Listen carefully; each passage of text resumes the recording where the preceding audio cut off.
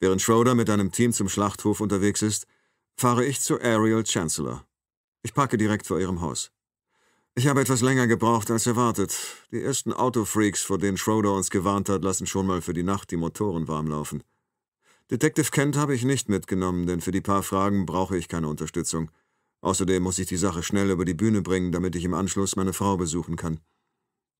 Wir bleiben 20 Minuten bis zu meinem 5 Uhr Termin mit Dr. Forster, und von hier aus fährt man mit dem Wagen 20 Minuten oder sogar noch länger, wenn die Autofreaks auf die Idee kommen, das Schwesternheim zu umkurven. Es wird wohl nicht schlimm sein, wenn ich erst 10 oder 20 Minuten später dazustoße. Forster wird etwa eine halbe Stunde brauchen, um meine Frau zu untersuchen. Damit bleiben mir 10 Minuten, um mit Ariel Chancellor zu reden. Ich klopfe an die Tür, doch niemand öffnet. Wenn ich noch Privatdetektiv wäre, würde ich jetzt vielleicht einbrechen. Ich wäge das ab gegen meine Pflichten als Polizist und diese wiederum gegen meine Pflichten als ein Mensch, der versucht, das Leben dreier junger Mädchen und ihres Vaters zu retten. All diese Überlegungen führen mich zur Seite des Hauses, wo meine Füße zur Hälfte im morastigen Rasen versinken. An den Rändern der Hintertür hat sich Schimmel breit gemacht. Mit einem Satz Dietriche, die sich im Laufe der Jahre als nützlich erwiesen haben, öffne ich die Tür. Ich werde sie auch in Zukunft verwenden, auch als Polizist. Ich rufe eine Begrüßung, bevor ich eintrete. Im Innern ist es ein paar Grad kühler. Wäre es hier noch feuchter, bräuchte ich eine Badehose. Ich gehe ins Wohnzimmer. Zur Rechten befindet sich eine Küche, wo neben der Spüle ein Stapel sauberes Geschirr steht. Der Boden vor dem Herd ist voller Mäusescheiße, und neben dem Mülleimer in einer Falle hängt eine zerquetschte tote Maus. Auf dem Esstisch liegen mehrere Fantasy-Romane. Offensichtlich helfen sie Ariel der Vergangenheit und Gegenwart zu entfliehen. Daneben steht eine kleine Plastiktüte mit einem halben Dutzend weißer Tabletten, die regelrecht dazu einladen, sie mitgehen zu lassen, oder in diesem Fall sie aufzufressen. Denn im Boden der Tüte sind mehrere Löcher. Einige Tabletten sind zerbröselt und auf dem Tisch liegt eine tote Maus. Offensichtlich ist sie ziemlich schnell heil geworden und an einer Überdosis gestorben, bevor sie ihren Fund mit ihren Freunden teilen konnte. Ich betrachte die Fotos, die ich vorhin bereits gesehen habe. Die Ränder haben sich im Laufe der Jahre nach oben gerollt und die Farben sind verblichen. Ich nehme ein Foto ab, auf dem Caleb Cole zusammen mit Jessica und Ariel zu sehen ist. Es muss aufgenommen worden sein, kurz bevor James Whitby ihr Leben zerstört hat. Ariel wirkt glücklich. Ihre Augen sind von einer Lebendigkeit erfüllt, die inzwischen längst daraus gewichen ist. Damals war sie ein zehnjähriges Mädchen, das von Ponys und Regenbogen träumte und sich im Fernsehen Zeichentrickfilme anschaute. Damals hatte sie eine beste Freundin. Ihr Leben war heiter und unbeschwert und sie war eine Prinzessin. Und dann verwandelte ein Verrückter dieses Leben in etwas Düsteres. Selbst im Alter von zehn Jahren hatte Ariel wohl schon verstanden, was passiert war. Mit elf dann umso mehr. Und auf der Highschool zerstörte es wahrscheinlich ihr Leben. Die Schuldgefühle, die Scham, das Wissen, dass sie davongekommen war und ihre beste Freundin nicht. Das Mädchen auf diesem Foto hatte keine Ahnung, was die Zukunft bringen würde und hatte nichts mit einer Welt aus Drogen und Prostitution zu tun, und es musste auch nicht in einem heruntergekommenen Haus mit Mäusescheiße auf den Boden und Löchern im Dach wohnen. James Whitby hat sie zwar nicht getötet, aber er hat Ariel ihr Leben genommen. Ich gehe durch das Schlafzimmer, als mein Handy klingelt. Es ist Schroeder. Ich habe Neuigkeiten für dich, sagt er. Bist du im Schlachthof? In fünf Minuten. Hast du schon mit Ariel gesprochen? Ich biege gerade in ihre Straße. Was gibt's Neues? Das ist zwar jetzt keine Überraschung mehr, sagt er. Aber die Fingerabdrücke, die unter der Motorhaube des Wagens gefunden wurden, stimmen mit denen von Caleb Cole überein.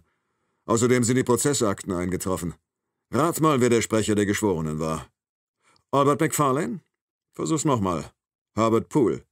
Bingo. Victoria Brown hat damals erklärt, Whitby sei auf dem geistigen Stand eines Zehnjährigen und nicht für sein Handeln verantwortlich. Dr. Stantons Aussage war die Grundlage für ihre Verteidigung. Und jetzt halt ich fest. Sie hatte einen Leumundszeugen. McFarlane? Genau. Er war früher Whitbys Lehrer. Im Prozess hat er erzählt, wie sehr Whitby sich verändert hat, nachdem seine Mutter ihn krankenhausreif geprügelt hatte. Er erklärte der Jury, dass Whitby im Grunde ein guter Mensch sei und dass seine Taten eine Folge der Misshandlung seien. Und Brad Hayward? Sein Name taucht nirgendwo auf. Offensichtlich hattest du recht. Er war letzte Nacht einfach nur irgendeiner von Ariel Chancellors Kunden, über den sich Cole geärgert hat. Hör zu, Einige unserer Leute bewachen die übrigen Geschworenen und sorgen dafür, dass Ihnen und auch all den anderen, die im Zusammenhang mit dem Fall genannt werden, nichts passiert. Wir haben Coles Polizeifoto an die Medien weitergegeben. Heute Abend kennt jeder sein Gesicht. Wir werden ihn bald finden. Also, ich muss Schluss machen. Wir sind jetzt am Schlachthof. Viel Glück. sage ich und lege auf. Ich stecke das Telefon in die Tasche. Schroeder hat recht. Wir werden Caleb Cole bald finden, denn als ich mich umdrehe, steht er direkt hinter mir. Und bevor ich überhaupt reagieren kann, schlägt er mir mit der Faust ins Gesicht.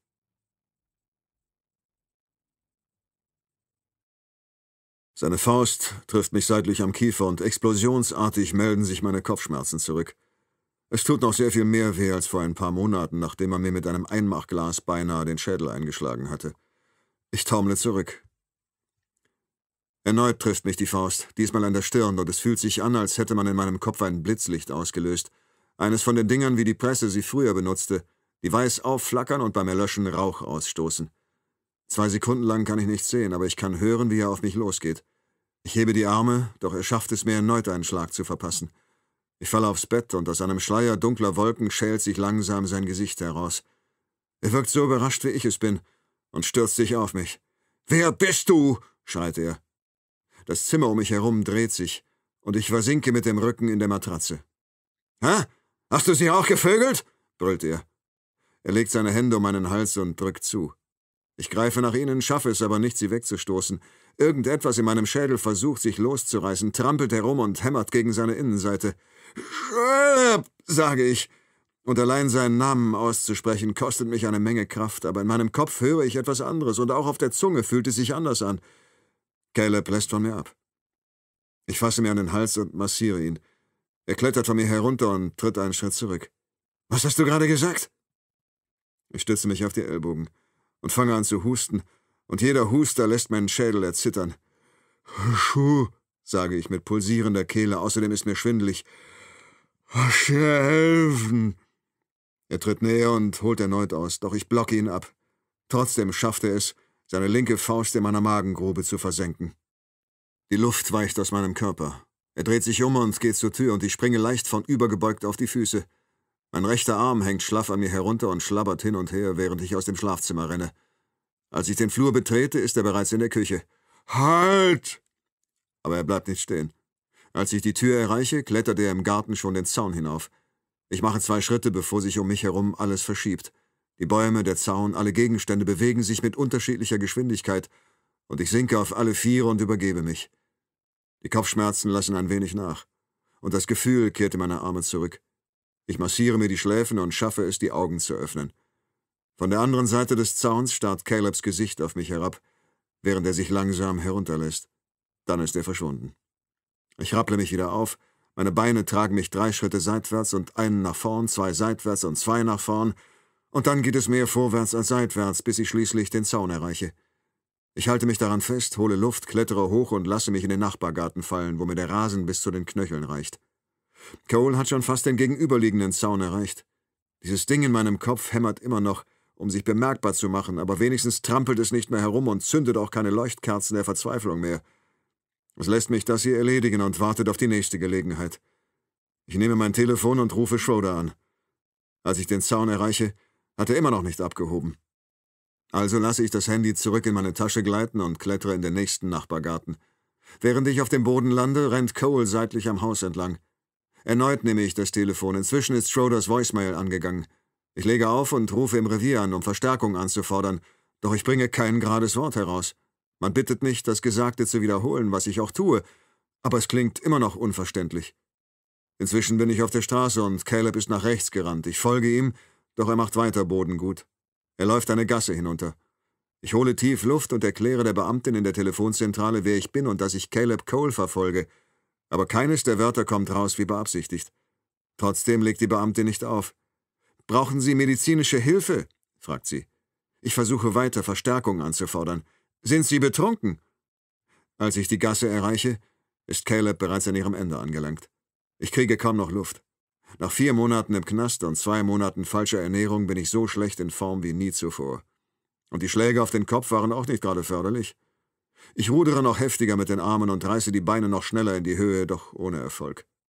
Caleb scheint keine Probleme zu haben. Ich liege mindestens zehn Sekunden zurück und mit jedem Schritt wird der Abstand größer. Er wirft einen Blick über die Schulter, und offensichtlich ist er nicht ganz so überzeugt, dass ich das Rennen verliere, denn er legt einen Zahn zu. Ich versuche es ihm gleich zu tun, aber vergeblich. Die Beine wollen nicht mehr. Dann drosselt er langsam das Tempo. Er war 15 Jahre im Gefängnis und musste noch sehr viel länger den gleichen Fraß essen wie ich. Ich verringere den Abstand, hole eine Sekunde auf und noch eine, komme immer näher und dann kann ich nicht mehr. Ich werde langsamer. Mir brennt die Lunge. Ich bin mit meiner Kraft am Ende.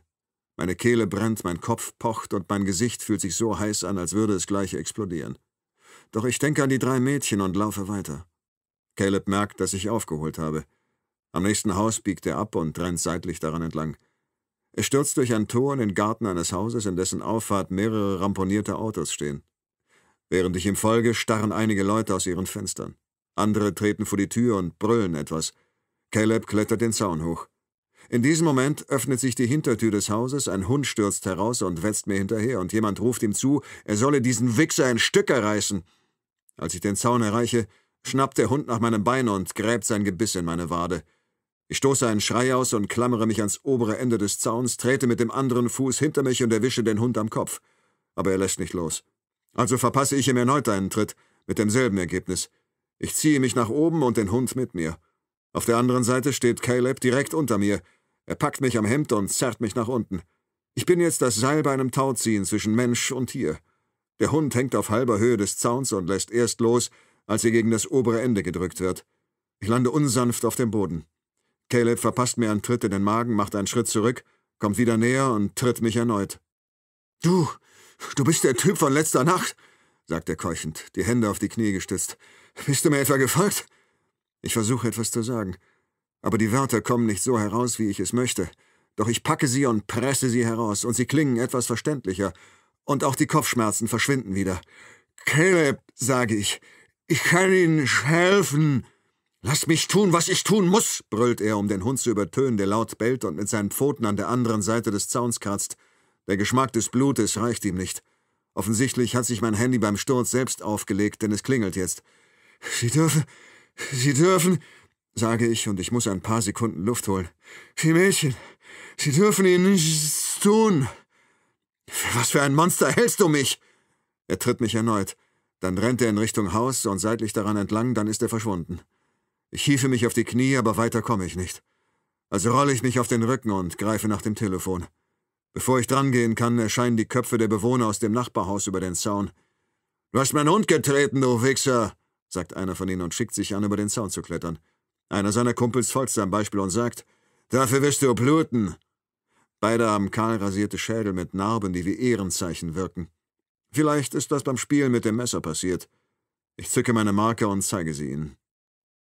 Sie schauen einander an und wissen offensichtlich nicht, was sie tun sollen. Ob es die Haftstrafe wert ist, die man kriegt, wenn man einen Polizeibeamten zu Tode tritt.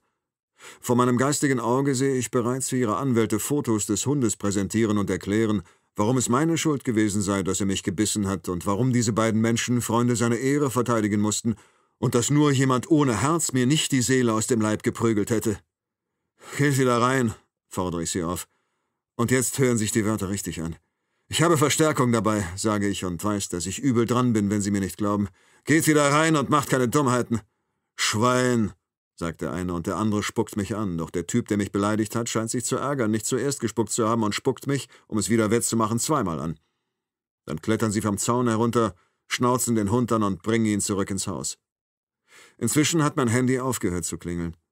Ich wische die Spucke am Rasen ab und gehe denselben Weg zur Straße wie Cole wobei ich mein linkes Bein so wenig wie möglich belaste. Keiner der Bewohner tritt aus dem Haus. Meine Hose ist kaputt, und als ich sie hochkremple, sehe ich eine Reihe von Löchern, aus denen Blut hervorsuppt. Erneut klingelt das Telefon. Cole ist nirgends zu entdecken, und auch kein Streifenwagen ist in Sicht. Ich setze mich auf die Bordsteinkante und nehme das Telefon ans Ohr. Ja? Wir sind jetzt im Schlachthof, sagt Schroeder, und ich muss mir einen Finger ins Ohr stecken, um den Hund nicht mehr zu hören. Stattdessen höre ich jetzt meinen Puls. Cole war hier und Dr. Stanton. Tate, eines der Mädchen, Cole, hat eines der Mädchen zurückgelassen, damit wir es finden.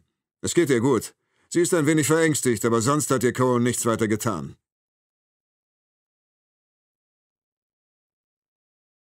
Calebs Hände schmerzen. Seit er sie diesem Typen um den Hals gelegt hat, tun seine Finger so weh, dass es bestimmt erträglicher wäre, wenn er sie abhacken würde. Dazu die Rennerei. Ein paar Schritte mehr und er wäre tot umgefallen. Seine rechte Hüfte fühlt sich an, als würde sie über Glassplitter scheuern, und die Beine schmerzen, als hätte man ihm durch die Fußballen Metallstifte ins Schienbein getrieben. Er muss die Schmerzen unterdrücken, andernfalls wird es schwer werden, den Richter zu töten. Er hat keine Ahnung, wer der Mann ist. Wenn man ihn verfolgt, dann. Nein, er wurde nicht verfolgt. Der Mann war vor ihm in Ariels Haus. Er muss also ein Cop sein. Das heißt, dass die Polizei weiß, wer er ist. Und was war das auf dem Friedhof letzte Nacht? Ein Zufall? Der Mann hat ihn mit seinem Namen angesprochen. Caleb erreicht den Wagen des Arztes. Es wird langsam dunkler. Auf der Rückbank schläft Katie und Octavia hockt vorn auf dem Kindersitz unter einer Decke, die wie eine Art Zelt von der Kopfstütze bis zum Boden straff gespannt ist. Das Letzte, was er jetzt gebrauchen kann, ist, dass jemand sie entdeckt und die Polizei alarmiert. Er hat dem kleinen Mädchen ein winziges Stück Klebeband über den Mund geklebt, damit es ruhig bleibt. Katie liegt ebenfalls unter einer Decke, und die Tabletten, die er ihr ins Getränk gebröselt hat, sorgen dafür, dass sie sich nicht beschwert. Bestimmt sind weitere Cops hierher unterwegs. Er lässt den Wagen an und fährt langsam los, darauf bedacht, keine Aufmerksamkeit zu erregen, obwohl ihm sein Gefühl sagt, dass er auf die Tube drücken und sie schleunigst aus dem Staub machen sollte. Er schaltet die Scheinwerfer ein. Wo bleiben die Bullen? Er kann sie nirgends entdecken und macht sie vom Acker, vergrößert den Abstand zwischen sich und dem Haus. Er lässt den Vorort hinter sich und fährt Richtung Stadt. Und dreimal muss er an einer grünen Ampel halten, weil die Kreuzungen von quietschbunten japanischen Autos blockiert werden, in denen junge Männer hocken und laute Musik hören. Immer noch keine Cops in Sicht. Er ist kein Monster. Und wenn das hier vorbei ist, werden die Menschen das begreifen. Er ist ein Mann, der versucht, die Welt wieder ins Lot zu bringen. Was ist mit dem nächsten Kinderschänder, der von Dr. Stanton behandelt und entlassen wird? Was ist mit dem nächsten Babymörder, der von Victoria Brown verteidigt wird und nach einer Strafe, die nicht schlimmer ist als ein Klaps auf den Hintern, wieder auf die Menschheit losgelassen wird? Nein, er ist kein Monster. Sie sind die Monster, weil Sie diese Leute verteidigen, und Sie sollen wissen, dass Ihr Handeln nicht ohne Folgen bleibt. Der Richter hat dem Ganzen seinen Segen gegeben. Bereitwillig hat er James Whitbys Unterbringung für zwei Jahre in einer psychiatrischen Klinik angeordnet und dann die Sache nicht weiterverfolgt. Bereitwillig hat er sich der ganzen Angelegenheit entledigt, ohne Rücksicht auf die Folgen und sich dem nächsten Fall zugewandt. Und jetzt fallen die Folgen auf ihn zurück und nehmen nun ebenfalls keine Rücksicht auf ihn. Wenn die Polizei seinen Namen kennt, weiß sie da womöglich auch, auf wen er es noch abgesehen hat? Er ist zwei Blocks vom Haus des Richters entfernt, als er zu dem Schluss kommt, dass das nicht nur möglich, sondern äußerst wahrscheinlich ist. Er braucht einen anderen Wagen, aber er hat keine Ahnung, wie er ihn sich besorgen soll. Er hat im Knast Geschichten gehört, wie man ein Auto klaut. Das hörte sich kompliziert an. Einige meinten, man müsse bestimmte Kabel miteinander verbinden, andere, man müsse einen Schlitzschraubendreher so tief wie möglich ins Zündschloss rammen, um es aufzubrechen und ihn dann als Schlüssel verwenden. Aber selbst wenn er wüsste, wie das funktioniert, wäre er dafür mit den Händen wohl nicht geschickt genug. Er könnte immer noch jemanden mit dem Messer bedrohen und ihm den Wagen abnehmen, allerdings kann er sich nicht vorstellen, dass das gut geht. Die Polizei würde ihn verfolgen und es gäbe unnötige Verletzte. Wie beinahe den Cop in Ariels Haus. Er hätte ihn erwürgen oder dem Hund überlassen können, doch den Mann trifft an der Sache keine Schuld. Es waren die Cops, die ihm vor 15 Jahren helfen wollten. Und sie waren es auch, die James Whitby zwei Jahre davor wegsperren wollten. Es ist jetzt Viertel nach fünf und die Straßenlaternen gehen an. Caleb fährt um den Block und parkt in einer Parallelstraße vor einem Haus, das dieselbe Nummer hat wie das des Richters. Er bleibt im Wagen sitzen und beobachtet, wie es langsam dunkel wird. Er schaltet sein Handy ein. Seit seiner Entlassung aus dem Gefängnis hat er mindestens jeden zweiten Abend Pizza gegessen. Das war sein Lieblingsessen, bevor man ihn eingebuchtet hat, und er holt jetzt nach, was er 15 Jahre lang entbehren musste. Er wählt die Nummer aus dem Gedächtnis, bestellt drei Pizzas mit Knoblauchbrot und Pommes frites und sagt, er zahle in bar. Die Person am anderen Ende wiederholt seine Bestellung, dann gibt Caleb ihr die Adresse des Richters durch. Man erklärt ihm, das Essen werde in 30 Minuten da sein, andernfalls sei die nächste Bestellung gratis. Aus einigen der Filme, die er in den letzten paar Wochen im Fernsehen gesehen hat, weiß er, dass die Polizei das Signal eines Handys innerhalb weniger Minuten zurückverfolgen kann. Manchmal muss sie auch mittels mehrerer Mobilfunkmasten in der Nähe den genauen Standpunkt bestimmen. Caleb hat keine Ahnung, wie kompliziert das tatsächlich ist. Trotzdem schaltet er das Handy aus, denn er möchte kein Risiko eingehen. Er weiß nicht mal, ob die Polizei überhaupt seine Nummer hat. Die Mädchen lässt er weiter zugedeckt. Es scheint nicht, als würde eines von ihnen in nächster Zeit aufwachen. Als Jessica noch klein war und nicht schlafen konnte, hatte sie ihm in den Wagen gesetzt und ist mit ihr so lange um den Block gefahren, bis sie einnickte. Dann drehte er sicherheitshalber eine weitere Runde, setzte langsam die Auffahrt zurück und trug sie auf Zehenspitzen in ihr Zimmer. Über die Jahre hinweg hat er das bestimmt an die hundert Mal gemacht. In seiner Erinnerung jedoch sind all die Fahrten zu einer einzigen verschmolzen. Und bei dem Gedanken daran muss er lächeln, als er 15 Minuten nach seinem Anruf aus dem Wagen steigt. Das hier ist ein freundliches Viertel. Dr. Stantons Wagen fällt nicht auf. Überall freundliche Häuser, freundliche Gärten und wahrscheinlich freundliche Menschen, die einem die Uhrzeit sagen, wenn man sie danach fragt. Das heißt also, er muss mehr aufpassen. Hin und wieder fahren Autos vorbei, Berufstätige, die von der Arbeit kommen. Freundliche Menschen neigen dazu, die Polizei zu verständigen, wenn ein fremder Mann vor dem freundlichen Haus ihres freundlichen Nachbarn herumlungert.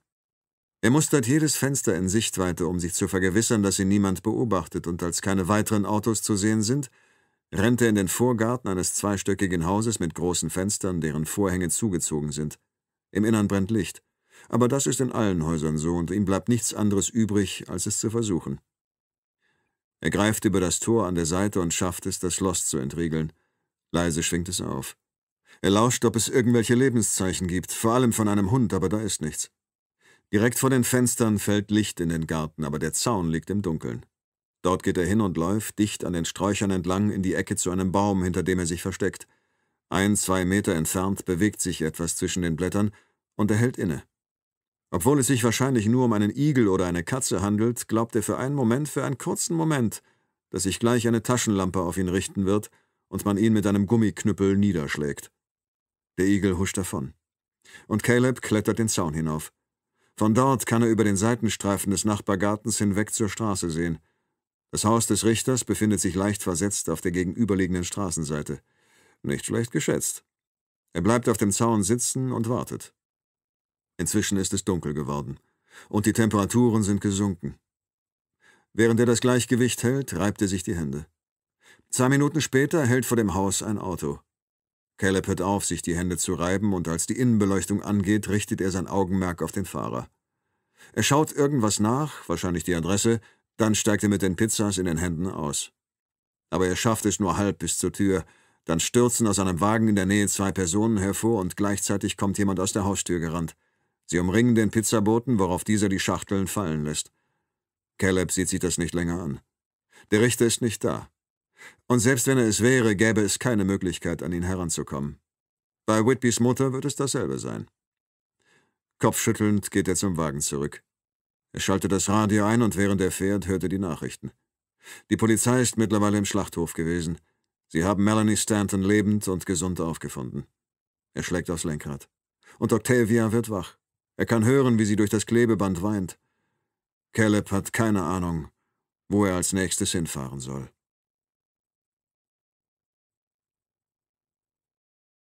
Meine Kopfschmerzen sind inzwischen verflogen und mein Hemd ist voller Kotzflecken, obwohl ich versucht habe, sie mit meinen Fingern abzuwischen. Es ist halb sechs, als der erste von mehreren Streifenwagen, die Schroeder hergeschickt hat, in die Straße biegt. Demnach lehne ich seit 30 Minuten an meinem Auto. Ich winke den Wagen zu mir.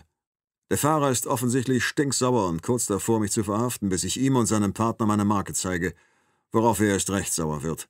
Ich bin ebenfalls sauer und will wissen, warum Sie verdammt nochmal so lange gebraucht haben, und er erklärt es mir in einem Wort. Autofreaks. Wir fahren durchs Viertel, er steuert den Wagen und ich blute, während sein Partner in sämtliche Richtungen Ausschau hält und mit einer Taschenlampe aus dem Fenster hinaus in die Dunkelheit leuchtet. Keiner von uns sagt einen Ton. Die Gemüter sind immer noch erhitzt. Von Cole ist keine Spur zu sehen.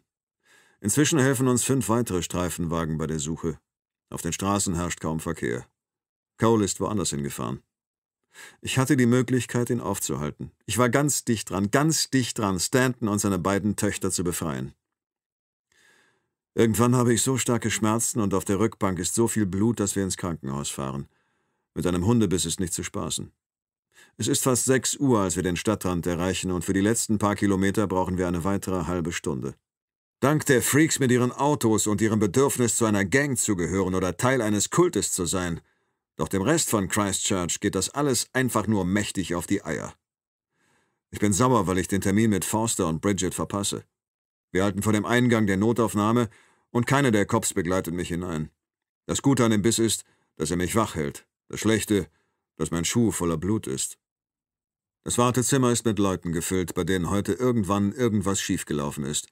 Entweder haben sie sich mit dem Hammer auf den Finger geschlagen, oder sie haben sich beim Gitarrespielen verhaspelt, und da sind Schulkinder, die sich beim Fußball den Arm gebrochen haben, und Hausfrauen, die gegen die Tür gerannt sind, weil das Essen nicht rechtzeitig fertig war.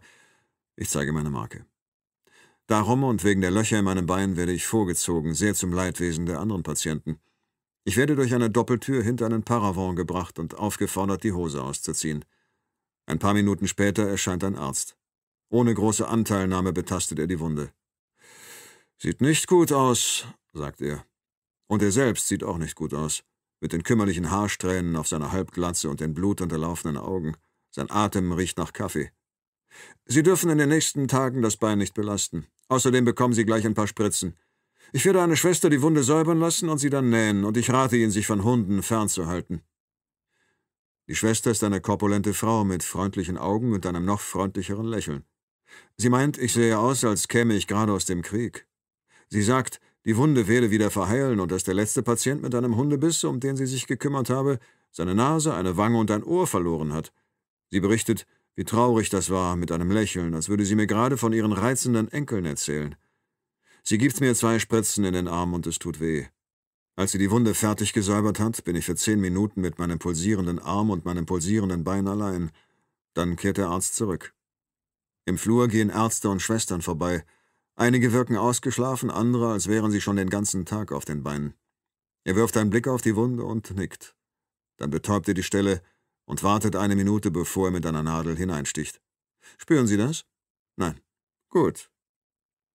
Einige der Löcher sind tiefer als die anderen, einige breiter, aber alle sehen sie etwa gleich fies aus. Ich hatte vorhin Kopfschmerzen.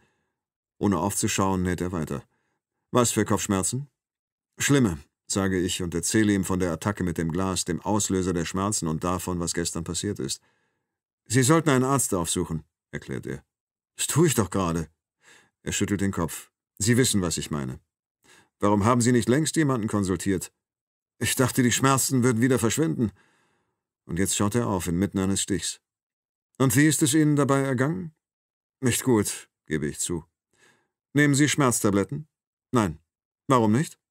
Ich bin suchtgefährdet. Ich wollte kein Risiko eingehen. Okay. Sie wollten also gar nichts dagegen unternehmen, sondern abwarten und jetzt erwähnen Sie es, weil Sie zufällig gerade hier sind. Gehen Sie nach dieser Devise auch bei Ihrer Arbeit vor, Detective? Nein, sage ich und blicke ihm nicht länger in die Augen. Ich wünschte, ich hätte das Thema nie angesprochen. Nein, genau.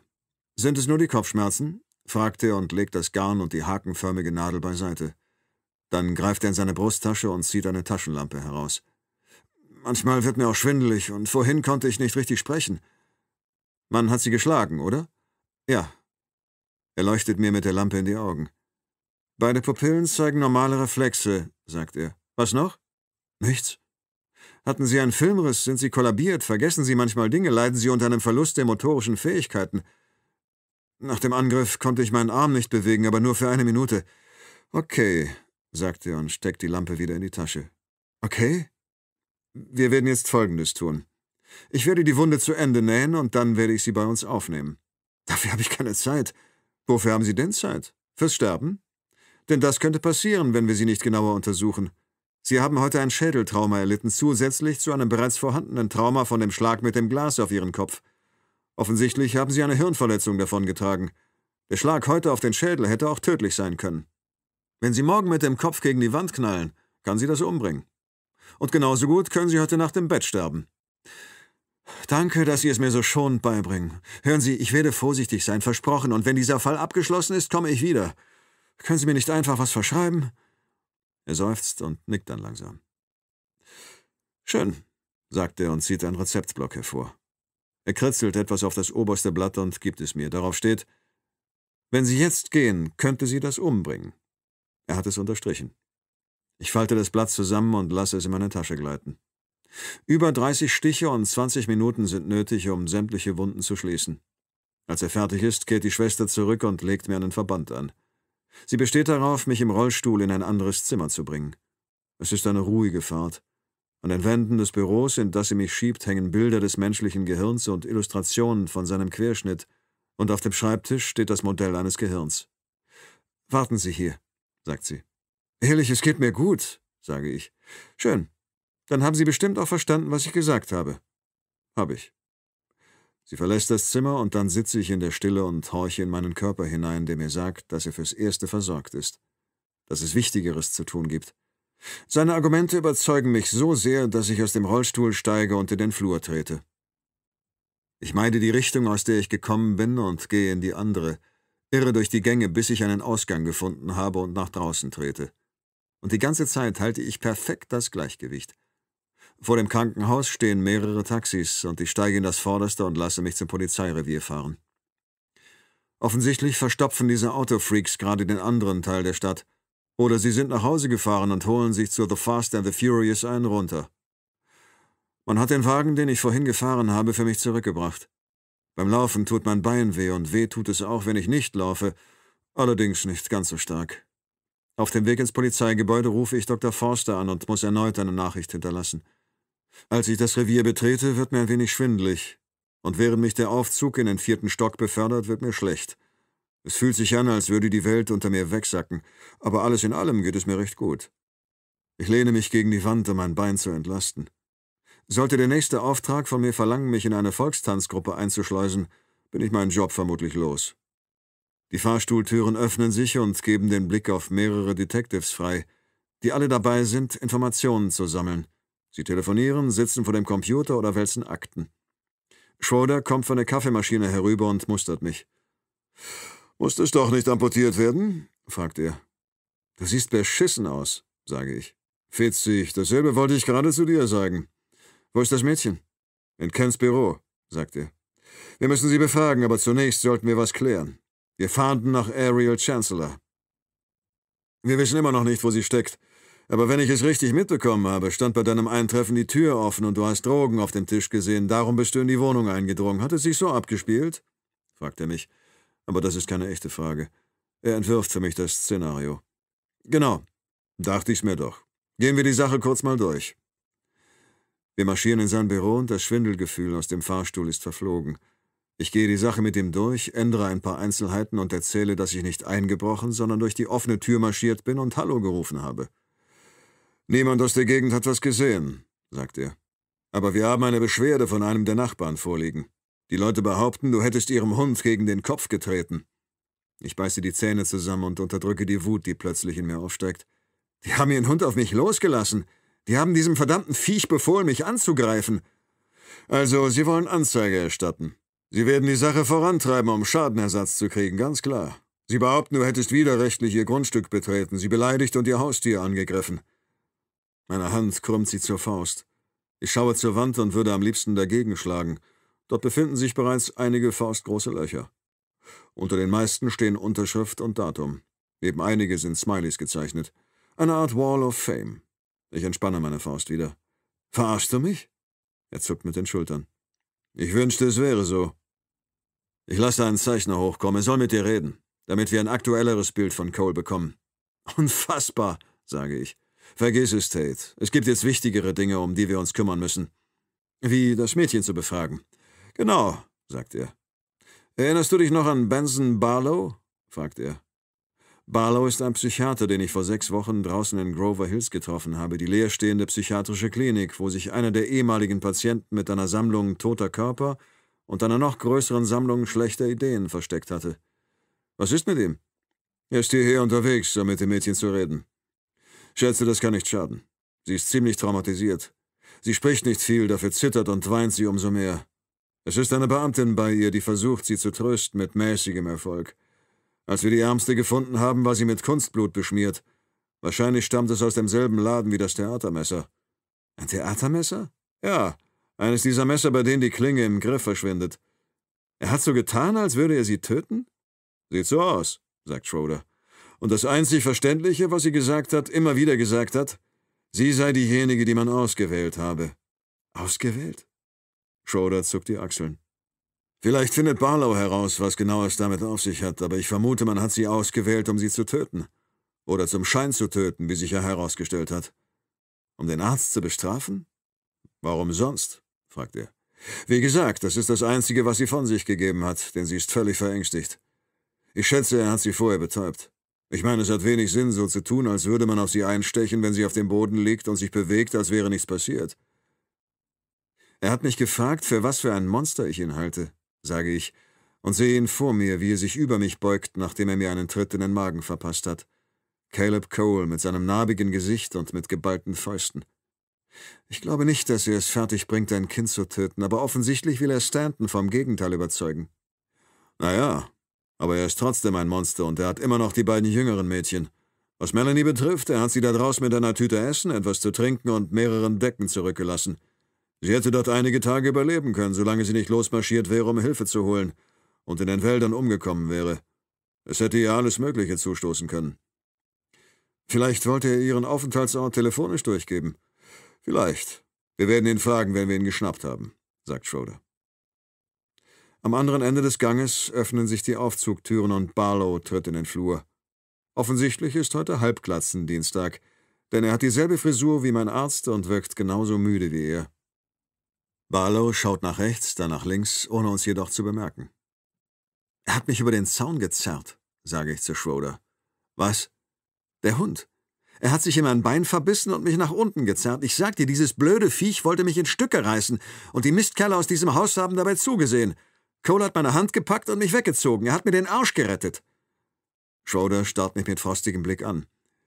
Sag mal, Tate, gibt's da ein Problem? Was? Was für ein Problem? Mit dir und Cole. Besteht etwa die Gefahr, dass du ihm Sympathie entgegenbringst? Nein, natürlich nicht. Bist du sicher? Ich weiß, dass ihr Ähnliches erleiden musstet, als ihr eure Töchter verloren habt, und ich weiß auch, dass ein Teil von dir für Cole Verständnis hat, wenn er diejenigen tötet, die seiner Meinung nach dafür verantwortlich sind. Aber er ist böse und tut unschuldigen Menschen weh. Ich werfe die Hände in die Luft. Mein Gott, Karl, das ist mir doch klar. Er starrt mich weiter frostig an. Bist du sicher? Ja, sage ich. Gut, sagt er und nickt langsam, um mir zu zeigen, dass er mir glaubt. Ich musste nur sicher gehen, denn es wäre echt scheiße, Tate, wenn du auf seiner Seite wärst. Er wartet einen Moment, damit es auch richtig ankommt, dann fährt er fort. Die Beweisstücke und Prozessakten zu beiden Whitby-Fällen sind eingetroffen, sagt er, von damals, als er die zwei Mädchen angegriffen hat. Inzwischen hat Barlow uns entdeckt. Sein Gesicht hält sich auf und er sagt oder formt mit den Lippen ein A, das an niemand Bestimmtes gerichtet ist, dann kommt er in unsere Richtung. Sie sind im Konferenzraum, sagt Schroeder zu mir. Ich bin auch nicht dazu gekommen, sie mir anzusehen. Übrigens, wir haben da noch ein Problem. Haben wir? Eher du. Was zum Henker war mit dir los? Was meinst du? Ich habe eine Aufzeichnung deines Hilferufs gehört. Es klang, als hätte man dir einen Tennisball in den Mund gestopft. Caleb hat mir ordentlich eins verpasst. Offensichtlich. Bist du sicher, dass du in Ordnung bist? Du wirkst etwas wackelig auf den Beinen. Mir geht's gut. Okay, also wenn ich dir das nächste Mal sage, dass du nicht allein gehen sollst, wie wär's, wenn du dann auf mich hörst? In diesem Moment tritt Barlow zu uns. Wir begrüßen uns und reichen einander die Hände. Er trägt einen Rollkragenpulli und karierte Hosen. Er sieht genauso aus, wie man sich einen Psychiater vorstellt, der auf dem Weg zum Golfplatz ist. Ich habe Whitbys Patientenakten gelesen, sagt er und setzt eine todernste Miene auf, während sich seine Stimme um eine Oktave senkt. Und ich kann Ihnen versichern, dass ich so einen Mann nicht aus meiner Obhut entlassen hätte. Er war eine tickende Zeitbombe.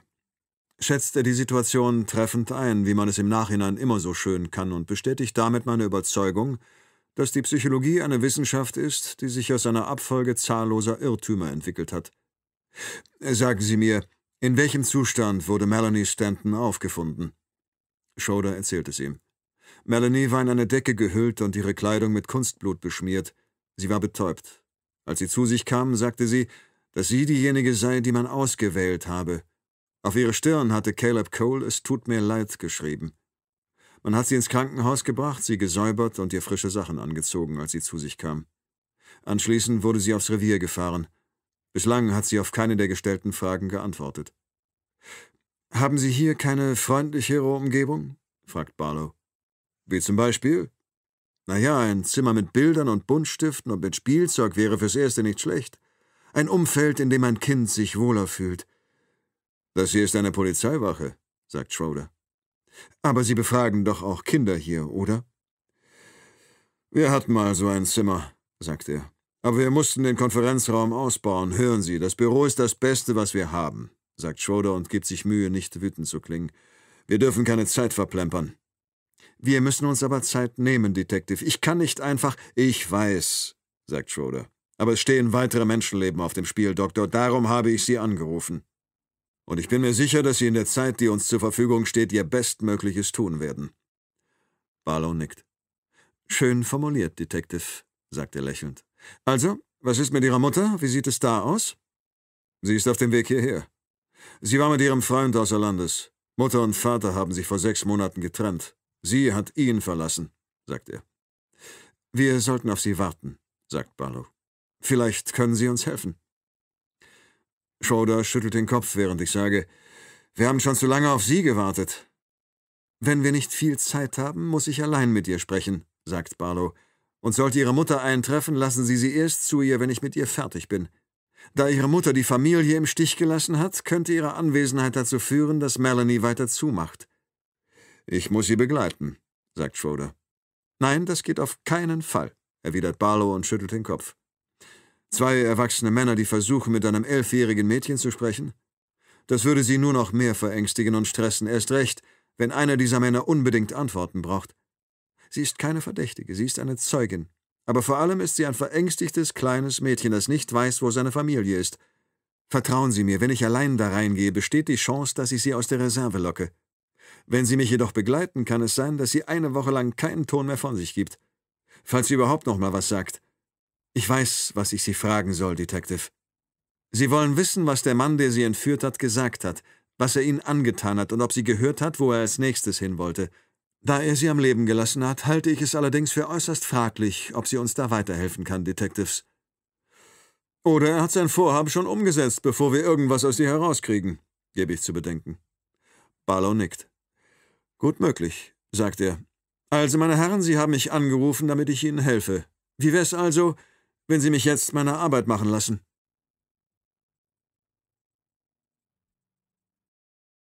Barlow geht in Schroders Büro und ich betrete den Konferenzraum in der Aussicht auf ein Nickerchen, doch das Messer macht jede Hoffnung zunichte. Es handelt sich um einen Scherzartikel, dessen Klinge im Griff verschwindet. Es liegt in einer versiegelten Plastiktüte mitten auf dem Tisch. Als ich ein Kind war, hat einer meiner Schulfreunde zum Spaß mit so einem Messer ständig auf sich eingestochen. Das war damals schon nicht witzig. Und heute ist es das schon gar nicht. Dr. Stanton ist irgendwo da draußen überzeugt, dass seine älteste Tochter tot ist, weil man sie zum Schein mit einem Spielzeug umgebracht hat, das entworfen wurde, um die Menschen zum Lachen zu bringen. Auf dem Tisch stapeln sich die Prozessakten. Zwei Detectives sehen sie gerade durch. Wir achten darauf, dass die Akten zu Whitby und zu Cole auf getrennten Stößen bleiben. Ich setze mich hin und würde am liebsten meinen Kopf auf die Tischplatte legen und für ein paar Stunden abschalten. Doch die Warnung des Arztes geht mir nicht mehr aus dem Sinn und ich habe Angst, dass, sollte mein Kopf etwas anderes als ein Kissen berühren, für immer die Lichter ausgehen. Ich finde ein Foto von Jessica Cole, das kurz vor ihrem Tod aufgenommen wurde. Dieses hübsche kleine Mädchen, das mich an meine eigene Tochter erinnert. Jessica wurde das Opfer einer vorsätzlichen Tat. Meine eigene Tochter Emily wurde das Opfer einer Dummheit. Der eine Mann war böse, der andere betrunken. Das Ergebnis war dasselbe. Aber vielleicht sind die Dinge auch nicht so schwarz-weiß. Der eine Mann war krank, der andere süchtig. Keiner der beiden Männer war ganz Herr seiner Sinne. Macht es das leichter, damit zurechtzukommen? Nein. Eher noch schwerer. Denn das bedeutet, man hätte einschreiten können, was aber niemand getan hat. Ärzte, Seelenklempner, Angehörige oder Freunde wo zum Henker waren sie, als es darum ging, Whitby die medizinische Behandlung zukommen zu lassen, die er brauchte, oder Quentin James, den Mann, der meine Tochter getötet hat, vom Tränken abzuhalten? In gewisser Weise hat Schroeder recht. Ich kann mit Cole mitfühlen. Ich verstehe sein Bedürfnis nach Rache, aber er hat es auf die falschen Leute abgesehen. Vor 15 Jahren hat er sich um James Whitby gekümmert, und danach hätte Schluss sein sollen. Ich habe mich auch um Quentin James gekümmert, aber das war's dann.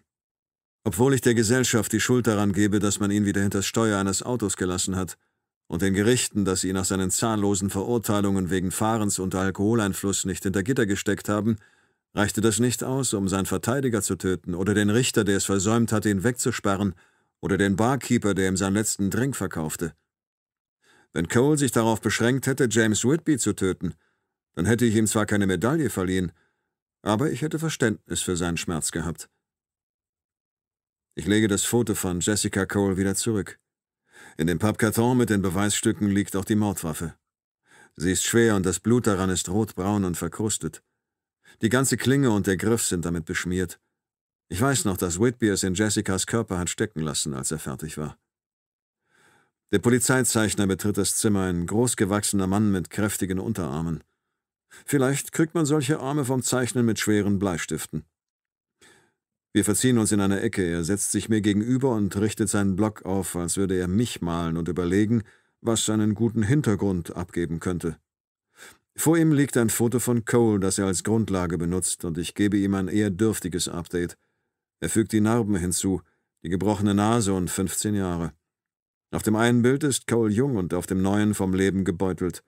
Sein Gesicht ist eine Karte der Zeit, die er im Knast verbracht hat. Als wir fertig sind, klingelt Schroders Handy. Er hebt ab und ich lausche seiner Hälfte des Gesprächs. Es geht irgendwie um Pizza.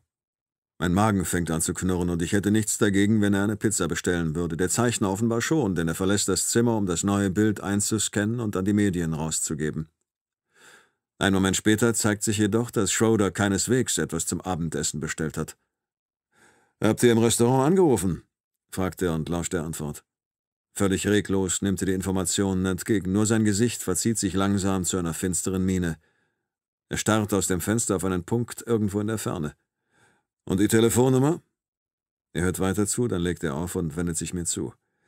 Irgendjemand hat mit einem Prepaid-Handy einen Pizzadienst angerufen, sagt er. Vor fünf Minuten wurden mehrere Pizzas an Richter Lathams Adresse ausgeliefert. Ein Test, um zu sehen, ob wir ihn observieren? Ja, und es hat funktioniert. Unsere Leute haben den Pizzaboten hochgenommen, als er sich dem Haus näherte. Das heißt, der Täter weiß jetzt, dass wir seine Pläne kennen. Verdammt, sagt Schroeder und bricht seinen Bleistift durch. Die Beamten vor Ort hätten es besser wissen müssen. Ich hätte es besser wissen müssen und selbst hinfahren sollen. Das werde ich beim nächsten Mal auch tun. Es gibt ja immer noch das Haus der Mutter. Ich schüttle den Kopf. Er wird es jetzt bei keinem der anderen Häuser mehr versuchen. Ihm ist klar, dass es eine Falle sein könnte. Er ist uns durch die Lappen gegangen sagt Schroeder. Wir haben es vergeigt. Ich weiß.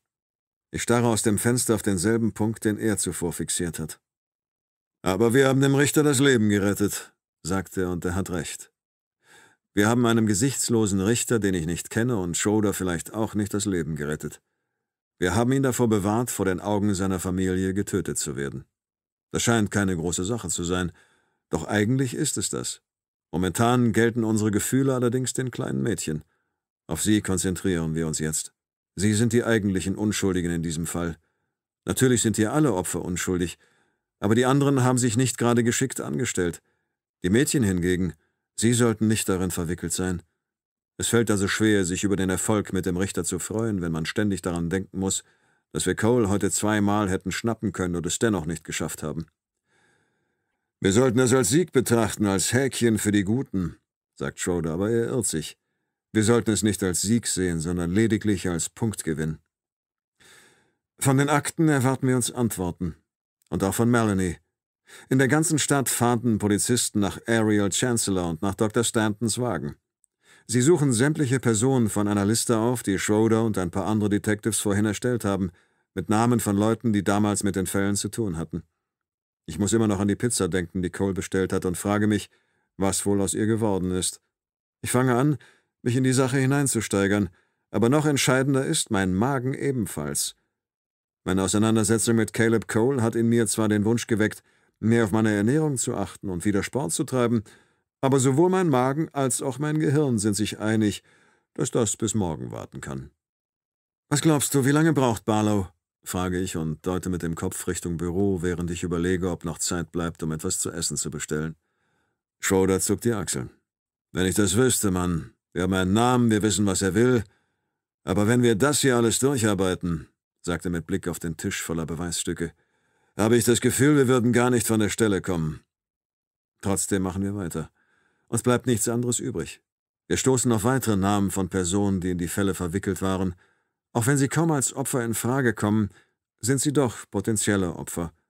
Die Polizisten, die Whitby verhaftet haben, die Detectives, die als Zeugen ausgesagt haben, eigentlich gibt es keinen Grund, warum es Cole auf einen von ihnen abgesehen haben könnte, denn sie waren auf seiner Seite. Trotzdem ist es durchaus möglich. Wir wissen, dass er Ariel Chancellor sucht, aber welche Bedeutung hat sie für ihn? Ist sie eine Tochterfigur oder beschuldigt er sie, ihre beste Freundin dem Tod überlassen zu haben?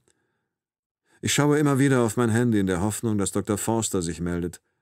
Ich rufe im Pflegeheim an, doch Schwester Hamilton hat bereits Feierabend gemacht. Hier stehen noch weitere Kartons mit Beweisstücken. Gegenstände von dem Autounfall, bei dem der Polizeibeamte Jeffrey Dale getötet wurde. Er war ein paar Jahre älter als ich damals. Er war der erste Cop, der im Dienst gestorben ist, nachdem ich bei der Polizei angefangen hatte, und er sollte nicht der letzte sein. Ich kann mich noch erinnern, wie ich seine Frau in den Nachrichten gesehen habe und ihre Kinder, eine Familie, die auseinandergerissen worden war. Ein Mann wollte für Gerechtigkeit sorgen und tötete dabei aus Versehen einen unschuldigen Mann. Es war tragisch. Man konnte es verstehen. Und man hatte Mitleid mit dem toten Kopp und seiner Familie und mit dem Mann, der ihn ungewollt getötet hatte. All das war schwer zu ertragen. Ich gehe zum Warenautomaten im Flur, werfe mehrere Münzen ein und ziehe vier Schokoriegel, die zusammen mehr Kalorien haben, als ich zählen kann. In diesem Moment trifft Erin Stanton, die Frau des entführten Arztes, ein. Sie ist Anfang 40, ihr Make-up ist verwischt und ihr langes Haar völlig zerzaust. Sie trägt ein weißes Kleid und darüber eine Lederjacke und in der Hand hat sie einen Motorradhelm. Ich schätze, Sie sind vom Flughafen nach Hause gefahren, haben Ihr Gepäck ausgeladen und sind dann direkt hierher gekommen. Sie macht einen fahrigen Eindruck. Ihr Freund hält ebenfalls einen Helm in der Hand und trägt eine sehr viel dickere Lederjacke. Er wirkt nervös. Seine schwarze Jeans hat Löcher rund um die Knie und ein paar weitere am Hintern. Allerdings sind sie nicht der Mode geschuldet, sondern dem Verschleiß beim Tragen. Sein Haar ist genauso lang und zerzaust wie das bei seiner Freundin, und er hat genauso viel Kajal aufgetragen wie sie, nur dass es bei ihm nicht verwischt ist. Direkt am Aufzug werden sie von Detective Kent in Empfang genommen. Sie bittet die beiden, sich etwas zu gedulden, doch sie wollen nicht. Erin sagt, dass sie ein Recht habe, Melanie zu sehen, worauf man ihr erklärt, sie könne zu ihr, sobald die Befragung beendet sei. Die beiden sind damit nicht einverstanden. Doch dann erinnert man sie daran, weswegen Melanie befragt wird, weil man hofft, so ihre Schwestern und ihren Vater zu finden. Ich möchte nur, dass meine Kleinen in Sicherheit sind, sagt sie. Und ihr Mann, ergänzt Kent. Er ist ein Arschloch, sagt der Freund. Was ist das hier für eine Mickey-Maus-Aktion? fügte er hinzu, um seine Überlegenheit zu demonstrieren, was ihm jedoch gründlich misslingt. Wenn ihr darauf angewiesen seid, dass ein elfjähriges Mädchen eure Arbeit macht. Detective Kent wirft ihm einen langen, strengen Blick zu, bis er irgendwann zur Seite schaut. Dann versucht Aaron, sich an ihr vorbeizudrängeln, dorthin, wo sie Melanie vermutet. Sie ruft nach ihr, doch Kent packt sie am Arm und führt sie fort. Ich habe das Recht, meine Tochter zu sehen, sagt Aaron. Lassen Sie sie los, sagt der Freund und reißt Kents Arm von ihr fort. Auf der Stelle wird er von zwei Detectives gegen die Wand gedrückt, während Detective Kent Aaron wieder zurück in Richtung Fahrstuhl führt. Tut mir leid, ich weiß, dass es schwer ist, aber Sie müssen uns vertrauen, sagt sie zu Aaron. Geben Sie uns noch ein paar Minuten, dann können Sie so viel Zeit mit ihr verbringen, wie Sie wollen, versprochen. Ich gehe zurück zum Konferenzzimmer. Einen der Schokoriegel behalte ich, die anderen drei verteile ich an meine Kollegen. Sie wissen die Geste zu schätzen, vor allem Detective Hutton, der aussieht, als hätte er sich die letzten zehn Jahre ausschließlich von Süßigkeiten ernährt. Ich habe das Gefühl, jetzt wieder zum Team zu gehören. Sie wollen wissen, was mein Bein macht, und ich erzähle es ihnen. Sie freuen sich, dass ich wieder mit an Bord bin. Wenn alles gut läuft, habe ich mit diesen Leuten eine gemeinsame Zukunft. Vereint werden wir gegen Verbrecher kämpfen und rechtschaffene Bürger beschützen. Während wir die Schokoriegel essen, kommen wir uns näher und schalten etwas ab. Wir machen zehn Minuten Pause, unterhalten uns über unsere Familien und das Wetter und über alles, was nichts mit der Stadt oder der Verbrechensrate zu tun hat. Es sind die besten zehn Minuten, die ich seit langem hatte. Punkt halb zehn, über eine Stunde nachdem Barlow Schroders Büro betreten hat, kommt er wieder heraus und schließt die Tür hinter sich. Wir eilen zu ihm hinüber, in der Hoffnung, dass er etwas hat, was uns hilft, Dr. Stanton und seine Familie noch lebend aufzuspüren.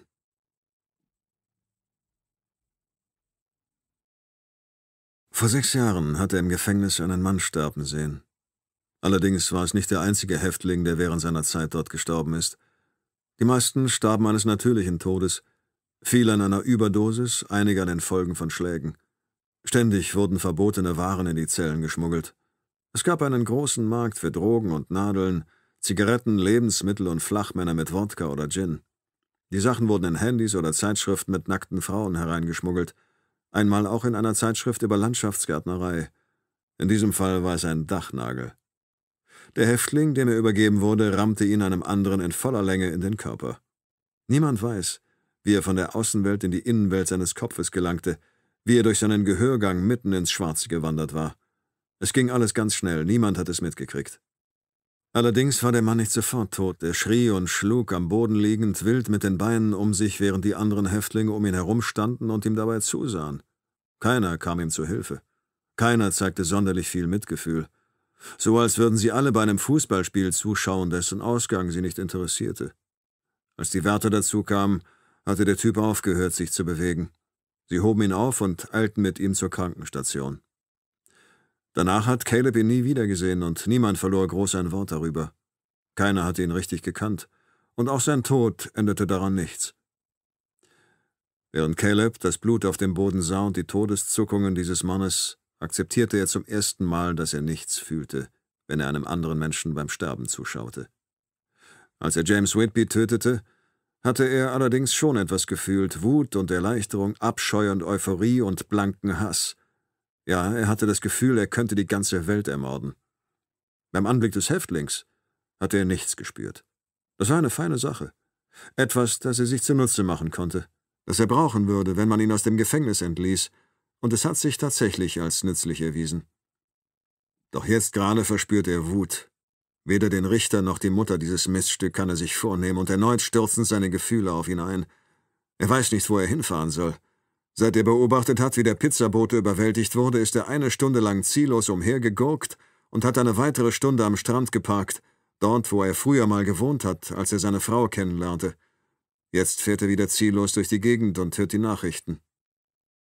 Die Reporter bezeichnen ihn inzwischen nicht mehr als Sensenmann, sondern benutzen seinen richtigen Namen.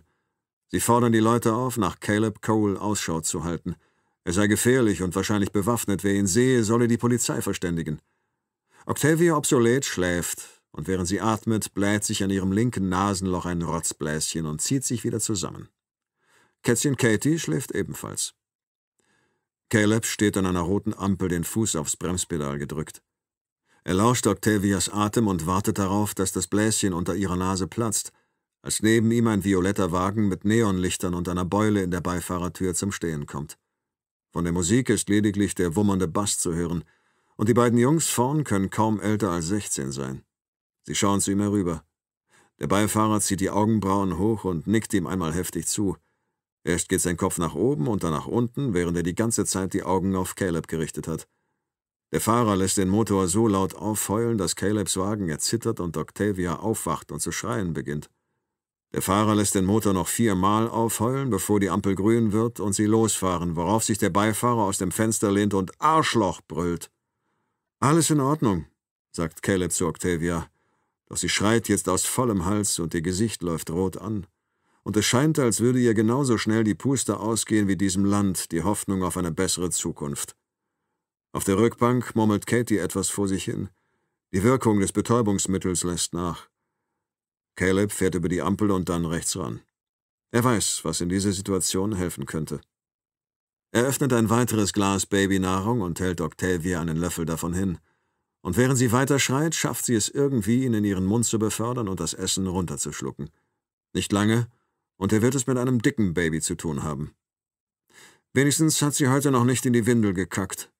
Als das Gläschen leer ist, fällt ihm ein, dass er Octavias Plastikbecher im Schlachthof zurückgelassen hat. Er hat jetzt nichts mehr, was er ihr noch geben kann, und zwei Sekunden später ist Octavia das ebenfalls klar, und sie schreit noch lauter. Caleb wirft einen Blick auf den Rücksitz, doch da ist nichts. Dann schaut er im Handschuhfach nach. Dort liegt eine kleine, halbvolle Wasserflasche. Er schraubt den Deckel ab und schnuppert daran. Das Wasser riecht okay, es kann höchstens ein paar Tage alt sein. Oder ein Jahr. Er wirft die Flasche wieder zurück. Octavia strampelt mit den Armen und schaukelt sich immer weiter hoch. Caleb lässt den Wagen an. Wie damals bei Jessica hat das Motorengeräusch eine beruhigende Wirkung auf das Baby. Er kennt sich hier in der Gegend aus. Ein paar Blocks von hier befindet sich ein Kiosk. Dort fährt er jetzt hin und hält davor. Er schließt den Wagen ab, rennt hinein, kauft eine kleine Tüte Orangensaft und läuft wieder nach draußen, während er dem Besitzer sagt, er könne das Kleingeld behalten. Er steckt den Strohhalm in die Tüte und reicht sie Octavia die bei ihrem Anblick sofort aufhört zu schreien und ein schmatzendes Geräusch von sich gibt, bevor sie an dem Strohhalm zu nuckeln beginnt. Gut? fragt er. Sie antwortet nicht und starrt ihn an, während sie trinkt. Ihre Wimpern sind verklebt und sehen aus wie die Anhängsel eines Seesterns. Caleb lässt den Wagen an. Katie bewegt sich inzwischen ein wenig mehr. Der Arzt wird ebenfalls bald wach werden. Caleb kann so nicht weiterfahren.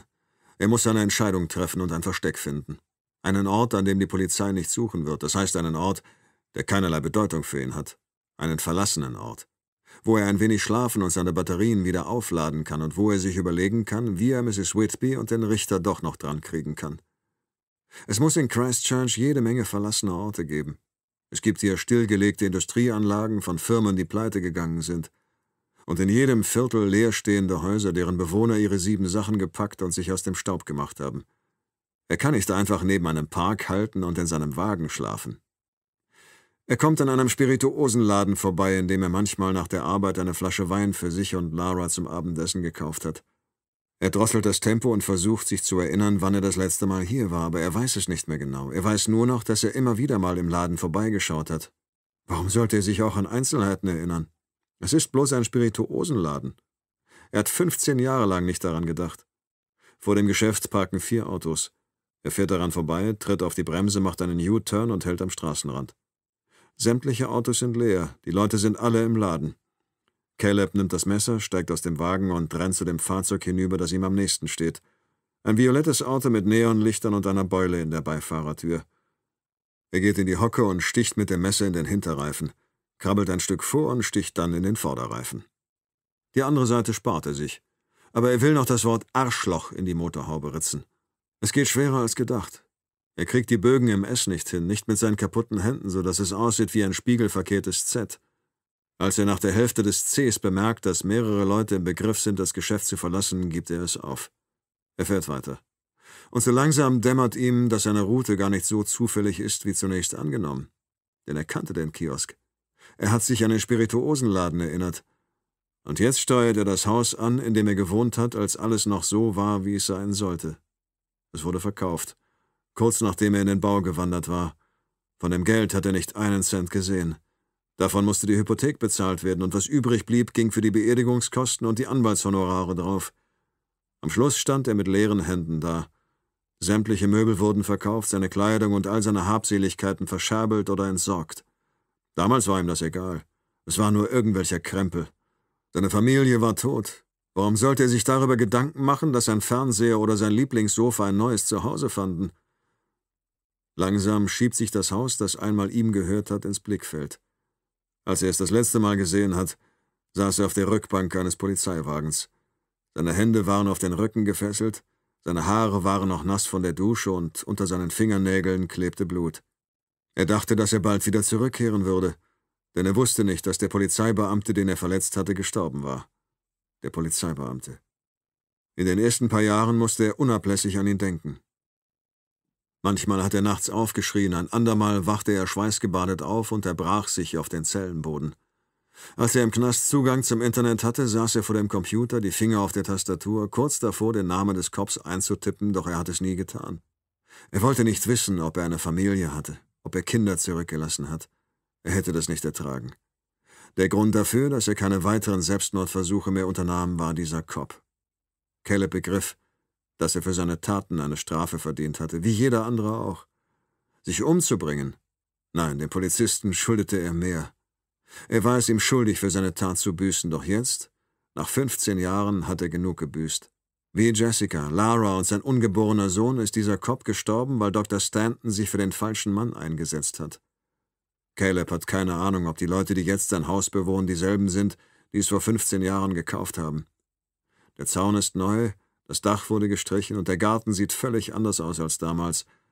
Einige der Bäume, die er gepflanzt hat, stehen noch, aber der Großteil wurde herausgerissen und ersetzt. Im Großen und Ganzen ist das Haus aber immer noch dasselbe. Im Innern brennt Licht. Am liebsten würde er klingeln und fragen, ob er es sich mal anschauen darf. Hinter diesen Wänden verbergen sich Erinnerungen, kurze Momente seines Lebens, unbedeutende Tage, die ihm dort wieder ins Gedächtnis kämen. Und für einen Augenblick, wenn auch nur für eine Sekunde, wäre die Welt wieder in Ordnung. Wo sind wir? Katys Stimme reißt ihn aus seinen Gedanken. Er dreht sich um und sieht, wie sie sich mit dem Handrücken die Augen reibt, so wie Jessica es auch immer getan hat, wenn sie bei Fahrten im Auto länger als eine halbe Stunde eingeschlafen war. Sie beugt sich nach vorn und umklammert die Hand ihrer Schwester, die immer noch schläft. Leg dich wieder hin, sagt Caleb zu ihr mit leiser Stimme. Ich bin nicht müde. Wo ist Melanie? Sie ist nicht hier. Wo ist sie? Melanie war ein artiges Mädchen, darum habe ich sie gehen lassen. Sie hat aufgehört zu reden und den Mund gehalten, als ich es wollte, und sie hat nicht ständig Fragen gestellt. Wo ist Daddy? Das ist ein schlechter Einstieg, Katie, sagt er. Was meinst du damit? Damit meine ich, dass du nicht besonders gut den Mund halten kannst. Ich halte sofort den Mund, wenn ich weiß, wo Daddy ist. Er verdreht die Augen. Jessica war früher genauso. Es ging immer schneller, wenn man ihre Fragen beantwortete. Er ist im Kofferraum. Warum? Weil ich nicht wollte, dass er mit dir zusammen auf der Rückbank sitzt. Warum? Weil da nicht genug Platz ist. Er hätte auf dem Beifahrersitz sitzen können und Octavia hier bei mir. Ich wollte ihn nicht auf dem Beifahrersitz haben, sondern im Kofferraum da, wo er jetzt liegt. Er hätte hier hinten auch Platz gehabt. Du hörst mir nicht zu. Ist das da dein Haus? Vielleicht geht es doch nicht schneller. Weißt du, was das heißt, den Mund halten? Sie nickt. Er nickt ebenfalls und seufzt. Ja, hier habe ich mal gewohnt. Mit deiner Frau? Ja. Und deiner Tochter? Ist lange her bis ein böser Mann sie dir weggenommen hat. Sie beißt sich auf einen Fingerknöchel und nuckelt ein paar Sekunden daran, dann nimmt sie ihn heraus und legt ihn auf die Unterlippe. Bist du auch ein böser Mann? Ja, sagt er, aber er ist kein Monster. Hast du Melanie was angetan? Nein. Schwörst du? Ja. Wirst du Octavia was tun? Nein. Wirst du meinem Dad was tun? Ja. Aber, aber das darfst du nicht, sagt sie. Er versucht, etwas für das Kind zu empfinden, etwas Mitgefühl. Ist er schon so jenseits von allem, dass er nichts mehr fühlt? Er durchforstet sein Inneres, gründlich, und er wünscht sich, dass da irgendetwas ist. Es muss doch etwas da sein, wenn sie ihn an Jessica erinnert. Aber er ist nicht mehr der Mann von damals. Katie fängt an zu weinen, so laut, dass er ihr Gesicht zudecken muss. Und hinten fängt Stanton an, gegen den Kofferraum zu hämmern. Der Scheißkerl ist wach. Katie blickt auf. Ihre Augen sind rot und ja, sie tut ihm leid. Sie trifft keinerlei Schuld. Ihr Vater hat sie da reingeritten, aber sie ist ein Mittel, ein Mittel zum Zweck. Er sollte das besser nicht vergessen. Daddy! schreit sie. Halt die Klappe! sagt Caleb mit tiefer, schroffer Stimme. Noch ein Wort und es passiert was, verstanden? Sie hört auf zu schreien. Aber das Hämmern im Kofferraum wird lauter. Das Letzte, was er jetzt gebrauchen kann, ist, dass es jemand hört. Er wirft einen Blick auf das Messer mit den violetten Lackresten an der Spitze, lässt es jedoch auf dem Sitz liegen.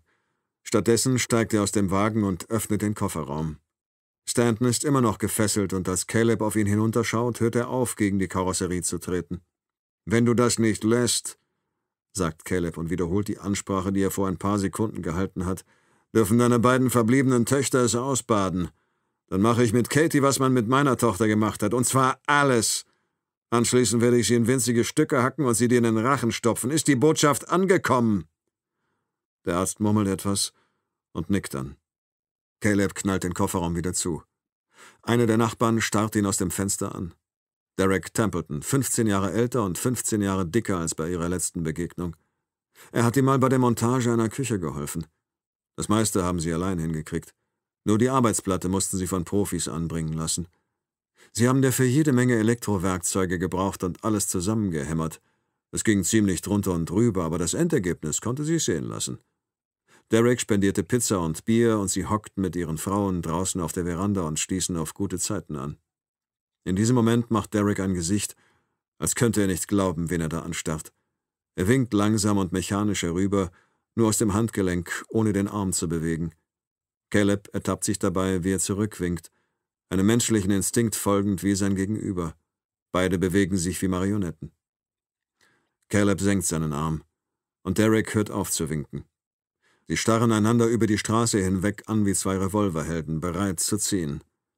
Dann verschwindet Derek vom Fenster, und Caleb steigt wieder in den Wagen. Er weiß nicht mal, warum er überhaupt hergekommen ist. Wahrscheinlich hat er gehofft, er würde das Haus so vorfinden, wie er es verlassen hat. Man hätte die Möbel zurückgebracht, sie wären mit Staub bedeckt, und der Duft vom Parfum seiner Frau und der Geruch ihres Körpers würden noch in der Luft hängen.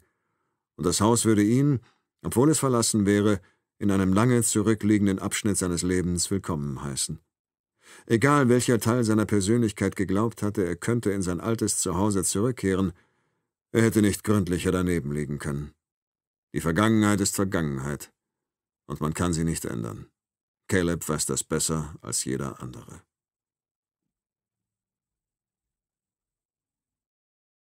Bevor wir etwas sagen können, hebt Benson Barlow die Hände in die Höhe wie ein Pressesprecher, der gleich eine Erklärung dazu abgeben wird, warum man seinen Klienten vor einem Restaurant in der Stadt splitternackt aufgegriffen hat. Während er auf uns zukommt, machen wir ein paar Schritte zurück, sodass Melanies Mutter und ihr Freund hinter ihm das Büro betreten können.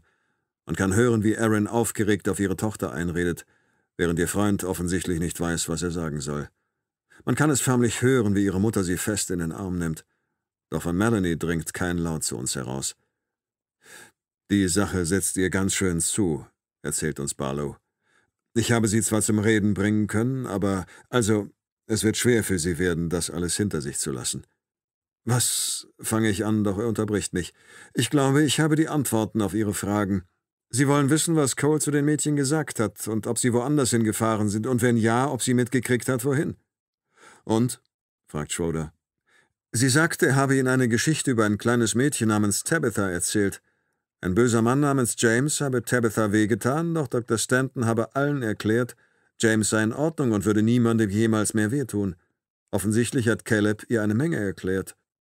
Sie weiß, dass Tabitha überfallen wurde und dass der Mann, der das getan hat, dank ihres Vaters wieder auf freiem Fuß kam, auch wenn ihr die Zusammenhänge nicht ganz klar sind.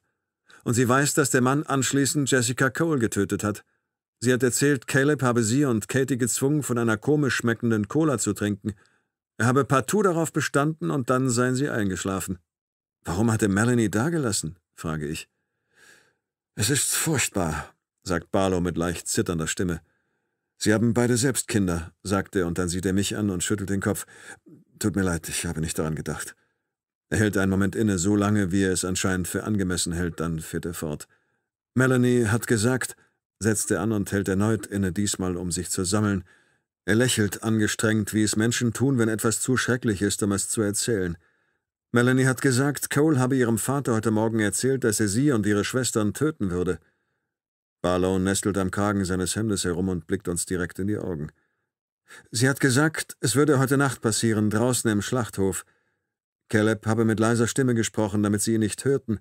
Trotzdem hat sie Teile davon verstanden.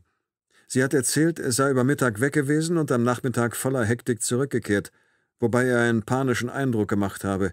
Dann hat er ihnen die Cola gegeben. Er hat sie betäubt, sagt Schroeder. Barlow nickt. Melanie spürte, wie sie langsam müde wurde und wusste, dass er ihr ein Betäubungsmittel verabreicht hatte, und sie tat so, als würde sie einschlafen. Bevor sie dann tatsächlich das Bewusstsein verlor, hörte sie einen Teil des Gesprächs, das Cole mit ihrem Vater führte. Er erklärte Stanton, dass sie einer seiner Töchter zurücklassen würden und dass diejenige sterben müsste – Stanton sollte auswählen, welche. Für einen Moment versuchen wir uns das vorzustellen. Wir drei versetzen uns in die aussichtslose Lage zu entscheiden, wer sterben und wer leben soll. Mein Magen und mein Brustkorb fühlen sich plötzlich sehr leer an. In meinem Nacken bildet sich kalter Schweiß. Nach welchen Kriterien soll man so eine Entscheidung treffen? Wie kann man das überhaupt? Das geht nicht. Es scheint allerdings so, als hätte Caleb damit gedroht, alle Kinder zu misshandeln oder zu töten, bis Stanton eine Entscheidung trifft. Aber selbst dann ist es unmöglich. Wie soll man jemanden auswählen? Das geht nicht, das geht einfach nicht. Und trotzdem hat es Stanton irgendwie geschafft. Er war stark genug, einen Namen zu nennen, um die beiden anderen zu retten. Stärker als ich es je gewesen wäre, vielleicht sogar als irgendjemand in diesem Zimmer. Er hat sich für einen Namen entschieden, um die beiden anderen Mädchen zu retten. Nicholas Stanton, steht wahrscheinlich kurz vor einem Nervenzusammenbruch. Melanie schrie laut auf, als sie das hörte, tat aber weiter so, als würde sie schlafen. Cole sagte zwar, wenn eine von ihnen sich schlafen stellen würde, würde er sie bestrafen, dennoch verriet sie sich nicht. An das, was danach passierte, kann sie sich kaum erinnern. Sie weiß nur noch, dass sie große Angst hatte. Und dann kam sie im Krankenhaus wieder zu sich. Das arme Schwein, sagt Schroeder. Barlow nickt. Sie betrachten es von Stantons Standpunkt aus, und das ist nur zu verständlich. Sie sind ja selbst Vater. Aber betrachten Sie es mal aus Melanies Perspektive. Sie hat eins und eins zusammengezählt. Die Sache mit dem Kunstblut, das Betäubungsmittel. Ihr ist klar, dass Cole ihren Tod nur inszeniert hat. Und das heißt, sie weiß, dass ihr Vater sich entschieden hat, sie statt einer ihrer Schwestern dazulassen. Sie hat zwar überlebt, aber für sie ist eine Welt zusammengebrochen. Sie ist diejenige, die ihr Vater dazu bestimmt hat, zu sterben. Scheiße, Mann, sagt Schroeder. Wird sie je wieder in Ordnung kommen? Würden Sie das? Wohl kaum. Glauben Sie, dass Cole den anderen Töchtern etwas antut? frage ich. Barlow starrt mich für ein paar Sekunden an, während er darüber nachdenkt. Er wackelt dabei zögernd mit dem Kopf. Unwahrscheinlich, sagt er schließlich. Er hat ihr auf die Stirn, es tut mir leid, geschrieben. Sie sagt, dass er ihren Vater zwar schlecht behandelt habe, dass er aber versucht habe, zu ihr und ihren Schwestern freundlich zu sein, dass er sie nur angeschnauzt habe, wenn er unter großem Stress stand. Ich denke, dass ihm die Kinder aufrichtig leid tun. Trotzdem wird er sie dazu benutzen, sein Ziel zu erreichen. Und das wäre? Barlow zuckt mit den Schultern. Wenn er es nur darauf abgesehen hätte, Stanton zu töten, hätte er das längst getan.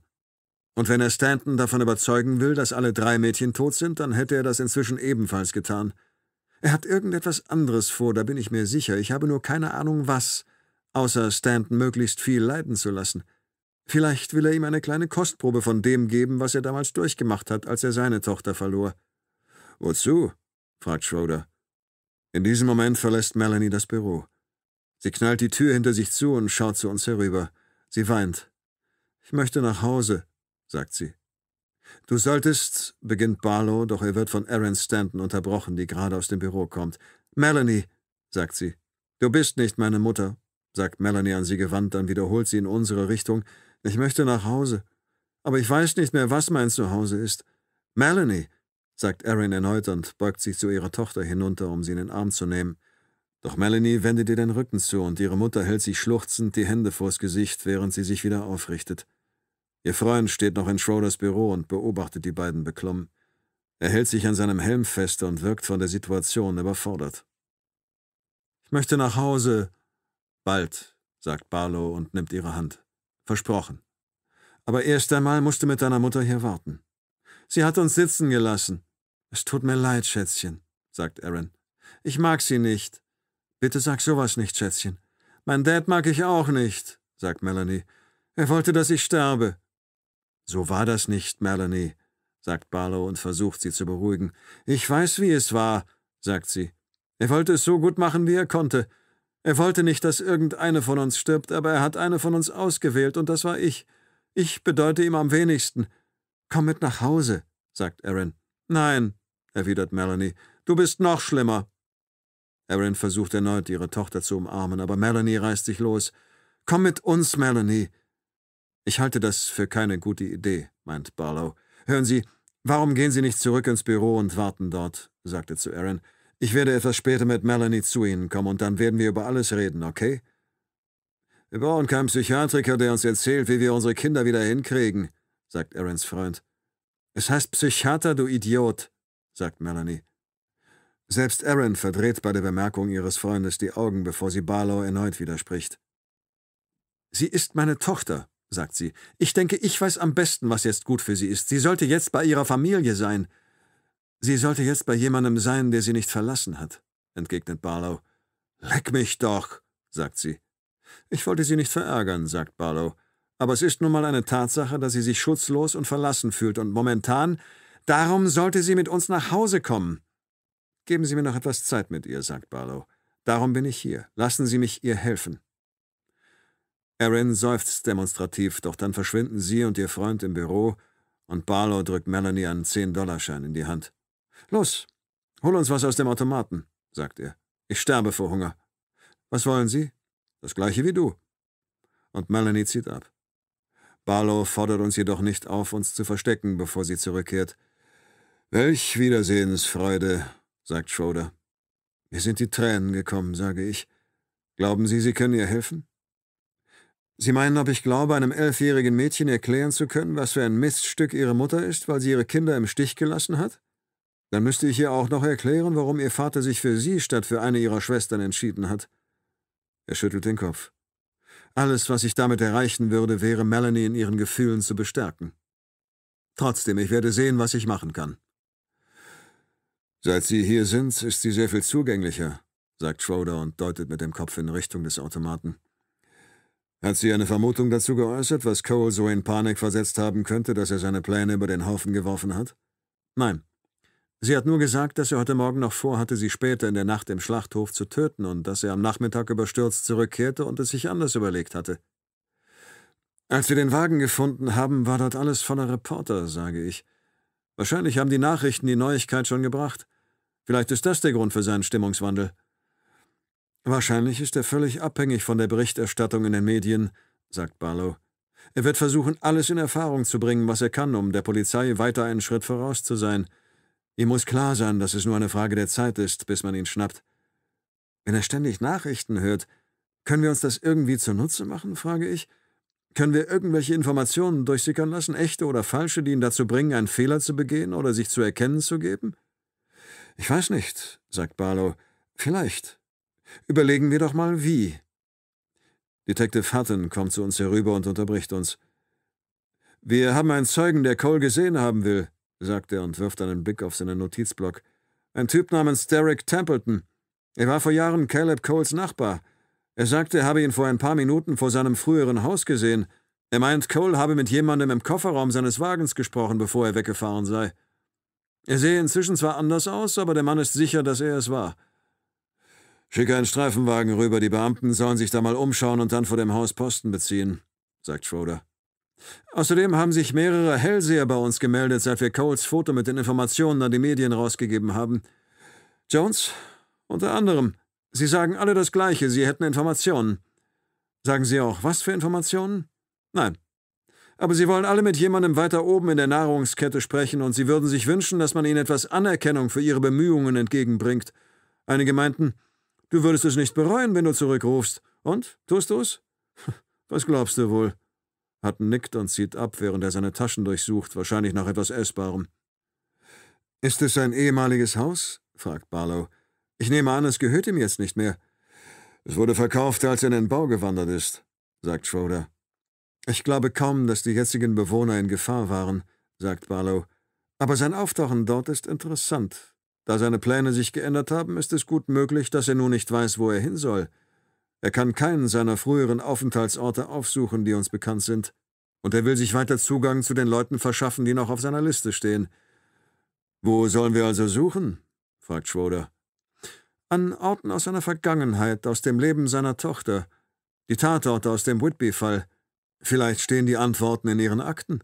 War er früher nicht mal Lehrer?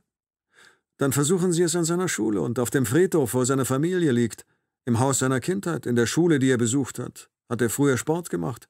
Dann klappern Sie die Sportanlagen und Vereinsheime ab. Jessica wurde im Schlachthof ermordet, aber wo wurde sie entführt? Versuchen Sie es dort. Und natürlich bei James Whitbys Mutter. Barlow schaut uns beide ernst an, so ernst, wie das einem Mann mit einer überkämmten Halbglatze eben möglich ist. Dann fährt er fort. Alles hängt davon ab, wie wichtig es Cole ist, diese Leute büßen zu lassen, sagt er und hält inne, und ab wann er bereit ist, sich seiner Niederlage einzugestehen und die Sache mit Dr. Stanton zu beenden. Müsste ich einen Tipp abgeben, würde ich sagen, er ist erst zufrieden, wenn er die Mutter hat. Denn hinter jedem Serienmörder steckt letztlich eine dominante Mutter oder Mutterfigur, und das trifft in jedem Fall auch auf James Whitby zu. Wenn Sie bedenken, was diese Frau Ihrem Sohn angetan und was sie aus ihm gemacht hat, diese Frau, diese Frau, sagt er und weiß offensichtlich nicht, wie er den Satz beenden soll. Und was ist mit Ariel Chancellor? frage ich. Vermutlich will er Kontakt zu ihr aufnehmen.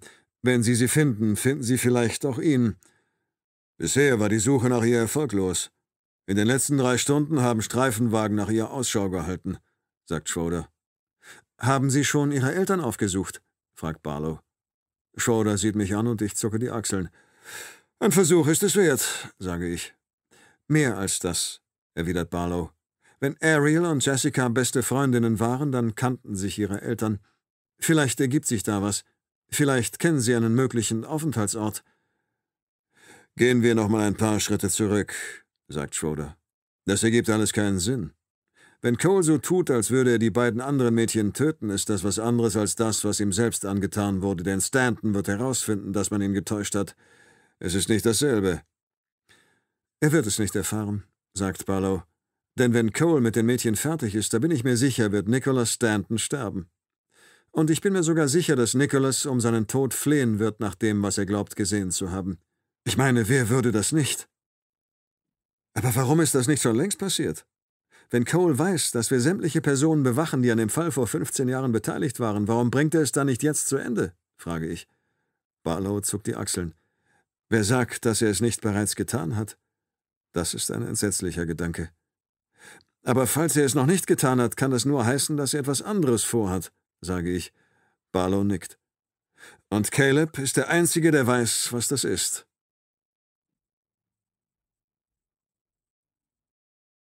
Caleb parkt in einer ruhigen Straße hinter einem Wagen, der bis zur Farbe genauso aussieht wie der, den er gerade fährt, und steigt aus. Er hüllt sich dichter in seine Jacke und taucht in seine Hände. Mit der Safttüte in der Hand starrt Octavia ihn durch das Fenster an. Katie beobachtet ihn ebenfalls.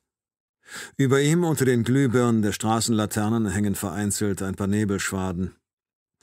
Nach einer Minute hat er mit Hilfe des Taschenmessers, das er im Handschuhfach gefunden hat, die beiden Nummernschilder abgeschraubt. Seines befestigt er am anderen Fahrzeug in der Hoffnung, dass der Besitzer es nicht sofort bemerkt. Aus seinem früheren Leben weiß er noch, dass es bei Montagearbeiten immer eine Schraube gab, die viel zu festgezogen war und beim Versuch, sie zu lösen, abbrach, so dass sie nicht mehr zu gebrauchen war. Jede handwerkliche Tätigkeit, die normalerweise in zwei Minuten erledigt war, wurde für ihn zu einer halbstündigen Tortur. Diesmal nicht. Selbst die zwei rostigen von insgesamt acht Schrauben lassen sich leicht herausdrehen. Er betrachtet das als positives Zeichen. Warum auch nicht? Er hat einige davon gut. Der Arzt im Kofferraum bleibt still. Caleb steigt wieder in den Wagen. Eigentlich sollte das hier alles inzwischen vorbei sein. Letzte Nacht hatte er es vermasselt. Er hätte sich seine Kräfte besser einteilen sollen, statt sich um das Arschloch aus der Stadt zu kümmern, das Ariel bezahlt hat. Er hätte einfach in seinen Wagen steigen und wie ein Vertreter von Tür zu Tür marschieren sollen um den Leuten, die für all das hier verantwortlich sind, den lange überfälligen Tod anzudrehen. Er wollte die Sache eigentlich im Schlachthof zu Ende bringen, aber wenn es sein muss, kann er es auch am Straßenrand tun. Richter Latham, wenn er auf einen der beiden verzichten müsste, dann auf ihn. Der Richter hat seine Entscheidung aufgrund der Fakten getroffen, die man ihm vorgelegt hat. Allerdings hat er dem Verteidiger und dem Arzt geglaubt. Darum hat er eine Strafe verdient. Vielleicht bekommt er sie in einem anderen Leben. Die Mutter, bei ihr bleibt ihm keine Wahl. Er muss sie sich vornehmen. Aber wenn er den Arzt und seine zwei Töchter mit seinem Wagen herumkutschiert, fordert er das Schicksal heraus. Der Arzt wird nur noch für eine gewisse Zeit stillhalten. Er braucht Hilfe. Er kann nicht zum Haus von Whitbys Mutter fahren und nochmal den Trick mit der Pizza abziehen. Und wahrscheinlich hat sein ehemaliger Nachbar inzwischen die Bullen gerufen. Er hat niemanden, an den er sich wenden kann. Auf dem Sitz hinter ihm richtet Katie sich auf. Sie sagt immer noch nichts. Sie presst die Lippen aufeinander, um zu demonstrieren, dass sie den Mund hält. Schnall dich an, fordert er sie auf. Er rechnet damit, dass sie fragt, warum, doch sie tut, was er von ihr verlangt. Ist dir kalt? Sie nickt. Er schaltet die Heizung an und richtet die Lüftungsschlitze auf die Rückbank. Vielleicht stimmt es nicht, dass ihm niemand helfen wird. Es gibt da eine Frau. Er wollte sie eigentlich mal besuchen, um zu sehen, ob es ihr gut geht, aber er hat es nie getan. Er hatte das Gefühl, dass sein Besuch nur im Schorf ihres Lebens herumstochern und alte Wunden aufreißen würde. Sie ist seine einzige Chance. In seinem Handy ruft er ihre Adresse auf.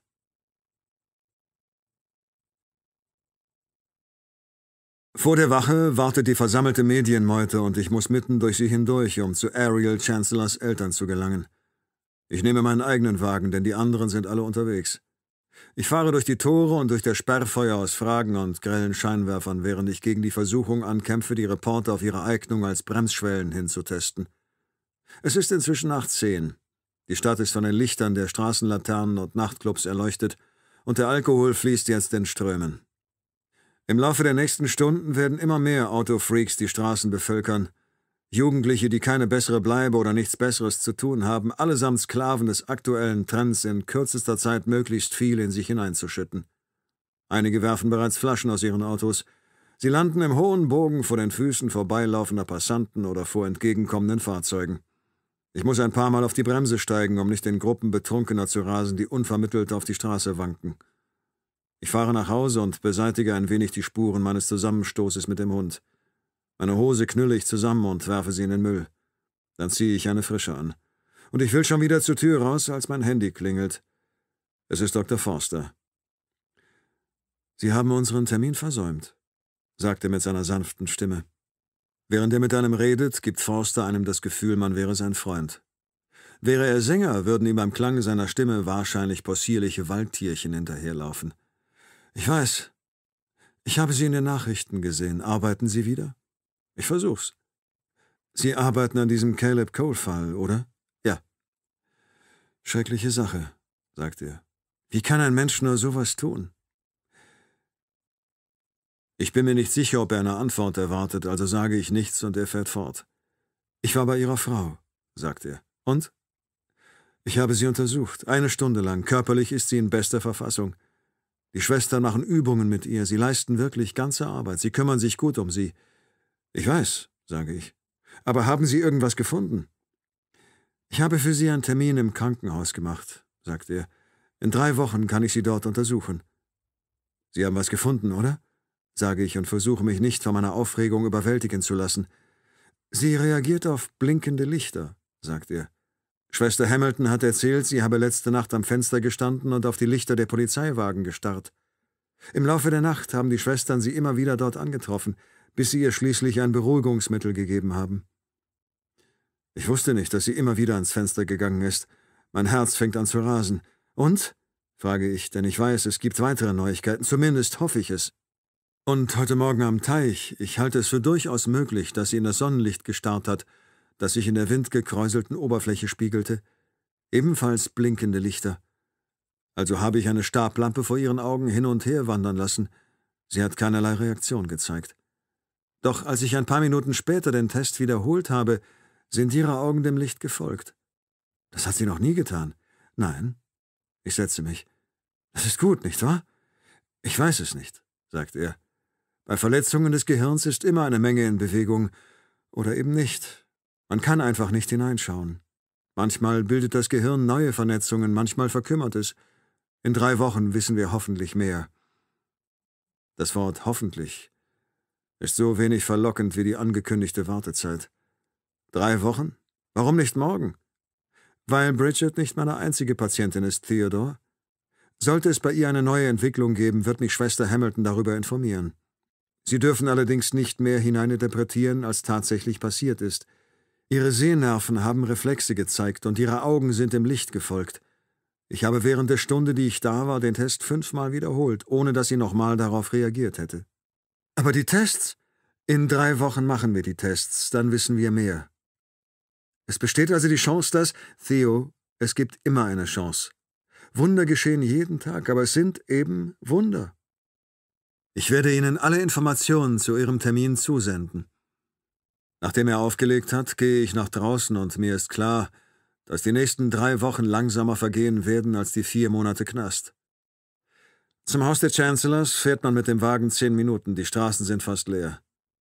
Ein paar Leute gehen Händchen halten spazieren, sie sind in Jacken gehüllt, einige führen einen oder zwei Hunde an der Leine. Bei den sinkenden Temperaturen ist es nur eine Frage der Zeit, bis die Jacken dicker und die Spaziergänge kürzer werden. Es gefällt mir, wie Hunde jeden Gegenstand anstarren, als würden sie ihn gerade zum ersten Mal sehen. Ihre Begeisterung für einen Baum, einen Laternenpfahl, einen Stock, der geworfen wird. Wir haben unsere Tochter zum letzten Mal vor zwei Jahren gesehen, sagt Harvey Chancellor, während er meine Marke begutachtet. Und ich wage es kaum zu fragen, was Ariel diesmal ausgefressen hat. Nichts, erkläre ich. Es wird langsam kalt hier auf der Türschwelle, trotzdem bittet er mich nicht ins Haus, an ein Bungalow mit einem Vogelhäuschen im Vorgarten. Darunter hocken drei Katzen, aber keine Vögel. Sie können uns vielleicht helfen, eine Person zu finden, nach der wir suchen. Wen? Caleb Cole? Alle suchen nach ihm, und wo Sie schon mal hier sind, kann ich Ihnen auch sagen, dass wir ihn kannten. Mehr aber auch nicht. Wir können Ihnen da nicht weiterhelfen. Darf ich reinkommen? Vielleicht können Sie uns etwas erzählen, das uns bei der Suche nach Ariel oder Caleb weiterhilft. Er nickt langsam. Und sein dichtes, graues Haar federt auf und ab. Andere Männer in seinem Alter beneiden ihn bestimmt um seinen Schopf. Okay. Im Haus ist es warm, es ist modern beleuchtet und in den Farben einer Musterwohnung eingerichtet. Als ich im Wohnzimmer Platz nehme, würde ich am liebsten die Füße auf den Tisch legen und ein Nickerchen machen. Nur ganz kurz, höchstens sechs, sieben Stunden. Mr. Chancellor setzt sich mir gegenüber, und seine Frau betritt das Zimmer und hockt sich neben ihn. Beide sind Ende 50 und die Kleidung macht sie zehn Jahre älter. Mrs. Chancellor trägt einen Morgenmantel, der vom Hals abwärts jeden Quadratzentimeter ihrer Haut bedeckt und aussieht, als könnte man damit wunderbar seinen Wagen putzen. Sie hat braunes Haar, das von ein paar grauen Strähnen durchzogen ist, und an einer Seite steckt eine Haarklammer, die so riesig ist, dass sie sich den Hals damit verletzen könnte. Sie bietet mir einen Kaffee an und ich nehme dankend an. Ich habe es fast einen halben Tag geschafft, auf Kaffee zu verzichten. Ich schätze, das ist eine reife Leistung. An den Wänden hängen Bilder von Ariel, allerdings hat sie darauf keinerlei Ähnlichkeit mit der Frau, die ich heute Morgen gesehen habe. Das hier sind Bilder von einer anderen Ariel, von einer Tochter aus einem anderen Leben.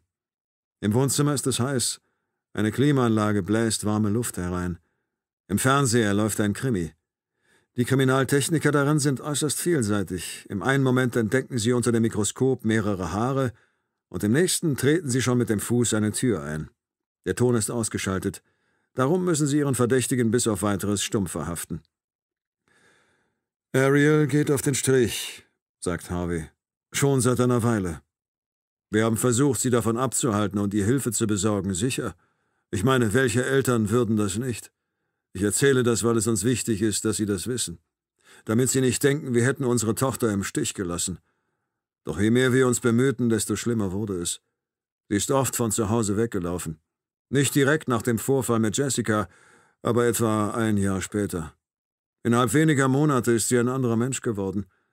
Jessica auf diese Weise verloren zu haben, hat sie verändert.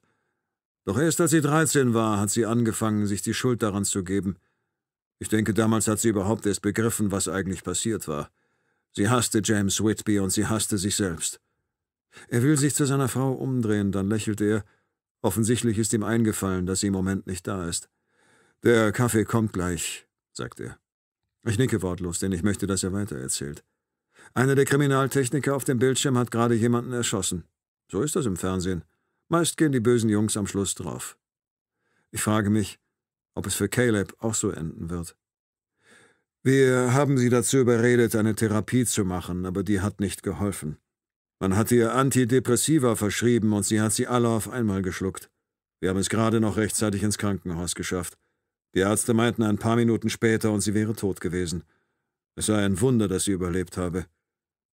Ich denke erneut über das Wort Wunder nach, und ein Teil von mir fürchtet, dass die Zahl der Wunder in dieser Welt begrenzt ist und dass Ariel Chancellor das eine aufgebraucht hat, das eigentlich für meine Frau bestimmt war. Es ist eine alberne, egoistische Vorstellung, aber genau das geht mir gerade durch den Kopf. Nach diesem Vorfall hat sie sich nachts oft aus dem Haus geschlichen und kam dann betrunken wieder zurück. Sie machte mit den Jungs in der Schule herum.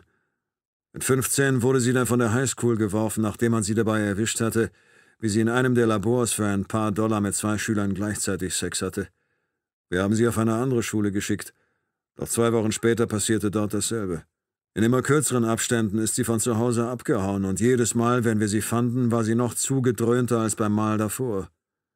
Nach ihrem 17. Geburtstag haben wir sie dann kaum noch gesehen. Er erzählt mir das alles mit einer Offenheit, die nur jemandem möglich ist, der die Geschichte schon so oft erzählt hat, dass er sich dabei nicht mehr schämt. Nicht, dass sie sich dafür schämen mussten, was ihre Tochter getan hat. Sie ist einem Verbrechen zum Opfer gefallen, aber vielleicht dafür, dass sie ihr nicht helfen konnten. Er klingt jedoch weder frustriert noch verärgert. Er akzeptiert einfach, dass sich die Dinge ebenso entwickelt haben. Er hat ihr geschrieben, sagt er. Caleb, aus dem Gefängnis. Was denn? Wie sehr er sie liebt und wie sehr er sie hasst. Über das Leben im Knast, über seine Tochter, über den Sohn, den er nie hatte, über seine Frau. Haben Sie die Briefe noch? Er nickt. Wir wollten sie eigentlich wegwerfen, aber wir dachten, dass sie eines Tages noch nützlich sein könnten. Seine Frau kommt ins Zimmer zurück, sie trägt ein Tablett mit drei Tassen. Ich hole sie, okay? Ich glaube, sie sind im Wandschrank, sagt er, auf dem obersten Brett hinter den Puzzlespielen. Sie sind im Gästezimmer, sagt sie. In einer Schachtel unter dem Bett. Sie stellt das Tablett ab und geht wieder raus. Harvey verdreht leicht die Augen und zuckt die Achseln. Darum ist es in meinem Alter so wichtig, dass man verheiratet ist, sagt er. Ich nicke. Wenn ich so alt bin wie er, werde ich auch verheiratet sein. Und bis zum heutigen Tag dachte ich, Bridget wäre niemals wieder in der Lage, mir zu sagen, wohin ich mein Lieblingst-T-Shirt verlegt habe. Aber vielleicht kommt ja alles ganz anders. Ich sehe, Sie verstehen, was ich meine, sagt er und lacht leise. Bitte? Sie haben eben gelächelt, sagt er. Erzählen Sie mir von den Briefen. Die ersten waren noch okay, sagt er. Caleb schreibt darin, wie leid es ihm tut, was Ariel durchmachen musste und wie dankbar er sei, dass nicht beide Mädchen gestorben sind. Aber dann wurden sie immer wütender. Ich habe mich gewundert, dass er sie überhaupt verschicken durfte. Ich habe mich deswegen beschwert, doch die Gefängnisverwaltung meinte, sie könne nichts dagegen tun, weil er die Briefe nach draußen geschmuggelt habe und sie deshalb nicht überprüft wurden. Das würde ständig passieren. Die Häftlinge würden die Briefe anderen Häftlingen zustecken, die Besuch von ihrer Familie bekommen. Man erklärte uns, es wäre eine Verletzung seiner Rechte, ihm das Schreiben zu verbieten. Unfassbar, was? Ein Mann schreibt Ariel, dass er sich wünscht, sie wäre anstelle seiner Tochter vergewaltigt und ermordet worden, und die Gefängnisleitung erklärt, es ginge um seine Rechte. Bei den letzten Worten zucke ich zusammen. Das hat er geschrieben? Und noch schlimmere Sachen, das können Sie mir glauben, sagt er und nickt dabei ein wenig, und es reicht, um die Wörter schneller aus ihm heraussprudeln zu lassen. Ständig änderte sich der Tonfall der Briefe. In einem stand, dass er Ariel keinerlei Schuld gebe, und im nächsten bezeichnete er sie als Schlampe und gab ihr die Verantwortung für den Tod seiner Tochter. Wenn sie wirklich ihre Freundin gewesen wäre, wäre sie nicht abgehauen und hätte sie nicht dort zurückgelassen. Aber das Schlimmste war, also das Schlimmste war, dass wir sie trotzdem gelesen haben. Ehrlich gesagt, ich weiß auch nicht warum. Ich nehme an, dass Ariel die Briefe nie zu Gesicht bekommen hat? Nein, sagt er. Mrs. Chancellor bringt die Briefe und gibt sie mir. Es ist ein dicker Packen, zusammengehalten von einem Gummiband. Die Ecken und Ränder sind vergilbt und geknickt. Der Kaffee ist immer noch zu heiß zum Trinken. Ich ziehe den obersten Brief heraus. Coles Handschrift ist kaum zu entziffern. Wegen seiner gebrochenen Finger, sagt Chancellor und deutet mit dem Kopf auf die Briefe. Als ich Caleb auf dem Friedhof die Hand geschüttelt habe, nachdem ich ihm Starthilfe gegeben hatte, ist er zusammengezuckt und am folgenden Tag waren diese Hände stark genug, um sich um meinen Hals zu legen. Bevor das alles passiert ist, wie gut kannten Sie ihn da? Er zuckt leicht mit den Schultern. Zurückhaltende Gesten sind offensichtlich typisch für Harvey Chancellor. Ein dezentes Nicken, ein leichtes Achselzucken. Ich hoffe für seine Frau, dass er das in anderen Bereichen ausgleicht. Wir kannten ihn und seine Frau, weil unsere Töchter beste Freundinnen waren. Sie wissen ja, wenn Kinder zusammen aufwachsen, lernt man automatisch ihre Eltern kennen. Caleb war ein feiner Kerl. Ich mochte ihn. Ich kannte ihn nicht besonders gut, aber wir haben uns hin und wieder auf Geburtstagsfeiern und Schulveranstaltungen gesehen, und mehr oder weniger jedes Wochenende lieferte einer von uns sein Kind zum Spielen im Haus des anderen ab. Er liebte seine Familie, keine Frage. Sie schmiedeten Pläne für die Zukunft. Seine Frau war schwanger, das weiß ich noch. Seine Frau, mein Gott, was für eine reizende Person. Wirklich reizend, sagt Mrs. Chancellor. Sie sitzt neben Harvey auf der Armlehne des Sofas. Und sie sah umwerfend aus. Sie war eine echte Schönheit. Sie hat über die anderen Eltern und Schüler nie ein böses Wort verloren, obwohl sie bestimmt reichlich Anlass dazu gehabt hätte. Manche Kinder sind richtige Arschlöcher, entschuldigen Sie meine Ausdrucksweise, sagt sie. Aber so ist es doch. Haben Sie je ein Ehepaar gesehen, das so glücklich ist und sich so innig liebt, dass Sie das Gefühl hatten, die beiden hätten sich noch nie gestritten? Eine Ehe bedeutet immer Arbeit, das wissen Sie bestimmt, sagt sie, während sie den Ehering an meiner Hand betrachtet, ohne die geringste Ahnung, wie viel Arbeit meine Ehe tatsächlich bedeutet. Aber auf sie schien das nicht zuzutreffen. Das ist selten, und wenn man den Leuten davon erzählt, sagen sie, man irre sich, so eine Ehe gäbe es nicht, aber ich schwöre, bei den beiden war es so. Der Caleb, den wir damals kannten, ist zusammen mit seiner Frau und seiner Tochter gestorben. Der Mann, der diese Briefe geschrieben hat, ist nicht der Mann, den wir kannten. Er ist ein Fremder, ein Monster, und wir beten für ihn, Detective. Wir beide beten für ihn. Die Leute, die er getötet hat, sagt Harvey. Warum sie? Wer sind diese Leute? Ich zähle ihm die Namen auf. Ich kenne sie nicht, sagt er. Sollten wir denn? fragt seine Frau. Einer davon war Whitbys Anwalt, sage ich. Ein anderer der Sprecher der Jury. Der dritte war der Leumundszeuge der Verteidigung. Die vierte Person, das nehmen wir zumindest an, kannte ihre Tochter von der Arbeit. Und Dr. Stanton ist derjenige, der meinte, James Whitby sei heilbar. Harvey wird plötzlich ganz blass. Die armen Mädchen, sagt Mrs. Chancellor. Sie müssen zu Tode erschrocken sein. In den Nachrichten hieß es, dass eines von ihnen unverletzt aufgefunden wurde. Stimmt das? Ja, sage ich zu ihr und sehe dabei Harvey an. Er wirkt körperlich krank, als würde er von innen heraus zerfressen werden. Als er meinen Blick bemerkt, schluckt er leicht und sagt, Ich weiß weder, wo Ariel noch Caleb sich aufhalten könnten. Er sucht nach ihr, erkläre ich. Wenn wir Ariel finden, finden wir vielleicht auch ihn. Sie denken wahrscheinlich, dass wir sie inzwischen aufgegeben haben, sagt Mrs. Chancellor, weil wir es zulassen, dass sie auf den Strich geht, aber das stimmt nicht. Wir lieben sie, und wenn wir sie nach Hause holen könnten, würden wir das tun. Sie wird auf der Straße sterben, sagt Harvey mit leicht brüchiger Stimme und zeigt zum ersten Mal echte Gefühle für seine Tochter. Ein Teil von ihm sieht in ihr bestimmt noch das kleine Mädchen von den Bildern an der Wand. Da bin ich, sagt er und verliert die Fassung, aber nur ein bisschen, weil das nun mal so Harvey Chancellors Art ist. Da bin ich mir sicher. Seine Frau wirft ihm einen vieldeutigen Blick zu, signalisiert ihm so, dass sie ihn liebt, dass er ihr leid tut und dass sie wünschte, er würde nicht so denken, obwohl sie beides tun. Wenn Sie sie finden, sagen Sie ihr, dass sie nach Hause kommen soll, ja? sagt Mrs. Chancellor, den Blick immer noch auf ihren Mann gerichtet. Ich tue mein Bestes. Ich bringe sie zur Tür, sagt Harvey, und wir stehen auf. Als ich ins Freie trete, folgt er mir und schließt die Tür hinter sich. Und ich drehe mich zu ihm um. Einer der Namen hat Sie ziemlich irritiert, Harvey. Warum erzählen Sie mir nicht, was Sie vor Ihrer Frau nicht sagen wollten? Hören Sie, sagt er, doch es kommt nichts, und das Einzige, was ich höre, ist die Nacht mit ihren Geräuschen. In der Parallelstraße fährt ein Wagen vorbei, irgendwo läuft Wasser, und da hinten wird eine Tür zugeschlagen. Ich lasse ihn mit dem ringen, was er zu sagen hat. Sollte er es jedoch nicht ausspucken, werde ich es aus ihm herausprügeln. Ich höre, sage ich, nachdem zehn endlos lange Sekunden verstrichen sind. Es ist so, ich habe Sie in den letzten Jahren immer wieder in den Nachrichten gesehen, sagt er, und ich frage mich, wohin das führt und ob ich mich gleich verteidigen muss. Zwei Serienmörder sind umgekommen und jedes Mal waren Sie bei ihnen, als es passierte. Außerdem ist der Mann, der Ihre Tochter getötet hat, gestorben. Er hat das Land verlassen, erkläre ich. Ich werfe Ihnen nichts vor, sagt er. Aber die Sache ist die, ich habe das Gefühl, dass Sie ein Mann sind, der das Richtige tut, auch wenn es nicht unbedingt legal ist. Habe ich recht? Worauf wollen Sie hinaus? Beantworten Sie einfach die Frage, mein Sohn, sagt er. Ich merke, dass ich die Luft anhalte und atme geräuschvoll aus. Mr. Chancellor Harvey, wenn Sie etwas.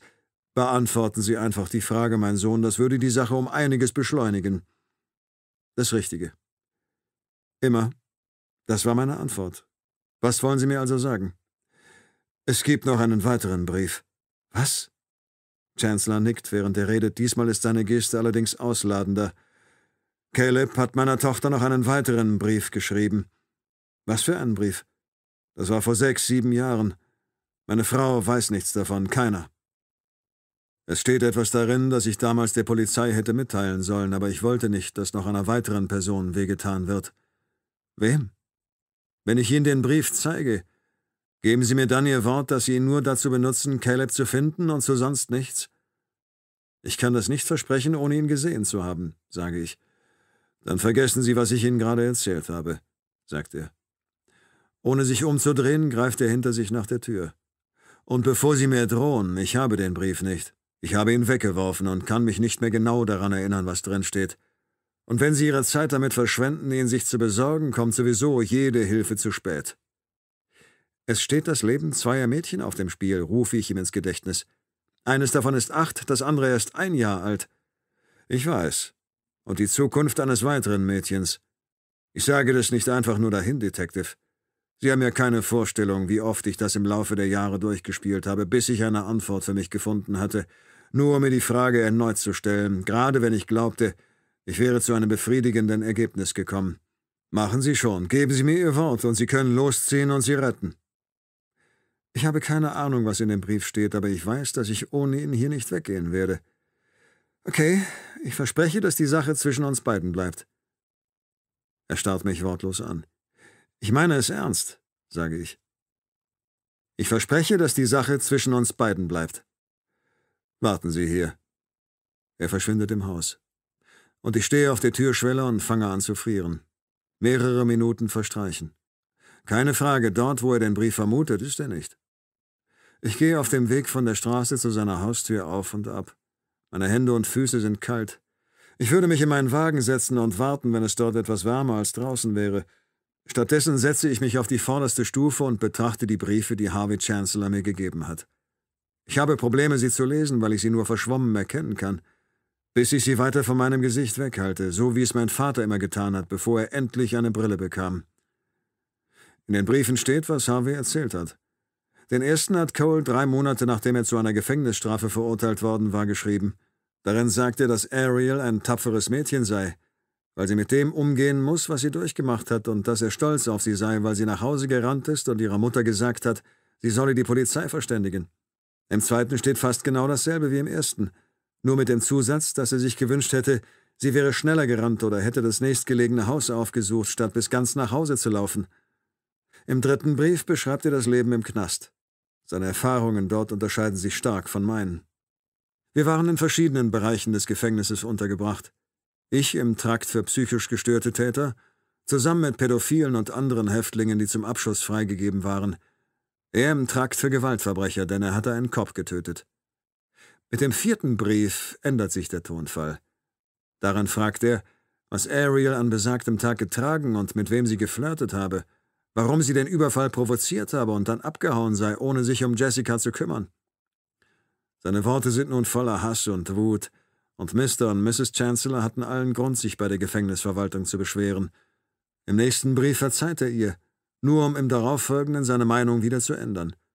Im Gefängnis hatte er viel Zeit nachzudenken. Das hat ihn verrückt gemacht.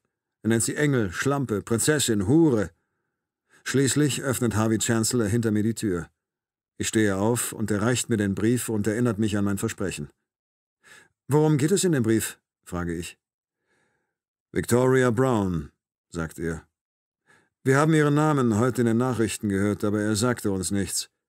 Ihr Beruf allerdings schon. Sie wird in dem Brief zwar nicht namentlich genannt, doch sie kommt darin vor. Er hat ihn nach dem Überfall auf sie geschrieben. Und Sie haben der Polizei nichts davon erzählt? Nein, ich bin nicht zur Polizei gegangen, Detective Inspector, sagt er und klingt, als wäre er sauer auf mich, weil die Person, von der sie überfallen wurde, ebenfalls unschuldig war. Auch sie war ein Opfer. Aber Sie glauben doch an Rache, oder? Darum erzähle ich Ihnen das alles und darum werden Sie Ihr Versprechen auch halten. Weil, frage ich und betrachte den Umschlag, weil die Person, die daran schuld ist, dass Victoria Brown im Koma liegt, sagt er, das kleine Mädchen ist, mit dem das hier alles angefangen hat. Tabitha Jenkins.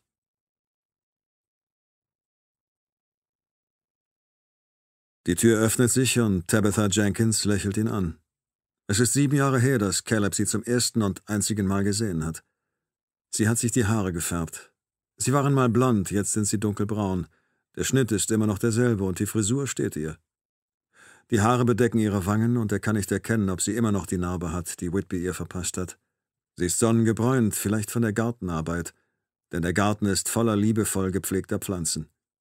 Sie trägt eine abgewetzte Jeans und ein enges T-Shirt und das kleine Mädchen, das ihn vor Jahren im Knast besucht hat, ist inzwischen erwachsen. Sie hingegen erkennt ihn nicht, zumindest nicht sofort. Sie glaubt, dass sie es mit einem völlig Fremden zu tun hat. Sie lächelt immer noch und das Lächeln wird breiter, als sie Katie bemerkt und erst recht bei Octavias Anblick. Die Kleine, er hält sie auf dem Arm, ist wieder eingeschlafen und liegt an Calebs Brust geschmiegt, den Kopf auf seiner Schulter. Über seiner anderen Schulter hängt eine Tasche mit Windeln und Tüchern. Als Tabithas Blick zu ihm zurückwandert, gefriert ihr Lächeln. Kann ich helfen? setzt sie an, ihre Wörter bilden kleine Wolken in der Luft und dann kapiert sie. Caleb merkt es daran, dass sich ihre Augen langsam weiten. Es wundert ihn schon, dass eine Frau wie sie, die so ungeheuer viel durchgemacht hat, überhaupt die Tür geöffnet hat. Hallo, Tabitha. Caleb? Er nickt. Ich brauche deine Hilfe. Meine Hilfe? Auf ihrem Gesicht zeichnen sich in kurzer Folge eine Vielzahl von Gefühlen ab, bevor es bei einem Ausdruck von Verwirrung verharrt. Wann bist du aus dem Gefängnis gekommen? Ist schon etwas her. Ich muss mit dir reden, sagt er. Ich hab Hunger, sagt Katie, und mir ist kalt. Können wir reinkommen? Tabitha geht vor ihr in die Hocke und lächelt. Octavia murmelt irgendwas an Calebs Hals und er spürt, wie ein Faden Sabber seine Haut berührt, doch sie wacht nicht auf. Mein Name ist Tabitha, sagt sie, und wie heißt du? Katie mit Y, sagt sie. Wow, fängt der Name mit dem Y an? Nein, Blödi, es kommt am Ende. Freut mich, dich kennenzulernen, Katie mit Y am Ende, sagt sie und reicht ihr die Hand, und Katie mit Y ergreift sie. Ich hab Angst, sagt Katie. Angst vor mir? Es gibt keinen Grund vor mir Angst zu haben. Vor ihm, sagt Katie und deutet auf Caleb, worauf Tabithas Lächeln verschwindet. Ich weiß nicht, wo Melanie ist, und mein Vater ist im Wagen eingesperrt, und, und ich muss Pippi, sagt sie, verschränkt ihre Beine und hüpft auf und ab. Dringend. Tabitha richtet sich wieder auf. Caleb, wovon redet sie? Hast du nicht die Nachrichten gesehen? fragt er. Sie schüttelt den Kopf. Ich schaue grundsätzlich keine Nachrichten. Nie. Warum? Wer sind diese Mädchen? Er hat uns entführt, sagt Katie. Und ich muss echt dringend, Pippi. Die Toilette ist darunter, Schätzchen, sagt Tabitha und tritt zur Seite und Katie verschwindet im Flur. Sie schauen ihr beide nach, dann dreht Tabitha sich rasch zu Caleb um. Wovon verdammt nochmal redet sie? Können wir reinkommen? Nein. Hast du sie entführt? Ich habe ihnen kein Haar gekrümmt. Caleb? Es sind Dr. Stantons Kinder. Was? Dr. Stanton. Ich weiß, wer Dr. Stanton ist, sagt sie. Wo ist er? Im Kofferraum. Mein Gott, sagt sie. Was hast du vor? Ich bestrafe die, die uns wehgetan haben. Uns? Die Leute, die dich nicht beschützt haben, sagt er. Die Leute, die Jessica haben sterben lassen. Wovon redest du? Er erzählt ihr von dem Anwalt, dem Lehrer und dem Sprecher der Jury. Und von Victoria Brown. Tabitha fängt an zu zittern. Er erzählt ihr, dass er die Kinder zum Schlachthof gebracht und eines von ihnen dort zurückgelassen hat. Mein Gott, sagt sie, als er fertig ist. Diese Leute haben Jessica auf dem Gewissen, sagt er. Nein, Caleb, das haben sie nicht. James Whitby hat deine Tochter getötet. Diese Leute, diese Mädchen. Bitte, Tabitha, lass uns rein. Ich werde es dir erklären. Nein, ich kann dich nicht reinlassen. Bitte. Lass mich nachdenken, sagt sie und hält sich die Hand ans Gesicht. Nach ein paar Sekunden nickt sie. Ich werde mir die ganze Geschichte anhören, sagt sie, aber nur, wenn du die Mädchen bei mir lässt. Okay, sagt er. Und es wird heute nicht das letzte Mal sein, dass er lügt. Sie führt ihn ins Wohnzimmer. Es ist eine hübsche Wohnung, mit hübschen Möbeln, nicht teuer, aber gemütlich. An den Wänden hängen zahlreiche Bilder, sehr viel mehr als bei Ariel, und sie sind gerahmt. Jede Menge Familienfotos und jede Menge Bilder von Freunden, und auf allen lächeln die Menschen. Keines von ihnen zeigt Tabitha in trauter Zweisamkeit mit einem Mann, aber auf vielen ist sie mit einer anderen Frau zu sehen. Auf manchen umarmen sie sich, auf anderen halten sie Händchen und lächeln in die Kamera. Und immer hat sie das Gesicht leicht von der Kamera weggedreht, um die Narbe zu verbergen. Er versteht das nicht. Wie kann sie nur so normal sein? Wie konnte sie all die Jahre nur so glücklich sein? Er legt Octavia auf die kastanienbraune Couch. Sie hat die Augen immer noch geschlossen. Ich hole ihr eine Decke, sagt Tabitha. Sie beugt sich hinter die Couch, greift nach einer Wolldecke und will sie damit zudecken. Kannst du erst die Windel wechseln? fragt Caleb und stellt die Tasche auf den Boden. Was? Die Windel, sie ist nass. Warum tust du es nicht? Ich kann das nicht so gut. Und warum glaubst du, dass ich es kann? Weil. Weil was? Weil ich eine Frau bin? Ja. Schön, sagt sie und nimmt die Sachen aus der Tasche. Dann legt sie die Decke auf den Boden und öffnet die Windel. Du wirkst so normal, sagt er. Du hast tatsächlich ein neues Leben angefangen? Ja, sagt sie. Wie hast du nur vergessen können, was dir passiert ist? Ich habe es nicht vergessen, sagt sie und erhebt zum ersten Mal die Stimme. Das gehört zu der Tabitha, die ich jetzt bin. Sie hebt die Hand und fährt sich damit über ihre Narbe, während sie gleichzeitig die Haare zurückschiebt. James Whitby hat sie ihr mit einem einzigen Stich seines Messers zugefügt. Sie verläuft von ihrem linken Ohr über ihre Wange bis zum Kinn. Als sie sich dabei ertappt, wie sie sie berührt, nimmt sie schnell die Hand wieder runter. So kann ich anderen Menschen helfen, sagt sie. Anderen Frauen und Kindern, denen Ähnliches passiert ist. Ich betreue Vergewaltigungsopfer. Schließlich weiß ich, was diese Frauen durchgemacht haben. Ich kann mich gut in sie hineinversetzen und ihnen dadurch helfen. Du umgibst dich mit dem Schmerz anderer Leute? Weißt du noch, was du mir im Gefängnis erzählt hast? fragt sie und wirft die dreckige Windel in eine Plastiktüte. Sie reibt das Baby trocken, schmeißt das Tuch zu der Windel und knotet die Tüte zu. Dann legt sie die neue Windel an. Gut so? Er nickt. Er kann sich noch an alles erinnern. Sie war nach einer langen Phase der Einsamkeit die erste Besucherin, die er hatte, und sie sollte auch die letzte bleiben. Zunächst haben ihn seine Eltern regelmäßig besucht, dann kamen sie immer sporadischer und schließlich machte der Tod der Sache ein Ende. Seine Freunde haben ihn anfangs ebenfalls regelmäßig besucht, bis es einfach zu peinlich wurde. Vor sieben Jahren holte ihn dann ein Wärter aus seiner Zelle. Er habe Besuch. Caleb dachte, es wäre ein Reporter oder jemand, der ein Buch schrieb. Oder ein Anwalt, der gekommen war, um ihm irgendwas zu erzählen, was er nicht hören wollte. Auf diese Weise konnte er immerhin etwas Zeit totschlagen, und im Knast gab es unangenehmere Möglichkeiten als diese. Du hast mir gesagt, ich sei es Jessica schuldig, für uns beide weiterzuleben, sagt sie. Ich müsste doppelt so viel erleben, um all die Sachen zu tun, die sie nicht mehr tun kann. Du hast gesagt, ich müsse gut zu den Menschen sein, ihnen helfen. Weißt du noch, warum du mich besucht hast? fragt er. Natürlich. Sag's mir. Warum? Wozu? Weil ich hören will, wie du es sagst, damit du dich daran erinnerst, dass wir auf derselben Seite stehen. Sie schüttelt den Kopf. Die Windel sitzt jetzt und sie zieht sie zurecht, dann legt sie Octavia aufs Sofa. Sie hüllt sie in die Decke, die sie ihr bis unter das Kinn zieht. Damit du dich daran erinnerst, dass du kurz davor warst, wegen eines Unfalls dein Leben wegzuwerfen, der es war kein Unfall, sagt sie. Im Gefängnis hat sie ihm erzählt, Sie erinnere sich kaum an das, was passiert sei, nachdem Whitby sie entführt hatte. Dass die Ärzte meinten, sie habe es verdrängt und es würde ihr eines Tages schon wieder einfallen. Er fand, die Ärzte hätten keine Ahnung, wovon sie redeten. Andernfalls wäre Jessica noch am Leben. Tabitha sah das genauso, und er war froh darüber. Er mochte sie. Dann hat sie ihm erzählt, wie sie eine Woche zuvor mit einer Freundin in einem Einkaufszentrum shoppen war.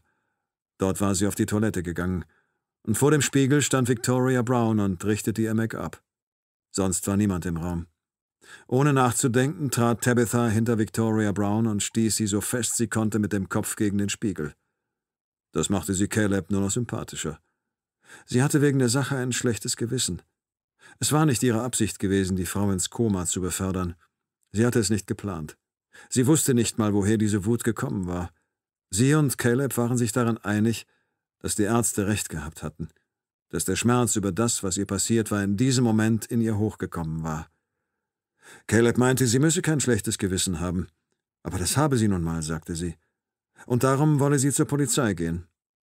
Wenn sie sich stelle, erklärte Caleb ihr, würde das Victoria auch nicht helfen. Es sei richtig gewesen, dass ich jemanden davon abgehalten habe, sein Geld mit der Verteidigung von Kinderschändern zu verdienen. Und wenn Tabitha dafür ins Gefängnis gehe, erwache Victoria auch nicht wieder aus dem Koma. Er sagte, sie würde nur ihr Leben wegwerfen. Doch das war ihr egal. Er glaubte ihr zwar, aber aufgrund seiner eigenen Erfahrung wusste er, dass ihr nicht klar war, was es bedeutete, sein Leben wegzuwerfen. Damals, sagte er, und für einen Moment ist er wieder im Gefängnis mit seinen kalten Wänden. Sie hatte ihm wortlos gegenübergesessen, und dennoch spürte er völliges Einvernehmen zwischen ihnen. Es war kein unangenehmes Schweigen. Dann lächelte sie und ihr Gesichtsausdruck veränderte sich. Es war ein trauriges Lächeln, doch durch die Bewegung der Muskeln unter ihrer Haut verschwand die Narbe. Tabitha sah jetzt wunderschön aus. Oh ja, wunderschön. Und bei dem, was sie dann sagte, fühlte er sich zum ersten Mal nicht mehr ganz so allein. Du hast dich bedankt für das, was ich getan habe, sagte er. Du hast dich dafür bedankt, dass ich James Whitby getötet habe. Wenn er jetzt noch am Leben wäre, würdest du dann wollen, dass ich ihn umbringe? Nein, ich glaube dir nicht. Meine Eltern waren sehr stark. Sie haben sich um mich gekümmert und mir jede nur erdenkliche Hilfe zukommen lassen. Und jetzt gebe ich etwas davon zurück, indem ich anderen helfe. Ich wünschte, du hättest deiner Familie gegenüber auch diese Stärke gezeigt. Das habe ich. Ich habe getan, was sonst niemand tun wollte. Und diese Stärke hat dir und deiner Familie geholfen, den Blick nach vorn zu richten. Das war keine Stärke. Sieh nur, wohin dich das geführt hat. Du hättest dir mit deiner Familie eine Zukunft aufbauen können. Eine Zukunft? Meine Tochter ist ermordet worden. So etwas kann man nicht einfach hinter sich lassen. So habe ich das nicht gemeint, sagt sie. Einige kommen damit zurecht, andere weniger. Man vergisst nicht, was passiert ist, aber nach einer gewissen Zeit kann man trotzdem ein ganz normales Leben führen. Ein normales Leben, sagt er. Etwas anderes hat er nie gewollt. Doch es gibt keine Normalität mehr, wenn man am Telefon erfährt, dass die eigene Tochter verschwunden ist. A, B, D, B, F, C, sagt Katie und starrt vom Flur aus zu ihnen herüber, das Gesicht zur Hälfte hinter dem Türrahmen verborgen. Als sie mitkriegt, dass die beiden sie bemerkt haben, tritt sie ins Zimmer. Das Haus ist schön, sagt sie, aber kleiner als meines. Haben Sie Kekse? Wir haben welche da, sagt Tabitha. Welche mit Schokolade? Ja. Ich mag die mit Schokolade, aber Daddy gibt sie uns nicht so oft. Dein Daddy ist ein kluger Mann, sagt Tabitha. So klug auch wieder nicht, sagt Caleb. Tabitha wirft ihm erneut einen wütenden Blick zu. Wenn sie nicht sparsamer damit umgeht, findet Caleb, wird sie bald keinen mehr übrig haben. Sie hebt die Plastiktüte mit der Windel auf, nimmt Katys Hand und führt sie in die Küche. Dort wirft sie die Tüte in den Müll, wäscht sich die Hände, holt aus der Speisekammer eine Packung Kekse und reißt sie auf. Sie bietet Katie einen an und Caleb ebenso, doch der winkt ab. Gibt es hier Spielzeug? fragt Katie. Im Schlafzimmer sind ein paar Plüschtiere. Wie wär's, wenn du rübergehst und damit spielst? Katie verschwindet und Caleb und Tabitha gehen ins Esszimmer. Er lehnt sich gegen die Wand und sie sich an den Tisch. Hast du eine Freundin? fragt er, während er eines der Fotos neben sich betrachtet. Was tut das jetzt zur Sache? Ist sie hier? Nein, aber sie wird bald zurück sein. Was hast du mit dem Mädchen vor? Nichts. Wirst du ihren Vater töten? Nein. Nein, sagt sie, und auf ihrer Stirn bildet sich ein halbes Dutzend Falten. Er hat bestimmt noch nie jemanden gehört, der so misstrauisch klang. Ich habe in den letzten zwei Tagen vier Menschen getötet, sagt er, worauf sie vor ihm zurückweicht. Es gibt keinen Grund zu lügen. Vier? Letzte Nacht ist noch einer dazugekommen. Wer? Niemand von Bedeutung. Ich bin mir sicher, dass er jemandem etwas bedeutet hat. Mir nicht, sagt er. Offensichtlich hat er dir so viel bedeutet, dass du ihn getötet hast. Damit hat sie nicht ganz unrecht. Wenn du den Arzt nicht töten willst, wozu brauchst du ihn dann? Er zuckt mit den Schultern. Ich möchte, dass sich Stanton eine Weile in mich reinversetzt. Er soll wissen, wie es sich anfühlt, wenn man seine Tochter verliert. Und darum tust du seinen Kindern weh? Nein, das kapiere ich nicht. Er soll nur glauben, dass ich es tue. Er glaubt also, dass du dem Mädchen, das du im Schlachthof zurückgelassen hast, etwas angetan hast? Ja. Sie blickt jetzt noch finsterer drein. Er glaubt, dass sie tot ist. Ja. Mein Gott, Caleb, das ist ja schrecklich. Ist das wirklich nötig, damit er sich in dich hineinversetzen kann? Ja, sagt er. Und das ist sicher tausendmal besser als das, was Jessica erleiden musste. Und um ihm das klarzumachen, brauchst du Katie und Octavia, aber danach willst du sie gehen lassen und ihn auch? Ja. Sie setzt sich an den Esstisch. Das ist krank, das weißt du, oder? Es war notwendig. Du hast vier Menschen getötet. Schlechte Menschen. Es waren rechtschaffene Menschen, weil sie getan haben, was sie für richtig hielten, sagt sie. Wir brauchen Leute wie Sie, um die Welt wieder ins Lot zu bringen. Wenn du das wirklich glauben würdest, hättest du Victoria Brown nicht ins Koma befördert. Sie senkt den Kopf und spricht in Richtung Tisch. Ich habe mich geändert. Caleb geht auf sie zu, legt seine Handflächen auf die gegenüberliegende Seite des Tisches und beugt sich vor. Du hilfst anderen Menschen, das ist bewundernswert. Und jetzt ist es an der Zeit, mir zu helfen. Wobei? Zunächst einmal könntest du dich daran erinnern, wie sehr du Mrs. Whitby gehasst hast. Ich möchte, dass du mir hilfst, an sie ranzukommen, sagt er, auch wenn er weiß, dass sie darauf niemals eingehen wird. Aber deswegen ist er auch nicht hergekommen, sondern weil er einen Unterschlupf braucht. Doch im Moment will er sie einfach nur auf seiner Seite haben. Und eines hat ihn das Leben gelehrt. Wenn man mehr verlangt, als man eigentlich will, kriegt man am Ende vielleicht genau das, was man will. Bitte was? Sie wird von der Polizei bewacht. Ich komme nicht in ihre Nähe, du schon. Du willst, dass ich auf Mrs. Whitby losgehe, dass ich sie töte? Ist es das, was du willst? Ja, sagte er, völlig im Klaren darüber, wie das klingt. Dafür gehe ich zehn, zwanzig Jahre in den Knast? Nein, gehst du nicht. Dafür werde ich sorgen. Und wie willst du das anstellen? Du wirst ihnen erzählen, dass ich dich dazu gezwungen habe. Und wie sollst du mich dazu gezwungen haben? Ganz einfach. Du wirst ihnen erzählen, dass ich die Kinder bedroht habe. Sie wirft ihm einen so unerbittlichen Blick zu, dass er die Hände vom Tisch nimmt und sich aufrichtet. Hast du. Hast du gerade diese Kinder bedroht? fragt sie. Nein, natürlich nicht. Ich werde dir nicht helfen, Caleb, sagt sie. Er nickt. Dann möchte ich, dass du uns bei dir aufnimmst. Es dauert vielleicht ein, zwei Tage, dann werden die Ermittlungen ins Stocken geraten und die Polizei wird einen Teil ihrer Wachen abziehen. Und dann komme ich an sie ran. Aber heute Nacht und morgen habe ich keine Chance. Und ich kann nirgendwo anders hin. Bitte, Tabitha. Ich weiß nicht, was ich tun soll. Du kannst nicht hierbleiben. Außerdem kommt Wendy bald nach Hause. Was soll ich ihr dann erzählen? Die Wahrheit. Erzähle, dass du das tun musst, dass du mir das schuldig bist, weil ich der Polizei nicht verraten habe, dass du Victoria Brown ins Koma befördert hast. Ich hätte es der Polizei selbst sagen sollen. Aber das hast du nicht. Es wäre unangenehm, wenn sie davon erfahren würde. Tabitha sieht ihn an, versteht seine unausgesprochene Drohung und plötzlich hat er ein schlechtes Gewissen, das gesagt zu haben. Er hebt die Hände. Damit wollte ich nicht sagen, dass ich es Ihnen erzählen werde. Das gilt wohl nur, solange ich dir helfe. Nein, egal was passiert, ich werde Ihnen nichts erzählen. Du bist die einzige Person, die das Richtige getan hat. Du kannst nicht hierbleiben, Caleb, sagt sie. Ja, und ich hätte damals zur Polizei gehen sollen. Dann würdest du dieses Leben hier, sagt er und breitet die Arme aus, jetzt nicht führen. Deine Freundin wäre jetzt mit jemand anderem zusammen und die Fotos von ihr würden an der Wand einer anderen Frau hängen. Die Menschen, die deine Hilfe suchen, würden zu jemand anderem gehen oder es würde sich gar keiner um sie kümmern, zumindest nicht so, wie du das tust. Die Menschen, denen du hilfst, willst du sie wirklich im Stich lassen? Ist es das, was du willst? Ich will, dass du gehst, und zwar allein. Sie erhebt sich vom Tisch und tritt auf ihn zu.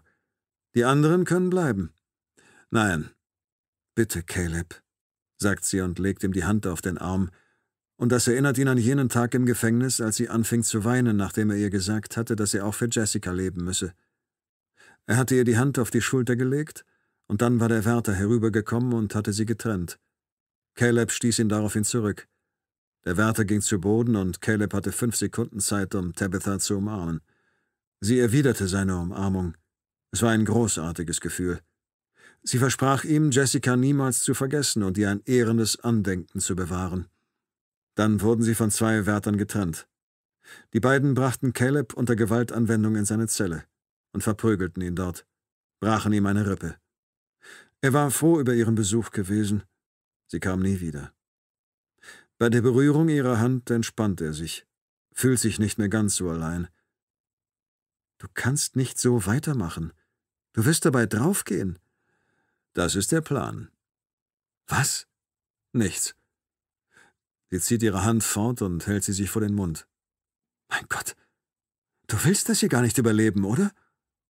Er kann hören, wie Octavia im Wohnzimmer leise schnarcht.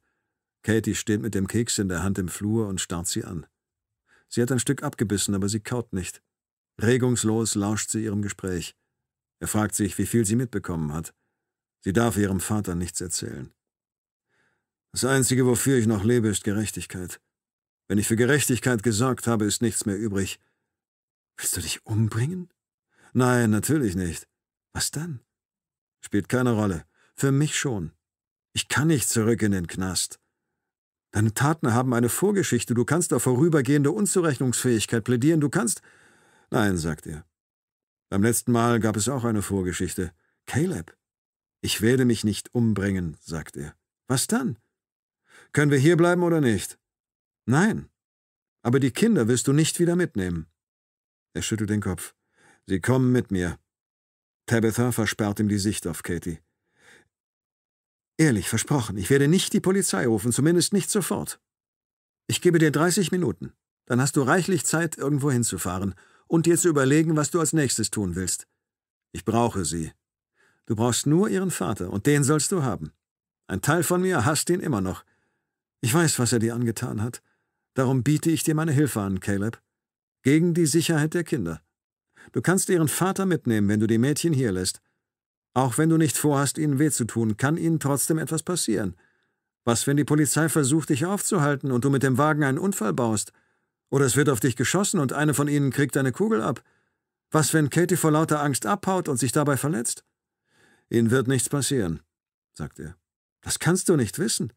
Was passiert ist, lässt sich nicht mehr rückgängig machen. Du machst diesen Kindern Angst, Caleb, glaub mir.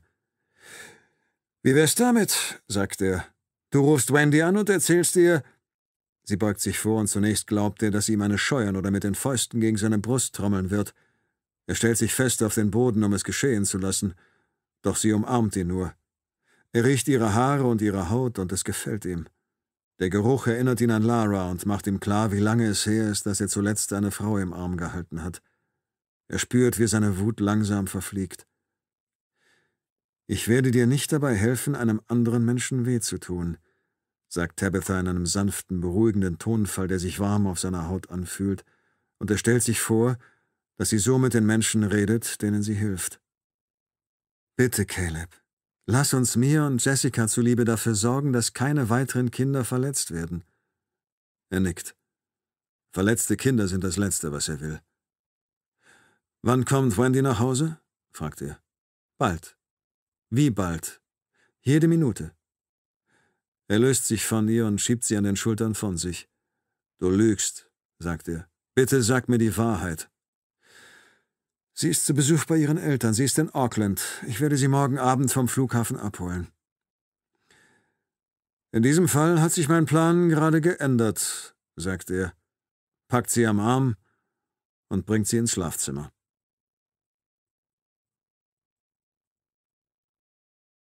Schroeder ruft mich an, während ich vom Haus der Chancellors zu meinem Wagen gehe. Er teilt mir mit, dass sie Caleb Cole immer noch nicht verhaftet haben. Damit hatte ich eigentlich auch nicht gerechnet.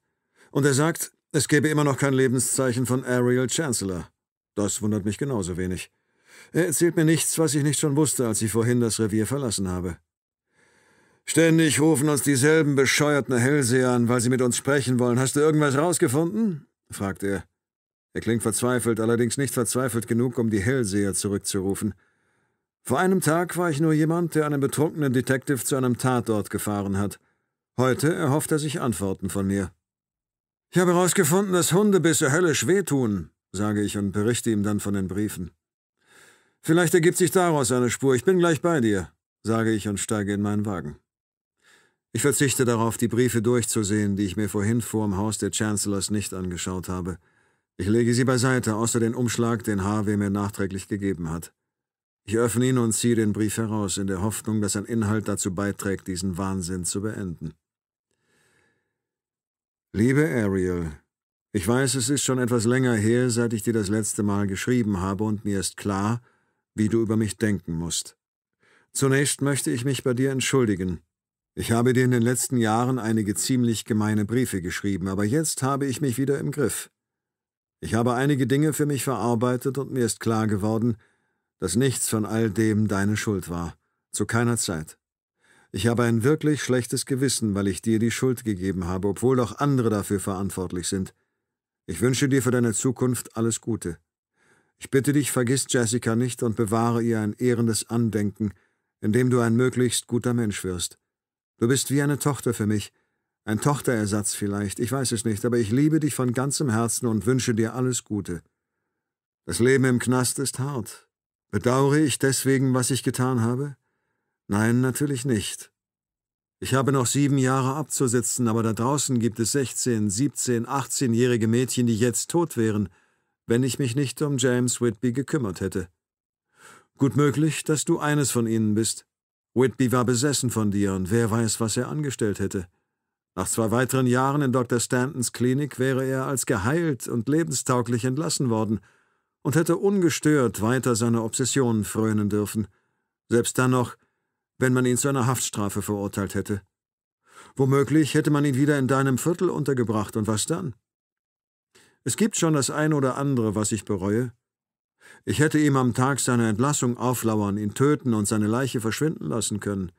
Ich hätte versuchen können, ungestraft davonzukommen, aber es ist nun mal anders gelaufen. Außerdem informieren die Gefängnisse und Krankenhäuser die Öffentlichkeit nicht darüber, wann genau die Insassen entlassen oder wo sie untergebracht werden. Darauf baue ich ebenfalls, wenn ich selbst wieder auf freien Fuß komme. Heute hat mich ein Mädchen besucht. Sie war mal genauso wie du. Wunderschön, intelligent, mitfühlend. Zwei Jahre bevor Whitby Jessica getötet hat, hat er dasselbe bei ihr versucht. Deswegen hätte er eigentlich in den Knast wandern müssen, aber das ist nicht passiert. James Whitby hat sie verletzt, wie so viele andere Leute, die sie im Stich gelassen haben. Ich weiß, dass du wütend bist wegen dem, was Jessica widerfahren ist. Darum wirst du das hier auch für dich behalten. Das Mädchen hat die Frau, die Whitby im Prozess verteidigt hat, verletzt. Sie ist genauso wütend wie wir. Und diese Wut wird mich durch die nächsten sieben Jahre tragen.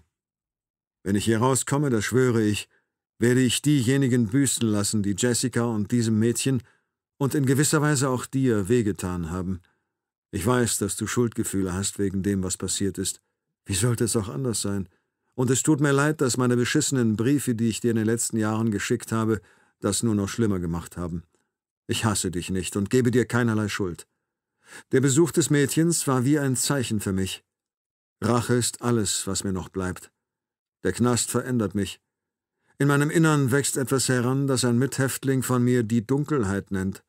Er glaubt, dass ich zum Zeitpunkt meiner Entlassung zu allem fähig sein werde, dass dann die Dunkelheit ein Verlangen entwickelt hat, das sich Befriedigung sucht. Ich würde dich gerne treffen, wenn ich entlassen werde. Ich würde gerne sehen, was aus dir geworden ist. Du warst die beste Freundin meiner Tochter und für deine Freundschaft zu ihr bin ich dir wirklich dankbar. Ich hoffe, du schreibst mir zurück. Ich fände es schön, wenn du mich irgendwann mal besuchst, aber ich kann auch verstehen, wenn du das nicht willst. Ich bin kein Monster. Ich würde dir nie etwas antun. Ich bin ein Vater und leide. Ich habe Jessica so sehr geliebt, ich habe meine Frau geliebt, und diese Leute haben sie mir genommen. Sie werden weiteren Menschen wehtun, und sie müssen zur Rechenschaft gezogen werden. Ich wünsche dir alles Gute und ein wunderschönes Leben. Caleb. Wenn Harvey Chancellor den Brief der Polizei gegeben hätte, hätten all die Toten verhindert werden können. Oder wir hätten nach Coles erstem Mord sofort eine Verbindung herstellen können. Und Tabitha Jenkins wäre verhaftet worden und in den Knast gewandert. Das wäre der Preis dafür gewesen. Die Verhaftung einer Frau hätte vier Menschenleben gerettet, vielleicht sogar mehr. Mein Wagen verfügt nicht über die technische Ausstattung eines Streifenwagens. Darum kann ich auch nicht auf einem eingebauten Computer Tabithas Adresse nachschauen. Doch seit zwei Jahren habe ich die Angewohnheit, ein Telefonbuch mit mir herumzukutschieren. Ich schlage ihrer Anschrift nach und auf dem Weg dorthin rufe ich Harvey Chancellor an. Sie hätten viele Menschenleben retten können, sage ich zu ihm. Ich weiß. Haben Sie gar kein schlechtes Gewissen? Die Kinder des Arztes tun mir leid, sicher, aber die anderen? Nein, scheiß auf sie, sagt er und klingt anders als der Harvey Chancellor, dem er kaffeeschlürfend im Wohnzimmer gegenüber saß. Diese Leute haben ihr Leben zerstört, Detective. Und vergessen Sie nicht, was Sie versprochen haben. Ich will morgen nicht in den Nachrichten lesen, dass Sie Tabitha verhaftet haben. Sie haben mir Ihr Wort gegeben. Wir werden Sie nicht verhaften, erkläre ich. Aber Sie hätten vor sieben Jahren zu uns kommen sollen. Wir hätten einen Deal machen können. Sie hätten sie ins Gefängnis gesteckt. Sie hatte einen Menschen ins Koma befördert. Und Victoria Brown hat geholfen, Jessica ins Grab zu bringen. Er legt auf. An einer Kreuzung hält ein Wagen neben mir. Das Seitenfenster wird runtergelassen und der Beifahrer beugt sich heraus und kotzt auf die Außenseite der Tür. Als er mich bemerkt, zeigt er mir den Stinkefinger und brüllt mir zu, ich solle mich verpissen um dann in hysterisches Gelächter auszubrechen. Kurz darauf erreiche ich Tabitha Jenkins Haus. Es ist ein kleines Gebäude in einer ruhigen Straße mit lauter gepflegten Gärten. Ich stopfe den Brief in meine Tasche und gehe zur Tür hinauf. Ich klopfe und warte, dann klopfe und warte ich erneut. Es brennt Licht im Haus, aber niemand öffnet. In der Auffahrt steht kein Wagen. Ich laufe zur Garage rüber und werfe einen Blick durch das Fenster. Im Innern steht ein Wagen. Doch nicht das geringste Lebenszeichen. Häuser haben immer eine ganz bestimmte Atmosphäre. Als Kopf wusste ich stets, ob tatsächlich keiner da war oder ob man mir einfach nur nicht öffnete. Und dieses Haus scheint mir nicht leer zu sein. Ich trete an das Wohnzimmerfenster heran und stelle mich so hin, dass ich durch einen Spalt im Vorhang hineinblicken kann. Es sind keine Kampfspuren zu sehen. Ich klopfe gegen die Scheibe. Nichts. Dann laufe ich ums Haus herum zur Hintertür. Außer einfach abzuwarten, gibt es verschiedene Möglichkeiten. Ich könnte bei Schroeder Unterstützung anfordern, aber es würde dauern, bis sie da ist. Ich könnte die Tür eintreten, aber dann bekäme ich Ärger, weil ich eingebrochen bin. Also hole ich meinen Dietrich hervor. Wenn niemand etwas mitkriegt, gibt's auch keinen Ärger. Sollte alles in Ordnung sein, schließe ich einfach wieder hinter mir ab und verschwinde. Und falls nicht, dann darf ich keine Zeit verlieren. Ich mache mich in das Schloss. Ich brauche fünf Minuten, weil ich kaum etwas erkennen kann. Ein Klicken ertönt, die Tür gibt ein wenig nach und ich drehe den Knauf. Dann trete ich ein. Hallo? Ich wünschte, ich hätte eine Pistole, aber ich habe gar nichts. Der Boden ist voller Blut, das allerdings nicht ganz so aussieht wie Blut. Auf der Arbeitsfläche in der Küche steht eine leere Dose Tomatensauce mit einem Dosenöffner daneben. Ich vermute, dass Tabitha sie geöffnet hat, es mit der Angst kriegte und sie fallen ließ. Ich gehe daran vorbei. In der Spüle liegt ein soßenbeschmiertes Messer. Ich greife nach einem sauberen, halte jedoch inne. Sollte Tabitha unter der Dusche stehen, weil sie sich mit der Soße bekleckert hat, dann wird sie bei meinem Anblick anfangen zu schreien, und ich bin meinen Job los. Trotzdem nehme ich das Messer. Ich halte es neben meinem Körper nach unten. Hallo, Tabitha? Ich kann nirgends das Plätschern einer Dusche hören. Bei dem Lärm, den ich mache, dürfte Tabitha auch längst nicht mehr schlafen. Neben der Eingangstür steht ein Beistelltisch mit mehreren Schlüsseln, einer Handtasche und einem Handy darauf. Tabitha? Bei mir stellt sich das Gefühl ein, das man als Kopf verspürt, kurz bevor man eine Leiche findet. Es ist dasselbe ungute Gefühl, das Carl und ich hatten, als wir als Erste am Schlachthof eintrafen, bevor wir Jessica Cole fanden. Man hofft stets das eine und stößt dann auf das Gegenteil. Das macht den Beruf als Cop aus. Aber im Moment ist es nur ein Gefühl. Nichts hier deutet darauf hin, dass etwas Schlimmes passiert ist, nichts, was irgendwie verdächtig wirken würde. Auf dem Küchentisch steht eine geöffnete Kekspackung. Und plötzlich sehe ich meine Zukunft vor mir. Ich hocke an diesem Tisch und stopfe mir die Kekse in den Mund, und während ich um mich herum Krümel anhäufe, betritt Tabitha Jenkins das Zimmer. Vielleicht schläft sie. Oder ist im Nebenzimmer. Womöglich ist sie auch abgehauen. Ich schaue im Wohnzimmer nach, im Gästezimmer, dann im Arbeitszimmer. Der Computer ist an. Auf dem Monitor ist eine Kalkulationstabelle geöffnet. Offensichtlich hat Tabitha ihre Steuererklärung gemacht. Wahrscheinlich hat sie wie jeder von uns berechnet, wie sie ihre Steuern zahlen und trotzdem überleben kann. Dann die Toilette, der Wandschrank, nichts. Ich gehe auf das große Schlafzimmer zu. Die Tür ist verschlossen. Ich lege meine Hand auf den Knauf und lausche an der Tür. Ich kann nichts hören. Ich hole tief Luft. Und ich habe ein wirklich ungutes Gefühl, wenn ich daran denke, was dahinter auf mich wartet.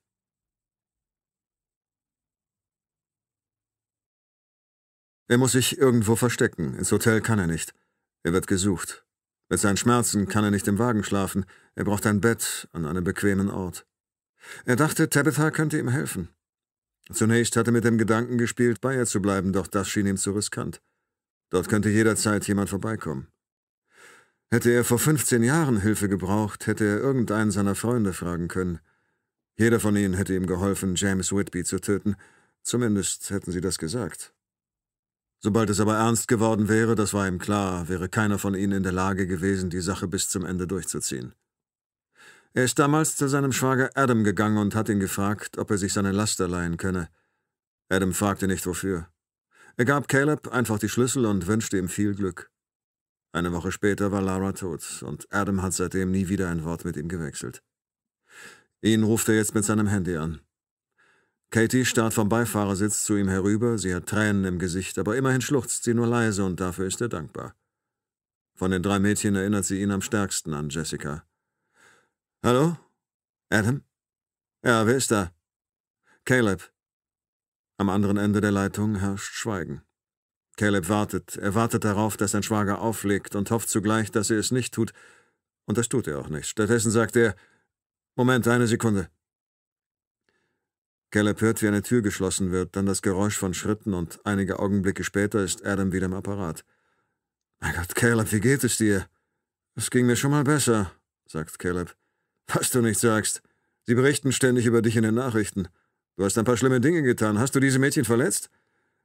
Das würde ich nie tun. Das habe ich Marie auch gesagt, erwidert er, und Caleb fragt sich, wie seine Schwägerin wohl inzwischen aussieht. Ob sie immer noch so viel Geld dafür ausgibt, sich in eine Barbie-Puppe zu verwandeln. Ich habe ihr immer wieder gesagt, egal wie fertig Caleb auch sein mag, Kindern würde er nie etwas antun. Was willst du also, Caleb? Er starrt durch die Windschutzscheibe. Die Straße ist menschenleer, aber er zählt mindestens ein Dutzend herumstreunender Katzen. Einige schauen einander an und zwei von ihnen sehen so aus, als wollen sie miteinander kämpfen oder vögeln. Caleb ist klar, dass Katie jedes seiner Worte mit anhören kann. Er wird sie in Kürze wieder betäuben müssen. Ich brauche Hilfe. Er stellt sich vor, dass Adam genauso wie vor 15 Jahren aussieht. Vielleicht hat er inzwischen eine Glatze und hat ein paar Kilo zugelegt, aber der Gesichtsausdruck ist bestimmt derselbe, ein Ausdruck schmerzlicher Verwirrtheit. Mensch, Caleb, das geht nicht. Als ich dir das letzte Mal geholfen habe. Scheiße, du weißt doch. Ich wusste nicht, dass das passieren würde. Nichts davon. Nein, weil du nur an dich gedacht hast, und diesmal ist es wieder so. Ich habe eine Familie, Caleb. Ich kann es mir nicht leisten, deinetwegen Ärger zu kriegen. Übrigens, die Polizei hat schon mit mir gesprochen. Sie wollen, dass ich sie anrufe, wenn ich was von dir höre. Wirst du es tun? Das sollte ich. Ich sollte jetzt auflegen und sie sofort anrufen. Aber hängt davon ab, was du zu sagen hast. Die beiden Katzen belauern sich immer noch. Sie haben beschlossen, gegeneinander zu kämpfen. Und die anderen Katzen schauen sich die Show an. Sie bilden einen Kreis und es scheint, als würden gleich Wetteinsätze von Hand zu Hand wandern oder von Tatze zu Tatze. Wozu? Dazu, was du mit den Mädchen vorhast. Ich werde ihnen nichts tun, sagt er und schaut Katie an, die seinen Blick jedoch nicht erwidert.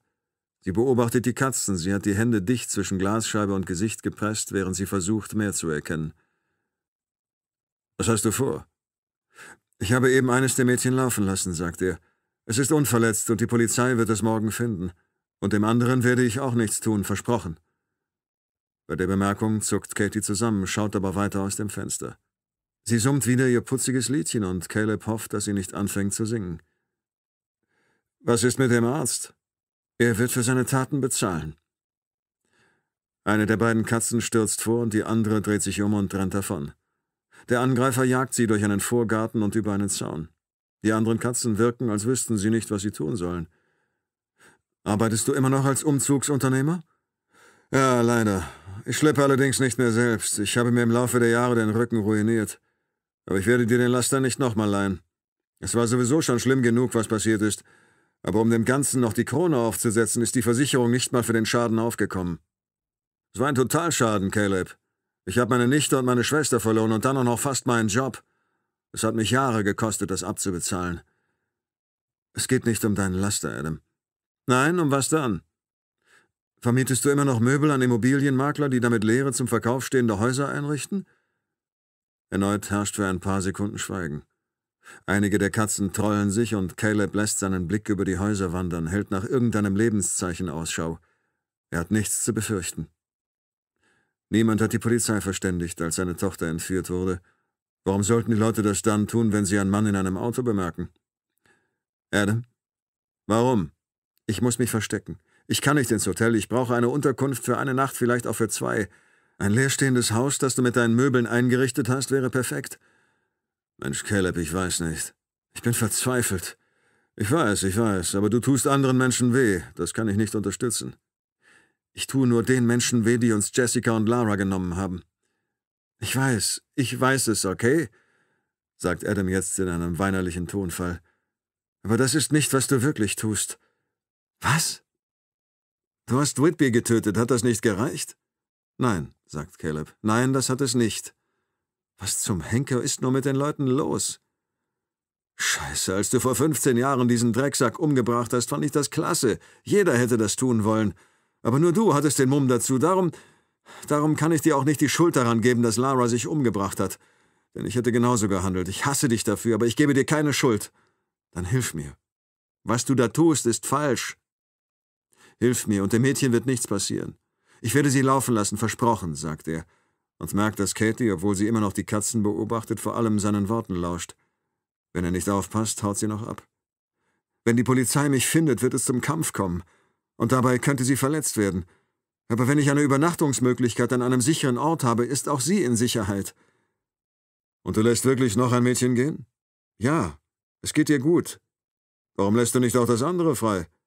Das werde ich, aber nicht sofort, sagt er. Mein Gott, muss er mit jedem, den er um Hilfe bittet, alle Einzelheiten durchkauen? Und Ihr Vater? Den werde ich auch gehen lassen. Du lügst. Nein, Adam, das tue ich nicht. Ich habe nicht vor, ihm weh zu tun. Katie dreht sich um und schaut ihn an. Das verstehe ich nicht, sagt Adam. Musst du auch nicht. Besorg mir einfach nur einen Unterschlupf, damit ich das letzte Mädchen in Sicherheit bringen kann. Außerdem musst du mir versprechen, dass du nicht die Polizei verständigst, denn sonst werden weitere Menschen unnötig leiden. Adam sagt nichts. Adam? Okay, okay, lass mich einen Moment überlegen. Adam, einen Moment, Caleb, okay? Du musst mir schon Gelegenheit geben, darüber nachzudenken. Caleb betrachtet das Handy und fragt sich, ob man es orten kann und ob die Polizei in Adams Haus ist und ihr Gespräch mithört. Er hat einen Fehler gemacht. Er sollte auflegen, das Telefon aus dem Fenster werfen und wegfahren. Es gäbe da ein Haus, sagt Adam. Wir haben es gestern mit Möbeln eingerichtet. Der Makler ist unterwegs und kommt vor dem Wochenende nicht zurück. Du kannst also höchstens ein paar Tage da bleiben. Sollten allerdings die Nachbarn misstrauisch werden und die Polizei verständigen, darfst du unter keinen Umständen meinen Namen nennen, kapiert? Vielen Dank, sagt Caleb. Und er hat kein schlechtes Gewissen, dass ihn die Polizei wie geplant schon bald dort finden wird. Ein einfaches Dankeschön reicht da nicht, Caleb. Du musst es mir versprechen. Bei der Rezession zurzeit ist die Lage ziemlich angespannt, okay? Wenn ich meinen Job verliere, ist auch das Haus futsch. Du übernachtest da und verschwindest dann wieder, und wenn du was durcheinander bringst, behaupten wir, es wäre ein Einbrecher gewesen, okay? Und versprich mir, dass du niemandem wehtust. Versprochen, sagt er. Aber das ist gelogen, allerdings zu einem höheren Wohl. Eines Tages wird Adam das verstehen. Beides. Ich möchte es später nicht bereuen, sagt Adam und nennt ihm die Adresse und legt auf. Caleb schaltet sein Handy aus. Dann lässt er den Wagen an und die Katzen springen auseinander. Stimmt das? fragt Katie. Lässt du meinen Vater wirklich laufen? Ja, sagt Caleb, während sie mit laufendem Motor am Straßenrand stehen. Pass auf, ich möchte, dass du die hier nimmst. Er greift in seine Tasche. Was ist das? Schlaftabletten. Ich will nicht schlafen. Du musst aber, sagt er. Denn ich möchte nicht, dass du mit deinem Dad redest, bevor das hier vorbei ist. Vorbei? Er nickt. Nimm sie, und wenn du aufwachst, wirst du bei deinem Dad sein und alles ist gut, erklärt er. Und er hätte nicht gedacht, dass es ihm so schwer fällt zu lügen. Er schüttelt die Orangensafttüte, aus der Octavia vorhin getrunken hat. Es ist vielleicht noch ein Schluck drin. Katie spült damit die beiden Tabletten hinunter, dann gibt Caleb ihr eine dritte. Das müsste sie für etwa zwölf Stunden außer Gefecht setzen. Und nichts wird sie in der Zwischenzeit aufwecken. Auf der Windschutzscheibe haben sich ein paar Regentropfen gesammelt, aber momentan regnet es nicht. Er fährt nach New Brighton hinein, einen Vorort am Strand, in dem er sich ganz gut auskennt. Mit Anfang 20 hat er hier mal gewohnt. Damals hat er auch Lara kennengelernt. Es war am Geburtstag seines Mitbewohners und Lara kam mit einer Freundin vorbei. Bei ihrer ersten Begegnung unterhielt sich Caleb ein paar Minuten mit ihr und vergaß sie dann wieder, bis sie ihm eine Woche später im Kino erneut über den Weg lief. Diesmal unterhielten sie sich ausführlicher und er fragte sich, was sie nur an sich hatte, das ihm beim ersten Mal entgangen war. Er kam nie dahinter. Zwei Jahre nachdem sie sich kennengelernt hatten, wohnten sie in dem hübschen Häuschen, das ihm inzwischen nicht mehr gehört. Er fährt mit heruntergelassenem Fenster und kann die salzige Meeresluft riechen. Für einen kurzen Moment wird der Regen stärker und trommelt plötzlich heftig auf das Wagenblech, doch genauso schnell hört er auch wieder auf. Caleb schafft es nicht mal rechtzeitig, den Knopf zum Schließen des Fensters zu drücken. Sein rechter Arm ist nass. Er kann hören, wie sich die Wellen an der Küste brechen. Er war lange nicht mehr am Strand. Er fährt parallel zu den Dünen. Ein Teil von ihm würde gerne anhalten, auf ihre Spitze klettern und von dort den Mond betrachten, der über dem Wasser schwebt, bevor er hinter den Wolken verschwindet. Doch er fährt weiter. Er biegt nach rechts und einen halben Block später erreicht er das Haus, von dem Adam ihm erzählt hat. Mitten in den Vorgarten wurde ein Schild des Maklerbüros geschlagen. Besichtigung Samstag 13 Uhr bis 13.30 Uhr. Darüber prangt das Bild eines grinsenden Mannes, der versucht, so zu wirken, als wäre er dein bester Freund. Katie ist inzwischen eingeschlafen. Ihr Kinn liegt auf ihrer Brust. Caleb öffnet den Kofferraum, hieft Stanton heraus und lässt ihn zu Boden gleiten. Dann beugt er sich zu ihm hinunter, legt sich einen seiner Arme um den Hals, richtet sich wieder auf und schleppt ihn zum Haus. Er kann ihn kaum halten, so sehr schmerzen seine Gelenke. Trotzdem schafft er es, so wie er im Lauf der Jahre auch alles andere geschafft hat. Doch diesmal fällt es ihm leichter, denn er weiß, dass er den Schmerz nicht mehr lange ertragen muss. Stanton ist halb bei Bewusstsein und macht sogar ein paar Schritte selbst. Caleb setzt ihn auf der Treppe zur Veranda ab und versucht, die Tür zu öffnen. Sie ist verschlossen. Er schiebt die Klinge seines Messers unter das Badezimmerfenster und stemmt es nach oben, bis der Riegel aus dem Holz gleitet. Dann klettert er hinein und bahnt sich seinen Weg zur Hintertür, durch die er Stanton ins Haus zerrt. Auf dem neuen, flauschigen Teppich lässt er sich nur schwer vorwärts ziehen. Er bringt ihn in das Schlafzimmer, das am weitesten von der Straße entfernt ist. Dort fesselt er den Arzt mit einem Kabelbinder an den Füßen und lässt ihn auf dem Boden liegen. Für einen kurzen Moment schaltet er die Badezimmerbeleuchtung ein, um sich zu vergewissern, dass es im Haus auch Strom gibt. In dem Lichtschein, der in den Flur und zwei angrenzende Zimmer fällt, kann er erkennen, dass die Möbel hier der letzte Schrei sind und an den Wänden hübsche Drucke hängen. Alle Gegenstände sind an ihrem Platz und lassen dieses unbewohnte Haus wie ein trautes Heim wirken. Eine Illusion, durch die der Besitzer beim Verkauf einen höheren Preis erzielt. Caleb bringt Katie ebenfalls ins Schlafzimmer, schlägt die Musterdecken zurück, legt sie in das Musterbett und schiebt ihr ein Musterkissen unter ihr süßes Köpfchen, deckt sie zu. Im Wohnzimmer steht ein hübscher LCD-Fernseher. Caleb trägt ihn in ein zweites Schlafzimmer, weil er fürchtet, das Flimmern im Wohnzimmer könnte die Nachbarn alarmieren. Es ist schon erstaunlich, wie leicht Fernseher geworden sind, seit er zuletzt einen besessen hat, und wie flach. Er schaut sich die Nachrichten an. Es wird ein Bild von ihm eingeblendet, das aufgenommen wurde, als man ihn vor 15 Jahren wegen Mordes verurteilt hat. Dann erscheint ein Foto von ihm und Lara mit Jessica in der Mitte. Sie war damals sechs. Sie beide waren mit Jessica zu einer Kostümparty bei einer ihrer Freundinnen gefahren. Lara hatte in der Woche davor ein Kostüm für sie genäht, denn jedes Mal, wenn Jessica nach Hause kam, hatte sie gesagt, sie wolle sich als Maus verkleiden. Heimlich hatte Lara am Kostüm gewerkelt und Jessica versprochen, es werde am Tag der Party fertig sein. Und so war es dann auch. Es sah toll aus mit dem Schwänzchen und den runden Ohren, alles aus dem grauen Laken, das Lara extra dafür gekauft hatte. Bei seinem Anblick fragte Jessica, was es darstellen solle. Eine Maus, erklärten sie ihr. Doch Jessica war enttäuscht. Es sieht überhaupt nicht aus wie eine Computermaus, hatte sie gesagt, und es wurde klar, wo das Problem lag. Sie fing an zu weinen, doch nachdem sie ihr gut zugeredet hatten, war sie bereit, das Kostüm doch noch zu tragen. Und nach einer Portion Eis konnte sie für den Fotografen auch wieder lächeln. Später am Abend, als Jessica bereits schlief, hatten Caleb und Lara auf der Veranda eine Flasche Wein getrunken und über das Missverständnis gelacht. Das Foto verschwindet und wird durch eines von James Whitby ersetzt, dann folgen weitere von den Menschen, die er in den letzten vier Tagen getötet hat, und schließlich sein Polizeifoto, neben einer aktuellen Abbildung von ihm. Dieser Mann hat viel erlebt. Die Reporterin, die über den Fall berichtet, steht vor dem Polizeirevier. Die Fassade ist beleuchtet und die Wände sind schmutzig von den Auspuffabgasen der vorbeifahrenden Autos, von der Vogelscheiße und wahrscheinlich von dem ganzen Schwachsinn der Reporter, die so dicht davor stehen. Seitlich von der Kamera regt sich etwas. Es sind noch weitere Medienvertreter vor Ort. Für sie ist heute wahrscheinlich ein guter Tag.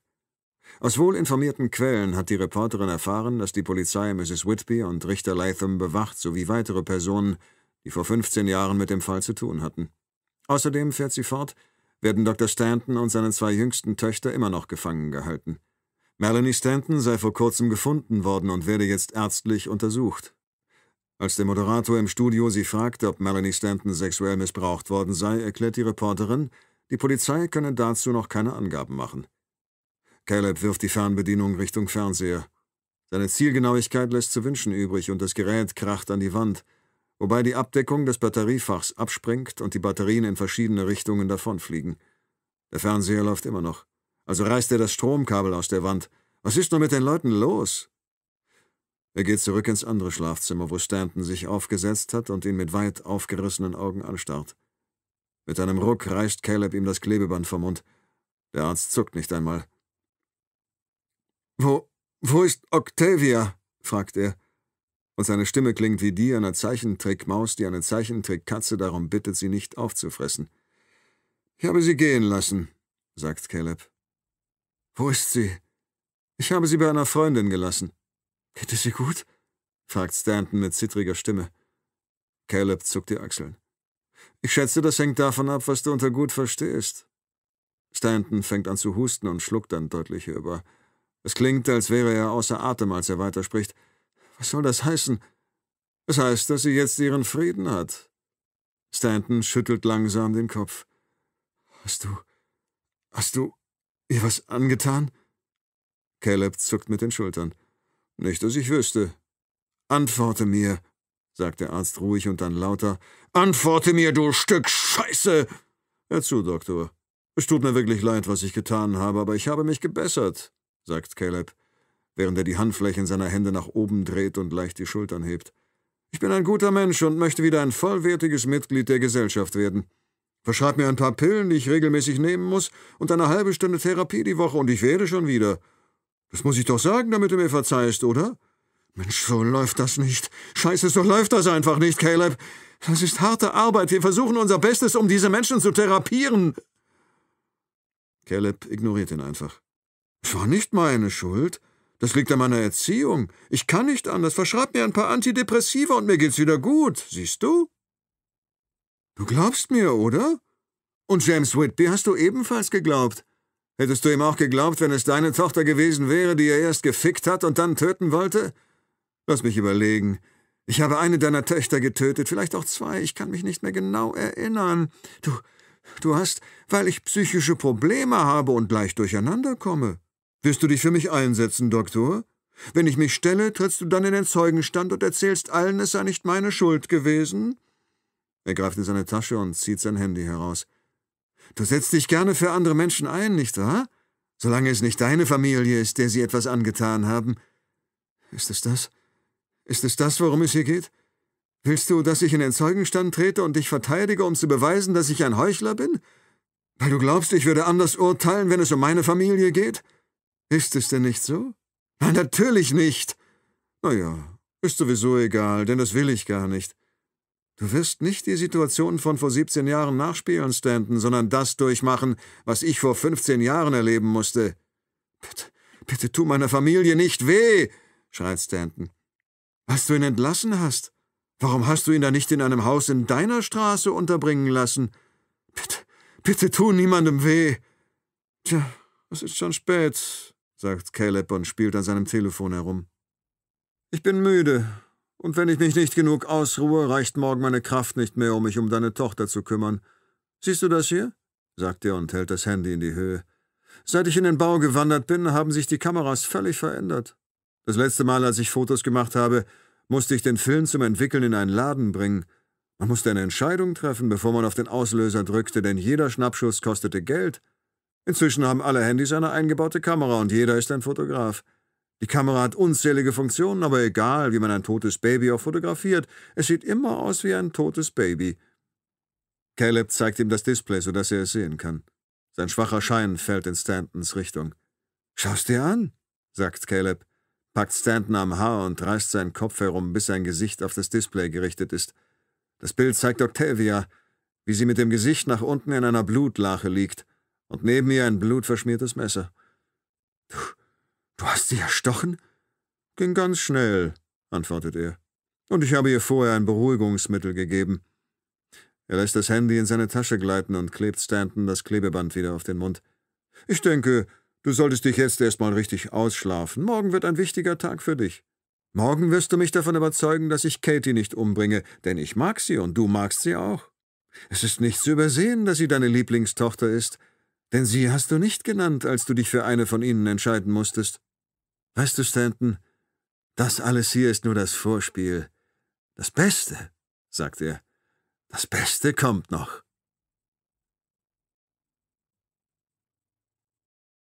Tabitha Jenkins Handgelenke sind auf dem Rücken zusammengebunden, ihre Füße sind gefesselt und sie hat Klebeband auf dem Mund. Ihre Augen sind geschlossen. Wenn nicht das leichte Heben und Senken ihres Brustkorbs wäre, könnte man sie für tot halten. Auf dem Boden neben dem Bett liegt ein Baby, das wie Octavia aussieht. Allerdings sehen für mich alle Einjährigen gleich aus. Es sei denn, es ist meine eigene Tochter. Die Kleine ist auf einen Kindersitz geschnallt. Sie hat die Augen weit aufgerissen und starrt mich mit einem ziemlich verwirrten Gesichtsausdruck an. Die Vorderseite ihres Strampelanzugs ist voller Tomatensauce. Ich halte das Messer jetzt nicht mehr seitlich neben mich, sondern nach vorn ausgestreckt. Mein Herz rast und ich möchte in das Zimmer stürmen, Octavia hochheben und vor Begeisterung laut aufschreien. Doch ich unterdrücke mein Verlangen bewahre Ruhe und bewege mich langsam hinein, schaue nach links und nach rechts, während ich damit rechne, dass wie vorhin plötzlich Caleb erscheint. Aber das tut er nicht. Und als ich bei Octavia bin, gehe ich neben ihr in die Hocke und schenke ihr ein breites Lächeln. Hallo Octavia, sage ich. Mein Name ist Theo. Hallo, hallo, hallo, sagt sie und erwidert mein Lächeln. Ist sonst noch jemand hier? frage ich sie, obwohl mir klar ist, dass ich von dem Sitz, auf dem sie festgeschnallt ist, wahrscheinlich mehr Informationen bekomme als von ihr. Ladel, Ladel, sagt sie, verzieht das Gesicht und läuft rot an, bevor sie sich wieder entspannt und einen Gestank absondert, der mir die Tränen in die Augen treibt. Mein Gott, sage ich und trete zurück. Dann rüttle ich Tabitha an der Schulter, worauf sie sich leicht bewegt. Ich schneide ihr die Fesseln durch und entferne das Klebeband von ihrem Mund. Dann gehe ich zurück durchs Haus, überprüfe erneut die Zimmer und den Flur, das Wohnzimmer und den Weg, den ich reingekommen bin, vorbei an der Tomatensoße auf dem Boden. Jetzt verstehe ich auch, weshalb sie dort ist. Caleb hat so getan, als hätte er Octavia getötet. Ich vergewissere mich, dass die Türen abgeschlossen sind und verriegle sie. Als ich überzeugt bin, dass sonst niemand mehr im Haus ist, gehe ich zurück ins Schlafzimmer und hebe Tabitha hoch. Sie ist schwerer, als ich es von so einer schlanken Person vermutet hätte, aber vielleicht bin ich auch nur schwächer, als ich dachte. Auf dem Weg zum Badezimmer beginnt mein von den Hundebissen lediertes Bein zu schmerzen. Und während ich Tabitha in der Dusche absetze, ist mein Rücken kurz davor, einen Bandscheibenvorfall zu erleiden. Ihre Augen öffnen sich noch ein Stückchen weiter, und als ich den Wasserhahn aufdrehe, zuckt sie zusammen. Nach zehn Sekunden wird das Wasser warm. Ich trete zurück, damit ich nicht nass werde. Tabithas Haare kleben ihr im Gesicht, die Klamotten haften an ihrer Haut, und sie hat den Blick zu Boden gerichtet. Langsam hebt sie den Kopf und hält sich die Hände vors Gesicht. Ich bin wach, sagt sie, obwohl sie nicht so klingt. Tabitha, mein Name ist Detective Inspector Theodore Tate, sage ich laut, damit sie mich trotz des plätschernden Wassers hört. Können Sie mich verstehen? Mich verstehen, wiederholt sie, während das Wasser von ihrem Gesicht spritzt. Tabitha, wo ist Caleb? Caleb, sagt sie, ist kein schlechter Mensch. Wann war Caleb hier? Er tut nur schlimme Dinge, sagt sie und blinzelt heftig. Tabitha, wann war er hier? Weiß nicht. Kommt er wieder zurück?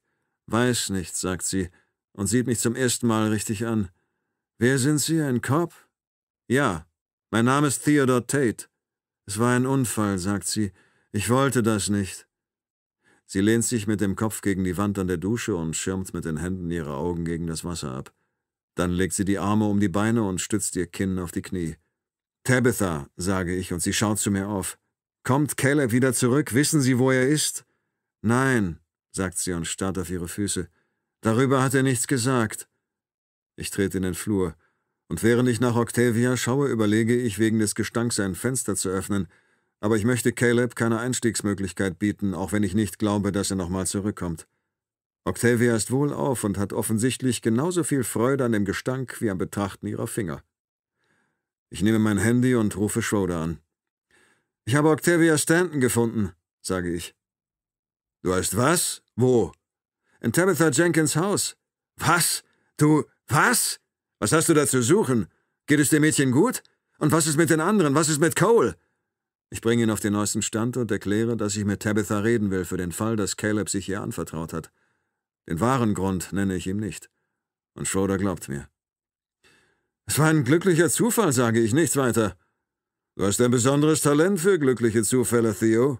Klasse, dass du sie gefunden hast, ehrlich, sagt er, und mich beschleicht das Gefühl, dass er den Kopf schüttelt oder nickt oder eine Faust zur Siegergeste ballt. Zwei der Mädchen sind unverletzt, sagt er. Wir schaffen das. Wir werden diesen Burschen schnappen und alle befreien. Ich spüre es. Ich schicke dir sofort Verstärkung. Halt, sage ich. Keine Verstärkung. Was? Bring nur ein paar Leute in Zivil mit, sage ich. Und einen Sanitäter, damit er Tabitha untersucht. Sie wurde betäubt. Sie weiß nicht, ob Cole nochmal zurückkommt. Falls ja, können wir ihm im Haus auflauern. Falls nicht, ist er schon über alle Berge. Es hat also keinen Sinn, alle verfügbaren Beamten herzuschicken. Gute Idee. Bald gehörst du garantiert wieder zum Team, Tate. Tolle Arbeit, wirklich, tolle Arbeit. Okay, wir sind in ein paar Minuten bei dir. Ich lege auf. Tabitha hat das Wasser inzwischen abgestellt. Sie rappelt sich hoch und lehnt sich gegen die Wand der Dusche. Sie haben gesagt, Sie sind Polizist? fragt sie. Ich reiche ihr ein Handtuch und zeige ihr meine Marke. Ohne sie anzusehen, vergräbt sie ihr Gesicht im Handtuch. Ich suche nach Cole, erkläre ich ihr. Was? Fragt sie und nimmt das Handtuch herunter. Caleb Cole, ich suche nach ihm. Einen Moment bitte, sagt sie. Ich lasse sie im Badezimmer allein und gehe in die Küche. Ich setze Wasser auf, schalte den Kocher kurz bevor der Siedepunkt erreicht ist wieder aus und mache einen starken Kaffee. Der gefüllte Becher steht bereits auf einem Untersetzer auf dem Couchtisch, als Tabitha das Wohnzimmer betritt. Sie hat sich abgetrocknet und frische Sachen angezogen, eine Jeans und eine Fließjacke, in deren Taschen sie ihre Hände tief vergraben hat. Trinken Sie, sage ich und reiche ihr den Kaffee. Er ist nicht besonders heiß. Tabitha trinkt die Hälfte in einem Zug aus. Dann gibt sie mir den Becher zurück. Ist schlecht, sagt sie, rennt in die Küche und übergibt sich in die Spüle. Sie dreht den Wasserhahn so stark auf, dass sie das Wasser entgegenspritzt. Dann säubert sie die Spüle, dreht den Hahn wieder ein wenig zu und hält das Gesicht darunter. Sie nimmt einen Schluck Wasser und spuckt es wieder aus, dann noch einen und noch einen. Als sie fertig ist, wendet sie sich um und lehnt sich gegen die Spüle. Die Vorderseite ihrer Fließjacke ist mit Wassertropfen übersät.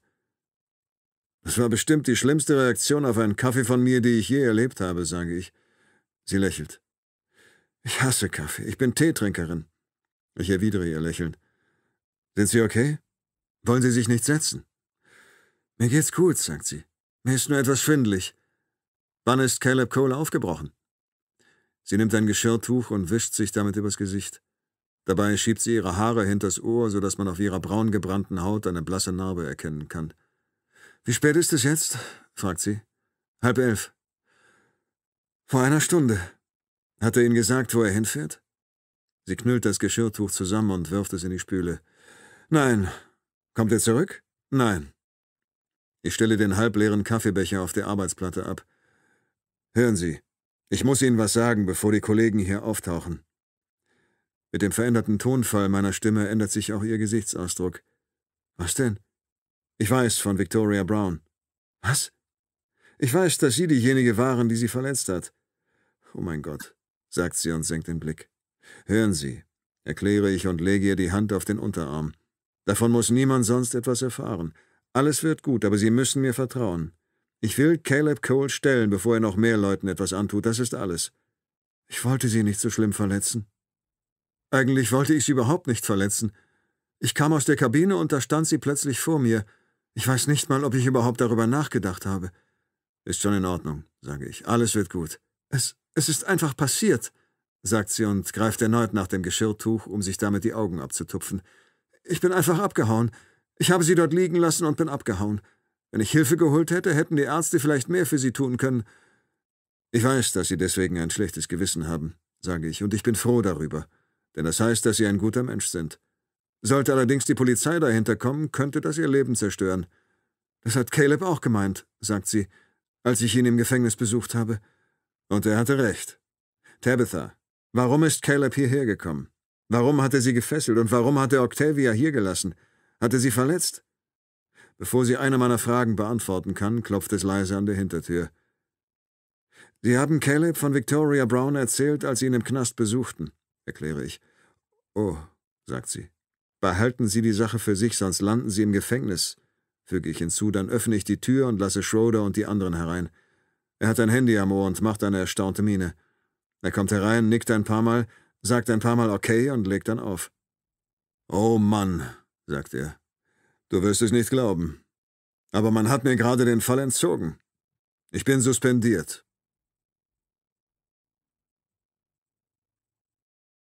Der Sanitäter untersucht Tabitha eingehend und gibt dann Entwarnung.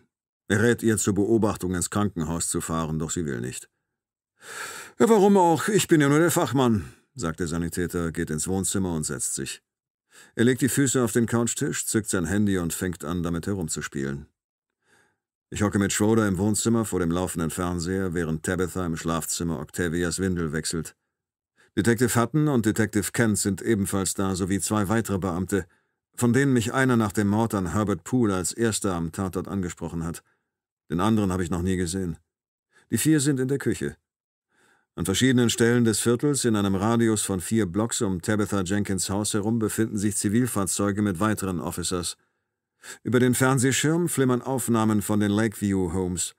Sie sind verwackelt, aber scharf und stammen entweder von einem der Bewohner oder von einem Angehörigen. Die Aufnahmen zeigen zunächst ein Fensterbrett und einen Vorhang. Dann stellt die Kamera auf das Geschehen hinter der Fensterscheibe scharf, auf das erste der eintreffenden Großraumtaxis. Es kommt zum Stehen, die Türen werden aufgeschoben und ein Detective nach dem anderen steigt aus. Es ist, als würde man Clowns im Zirkus dabei zusehen, wie sie aus einem winzigen Wagen klettern, nur dass diese Clowns betrunken sind und als erstes in die Felder rennen, um die Bäume zu bewässern, bevor sie herauszufinden versuchen, wer den Zirkusdirektor getötet hat. Ich sehe zu Schroeder, der mit ausdruckslosem Gesicht zuschaut, wie mein Wagen hinter dem ersten Großraumtaxi anhält und wir beide aussteigen. Er verschwindet, um zu pinkeln, während ich zum Tatort mit der Leiche gehe. Die Kamera folgt keinem von uns beiden, sondern wird nun auf das nächste Großraumtaxi mit weiteren Zirkusartisten gerichtet.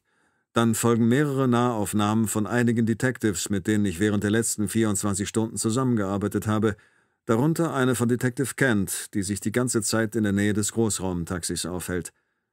Schroeder schaltet den Fernseher aus und stützt seinen Kopf in die Hände. Vielleicht ist es gar nicht so schlimm, sage ich. Aber das stimmt natürlich nicht. Es wird richtig schlimm werden. Dafür werden die Medien schon sorgen. Ich hätte auf dich hören sollen. Ich, beginne ich, aber eigentlich weiß ich nicht, was ich sagen soll. Was könnte ich sagen? Ich mache eine kurze Pause, dann stelle ich die Frage, die ich die letzten paar Minuten unterdrückt habe. Man hat dich suspendiert? Er zuckt die Achseln und schaut zu mir herüber. Wenn es nur das wäre, sagt er. Nach diesem Bericht kann ich mir nicht vorstellen, dass ich meinen Job behalten werde. Das vorhin am Telefon war Stevens. Er meinte, ihm bleibe nichts anderes übrig, als mich zu suspendieren. Das weitere Vorgehen läge nicht in seiner Hand, aber einer müsse eben daran glauben, nicht wahr? Und das sei nun mal ich. Tut mir leid, sage ich. Also das muss es nicht. Du hast mir gleich gesagt, dass ich Scheiße baue, aber ich wollte einfach nicht hören. Was hast du jetzt vor? Was hast du von Tabitha in Erfahrung gebracht? Karl. Was soll ich denn tun? Nach Hause gehen und die Beine hochlegen? Ja, Vielleicht hast du recht, und morgen wissen wir es dann genau, aber im Moment haben wir ein Mädchen und seinen Vater, die vermisst werden, und nicht den geringsten Schimmer, wo sie sind. Morgen, ja, morgen ist ein neuer Tag, oder? Weißt du noch, heute Morgen in der Leichenhalle? Weißt du noch, wie ich gesagt habe, es wäre vielleicht an der Zeit, sich nach etwas Neuem umzuschauen? Hey, vielleicht ist das hier nur zu meinem Besten. Er hebt sich und geht an mir vorbei. Ich folge ihm ins Schlafzimmer, wo Tabitha inzwischen die Windel gewechselt hat. Cole hatte die Tüte mit den Windeln dagelassen. Erzählen Sie uns, was letzte Nacht passiert ist, sagt Schroeder. Sie gibt Octavia einen kleinen Teddybär und die Kleine wirft ihn fort und krabbelt hinterher. Tabitha setzt sich auf die Bettkante und fängt an zu erzählen. Währenddessen hebt Octavia den Bären auf, bringt ihn zurück und gibt ihn Tabitha. Diese drückt ihn ihr erneut in die Hand, worauf Octavia ihn abermals fortwirft und hinterher krabbelt. Tabitha erzählt, sie habe gerade ein Buch gelesen, als es an der Tür klopfte. Sie öffnete und es war Caleb Cole. Er benötigte für ein, zwei Tage einen Unterschlupf, doch sie habe ihm erklärt, dass er nicht bei ihr bleiben könne. Hat er gesagt, warum er Sie um Hilfe gebeten hat? fragt Schroeder. Ich schätze, er ist verzweifelt und er dachte, dass Tabitha auf seiner Seite ist, sage ich schnell. Tabitha mustert mich eingehend. Wir beide wissen, dass Cole bei ihr aufgekreuzt ist, weil sie Victoria Brown verletzt hat. Schroeder bemerkt, dass sie mich anschaut und wirft mir einen ähnlichen Blick zu. Ich habe ihn aufgefordert, die Mädchen und ihren Dad bei mir zu lassen, aber das wollte er nicht, sagt Tabitha und zieht die Aufmerksamkeit wieder auf sich. Sie spricht selbstbewusst, ohne zu stocken oder sich zu korrigieren. Er hat mich gefragt, ob ich die Polizei verständigen würde, und ich sagte ja. Am Ende haben wir einen Deal gemacht. Er meinte, er würde eines der Kinder bei mir lassen, wenn ich ein paar Schlaftabletten nähme. Er wusste, dass meine Freundin morgen nach Hause kommt. Ich bin auf das Angebot eingegangen. Andernfalls wäre er mit beiden Kindern wieder abgezogen. Sie haben ihn im Gefängnis besucht, sagt Schroeder. Ein einziges Mal. Warum? Sie scheint überrascht und ich bin es ebenfalls. Irgendwann im Laufe der letzten paar Stunden muss Schroeder Coles Besuchsprotokolle überprüft haben. Warum? Schwer zu erklären, sagt sie. Na ja, und dann gerät sie ins Stocken und ihre ungezwungene Art zu reden wird etwas weniger ungezwungen. Er hat mir leid getan, keine Frage. Er hat den Mann getötet, der mir wehgetan hat, und ich Sie zögert und bestätigt so ihre Äußerung, dass es schwer zu erklären ist. Haben Sie sich bei ihm bedankt? fragt Schroeder. Äh, nein, eigentlich nicht, sagt sie und schüttelt den Kopf. Schroeder mustert sie misstrauisch und sie fährt fort. Schön, okay, vielleicht habe ich mich bei ihm bedankt. Er hat mehr gelitten, als Sie sich vorstellen können, sagt sie. Erzählen Sie uns, was er mit Dr. Stanton vorhat, sage ich. Hat er viel von ihm geredet? Sie hält inne und lässt die Augen umherwandern, und dann fällt ihr etwas ein. Ich schaue zu Schroeder, er erwidert meinen Blick, und wir beide warten. Sie braucht ein paar Sekunden, aber dann spricht sie es aus. Es ist merkwürdig, sagt sie, aber er meinte, er habe nicht vor, Dr. Stanton zu töten. Ich trete näher, Schroeder ebenfalls. Octavia hebt den Teddy auf, wirft ihn ein Stück weiter fort und krabbelt wieder hinterher. Warum finden Sie das merkwürdig? frage ich. Langsam fängt sie an zu nicken. Er sagte, er werde ihn laufen lassen. Er hat versprochen, dass er keinem von ihnen wehtun wird. Hat er gesagt, was er damit meint? fragt Schroeder. Sie schüttelt den Kopf. Aber ich glaube ihm. Er hat keinen Grund zu lügen. Ich meine, warum sollte er? Außerdem hat er das Versprechen gehalten, das er mir heute Abend gegeben hat. Schroeder schüttelt jetzt ebenfalls den Kopf. Das ergibt keinen Sinn. Ich fange an zu nicken. Und jetzt bewegen wir alle unsere Köpfe, allerdings nicht synchron und unterschiedlich schnell. Sehe ich genauso. Es ist völlig ausgeschlossen, dass er Stanton laufen lässt.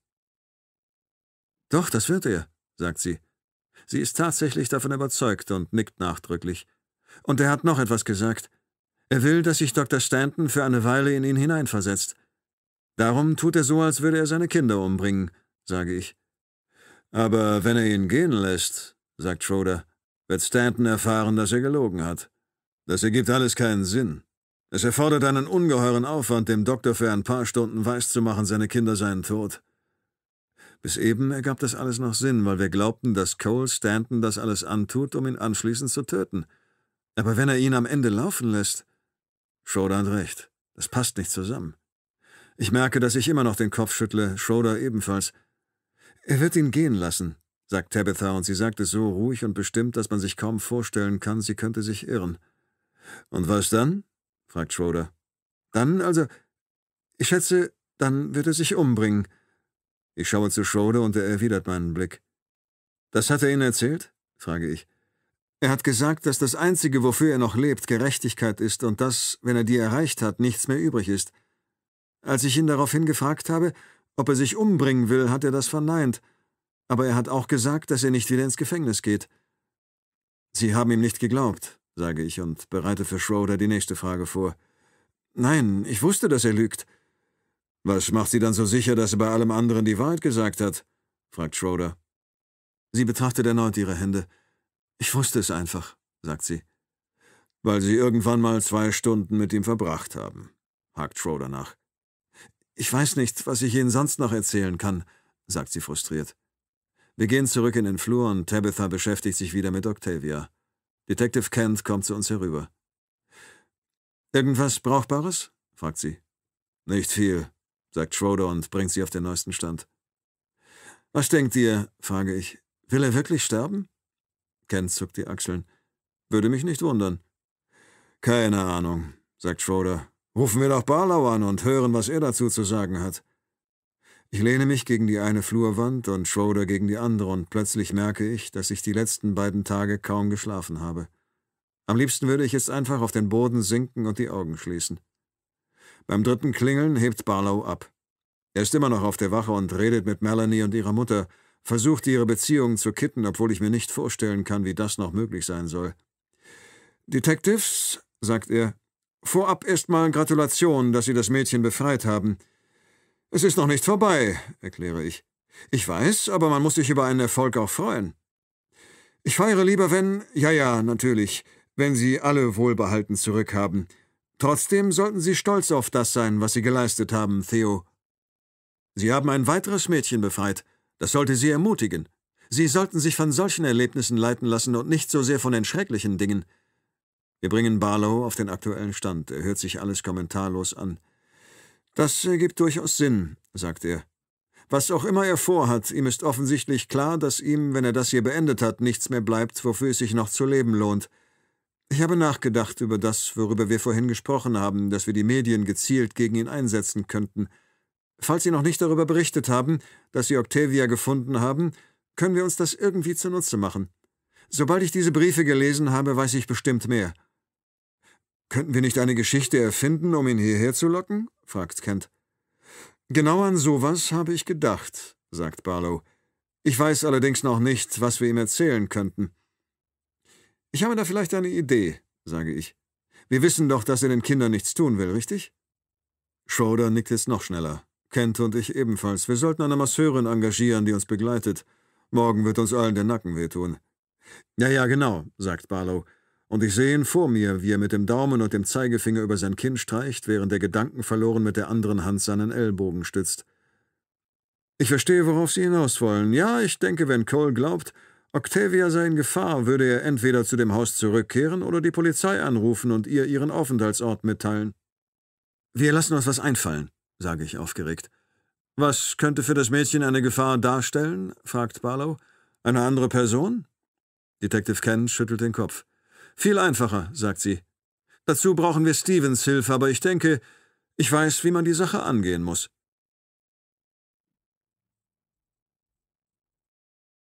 Was eine Nacht oder höchstens zwei hätte dauern sollen, zieht sich jetzt womöglich über drei Nächte hin. Oder noch länger. Nach einer weiteren Dosis Tabletten schläft der Arzt jetzt wieder und Caleb beneidet ihn. Er wünscht, er könnte sich einfach hinlegen und ein Nickerchen machen. Obwohl er körperlich erschöpft ist, schwirren ihm tausend Gedanken durch den Kopf. Das alles hier wird ihm zu viel. Er könnte ebenfalls ein paar Tabletten nehmen, doch er muss einen klaren Kopf bewahren. Seine Finger schmerzen und von der ganzen Schlepperei tut seine linke Schulter höllisch weh. Er geht durchs Haus. Es kommt ihm nicht wie ein Zuhause vor, sondern wie ein Musterhaus. Es ist ein Jammer, dass der hübsche Kühlschrank in der frisch gestrichenen Küche nicht voller frischer Lebensmittel ist. Er weiß nicht warum, aber er muss daran denken, wie Octavia sich in seinen Armen angefühlt hat. Er mochte es, wie sie ihren Kopf auf seine Schulter gelegt hat, wie ihr Atem in seinen Haaren kitzelte. Keine Ahnung warum, aber er vermisst sie. Allerdings nicht ihren Gestank. Und er wäre noch schlimmer geworden. Es sei denn, er hätte sie gebadet. Er mochte es, wie sie ihn anschaute, mit Augen, die nicht urteilten. Seine Tochter hat ihn auch immer so angesehen. Er geht eine weitere Minute durch die Räume, bevor er sich wieder in das Schlafzimmer setzt, in dem er den Fernseher wieder angeschlossen hat. Er schaut sich die bescheuerten Nachrichtensendungen an, in denen bescheuerte Moderatoren sich irgendwelchen Scheiß über ihn ausdenken. Er findet es schrecklich, dass sie das dürfen, Allerdings sind sie ihm auch nützlich, schließlich haben ihn die Medien darauf gebracht, dass er den Schlachthof verlassen muss. Er starrt auf den Bildschirm, während er über Mrs. Whitby nachdenkt und über das, was er vorhin zu Tabitha gesagt hat, dass er den Kindern etwas antut, wenn sie ihm nicht hilft. Vielleicht kann er das irgendwie benutzen. Nicht gegenüber Tabitha, sondern gegenüber der Polizei. Es wird nicht mehr lange dauern, bis sie ihn finden. In ein oder zwei Tagen höchstens. Er betrachtet das Messer auf dem Nachttisch. Wenn er wollte, könnte er es nehmen, den Arzt wecken und das alles hier sofort beenden. Die Polizei und die Medien anrufen und sie früher als beabsichtigt hierher bestellen. Die Idee ist gar nicht so schlecht, wirklich. Er ist müde und kann nicht schlafen. Er kann den Richter nicht in seine Gewalt bringen und Whitbys böse Mutter auch nicht. Sie werden bewacht und es ist sauschwer, an sie ranzukommen. Es sei denn, er kann jemanden zwingen, ihm zu helfen, oder er schafft es, sich so lange zu verstecken, bis die Polizei ihre Leute abzieht. Ja, scheiße, Mann, er hat es satt zu warten. Warum schnappt er sich nicht das Messer und sticht ein letztes Mal zu? Er nimmt das Messer. Er stellt sich das Ganze vor. Wie er den Arzt weckt, ihm das Messer zeigt. Ja, Mann, er wird es tun. Scheiße, er wird es jetzt sofort tun. Er hat Tabitha gesagt, er würde den Arzt laufen lassen, aber ganz so einfach ist es nicht. Und außerdem war das nicht ganz die Wahrheit. Die Mutter der Richter, vielleicht kann er sie in einem anderen Leben drankriegen. Und sollte es in diesem nächsten Leben auch einen James Whitby geben, wird er diesen Scheißkerl ebenfalls dran kriegen. Doch in diesem Leben hat das Schicksal Caleb übel mitgespielt. Scheiße, Mann. Weil seine Autobatterie verreckt ist, konnte er mit dem Richter und Whitbys Mom keine Spazierfahrt zum Schlachthof mit anschließender Führung machen. Klar. Und weil er diesen anderen Typen getötet hat. Er wendet das Messer in seiner Hand, betrachtet Griff, Klinge und Schneide. Schicksal. Allerdings hätte er damit rechnen können. Wann war das Schicksal das letzte Mal gnädig mit ihm? Er geht zur Tür. Das ist es. Er wird das jetzt durchziehen. Er wird sich jetzt von allem befreien, von der Wut, dem Hass, der Enttäuschung. Er weiß nicht, ob er schmunzeln, weinen oder lachen soll. Er weiß nur, dass in zehn Minuten alles gut sein wird. Er wird diesen ganzen Mist hinter sich lassen und den Blick nach vorn richten. Vor einigen Wochen hat er die Telefonnummer der Reporter, die er anrufen wollte, in seinem Handy gespeichert. Er ruft eine davon auf und drückt die Wahltaste. Ein Klingeln ertönt. Er steht im Türrahmen und betrachtet den Arzt, der immer noch schläft. Ebenso wie Katie. Alle drei Mädchen wären besser dran, wenn ihr Vater nicht mehr lebte. Hallo? Hallo, hier spricht, setzt er an, doch er wird abgelenkt, als er hört, wie im Fernseher im Nebenzimmer der Moderator seinen Tonfall ändert. Es folgt ein dringender Aufruf, den Superintendent Dominic Stevens an Caleb Cole richten wird. Wir schalten jetzt live zu ihm. Hallo? sagt die Stimme erneut. Caleb legt auf und geht ins Schlafzimmer. Die Kamera zoomt auf Superintendent Dominic Stevens, der hinter einem Podium steht. Es sind Mikrofone und Kameras zu sehen.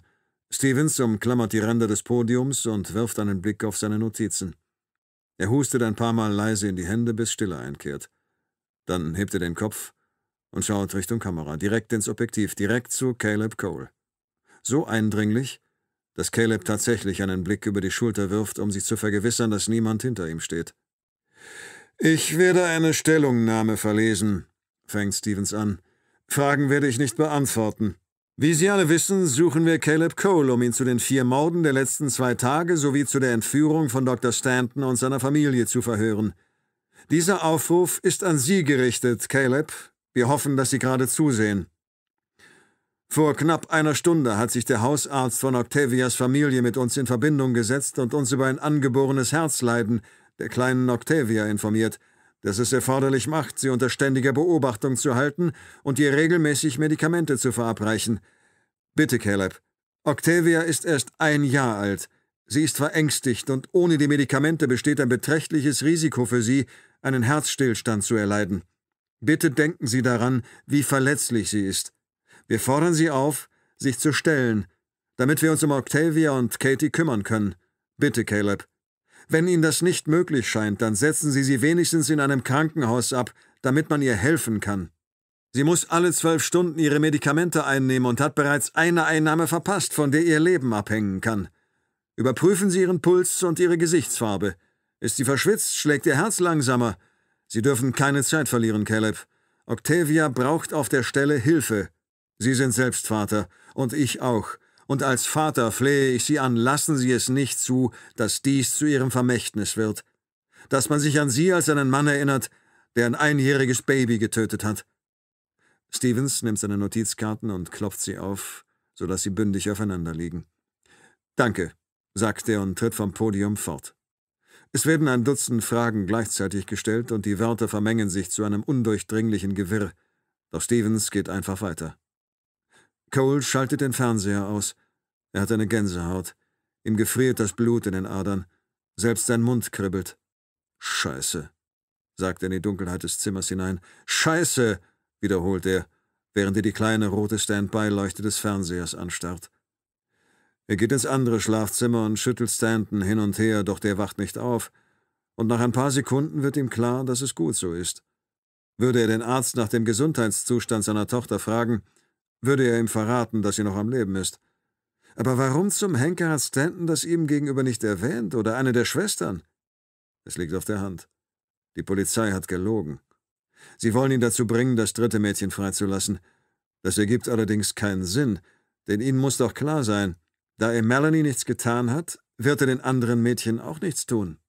Aber wenn das keinen Sinn ergibt, was folgt dann daraus? Ist es möglich, dass die Mädchen und der Vater im Sog der Ereignisse vergessen haben, Octavias Krankheit zu erwähnen? Katie, sagt er und schaut zu dem kleinen Mädchen, ich brauche deine Hilfe, damit ich mich um deine Schwester kümmern kann. Doch auch Katie ist nicht wach zu kriegen. Am einfachsten wäre es, er riefe die Polizei an. Er fängt an, die Nummer einzutippen. Er wollte sowieso dort anrufen, es ist also nichts dabei. Halte dich an deinen neuen Plan, aber er kann nicht. Er kann nicht sterben, ohne zu wissen, ob das Mädchen noch lebt oder schon tot ist. Er muss zurück zu dem Haus. Und wenn das Mädchen tot ist? Dann muss er es mit eigenen Augen sehen. Tabitha hatte recht. Er hat den Kindern wehgetan. Scheiße, sagte er erneut. Stevens Worte hallen immer noch durch seinen Kopf. Sie sind selbst Vater und ich auch, und als Vater flehe ich Sie an. Lassen Sie es nicht zu, dass dies zu Ihrem Vermächtnis wird. Sein Vermächtnis ist ihm egal. Die Leute können über ihn denken, was sie wollen, aber er darf nicht zulassen, dass ein kleines Mädchen stirbt. Ich muss mal kurz weg, sagt er zu Katie, aber natürlich antwortet sie nicht. Er fesselt sie, damit sie nicht abhauen kann, falls sie in seiner Abwesenheit aufwacht. Du bist ein böser Mann, würde sie jetzt wahrscheinlich zu ihm sagen. Ein böser, böser Mann. Und er ist ein böser Mann, das weiß er jetzt. Ein böser Mann, der womöglich gerade ein einjähriges Kind getötet hat. Mein Gott, das setzt ihm ganz schön zu. Er fühlt sich beschissen, und wenn es wirklich wahr ist, was dann? Er klebt Katie Klebeband über den Mund. Wahrscheinlich tut er ihr auch weh. Mit dem Messer bewaffnet, verlässt er durch die Hintertür das Haus und geht zum Wagen.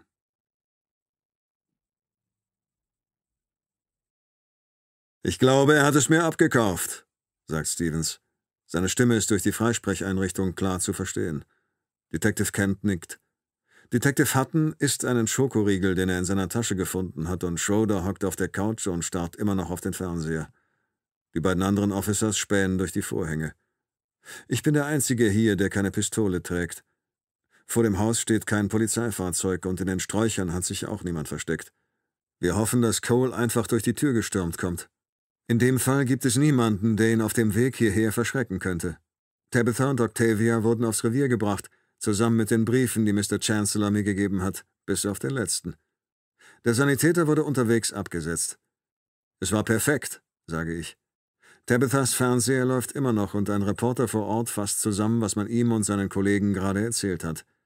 Auf den anderen Kanälen wird es ähnlich sein. Reporter, die aus dem Häuschen sind, weil der Fall immer größere Wellen schlägt. Falls Cole den Aufruf gesehen hat, ist er hoffentlich auf dem Weg hierher. Dann könnten wir ihn innerhalb der nächsten 20 Minuten verhaften. Dann könnte das alles hier bald vorbei sein. Fragt sich nur, ob es klappt, sagt Stevens. Hoffen wir das Beste, sage ich, denn das ist alles, was wir tun können. Hoffen wir, dass Sie recht hatten, erwidert er. Hören Sie, Tate, Sie und Detective Kent haben gestern einen guten Job gemacht, aber vermasseln Sie es jetzt nicht, ja? Wenn ich Sie jetzt frage, ob Schroeder bei Ihnen ist, sagt er, und als Schroeder seinen Namen hört, schaut er zu mir herüber, werden Sie mir bestimmt alle erzählen, er hätte Feierabend gemacht.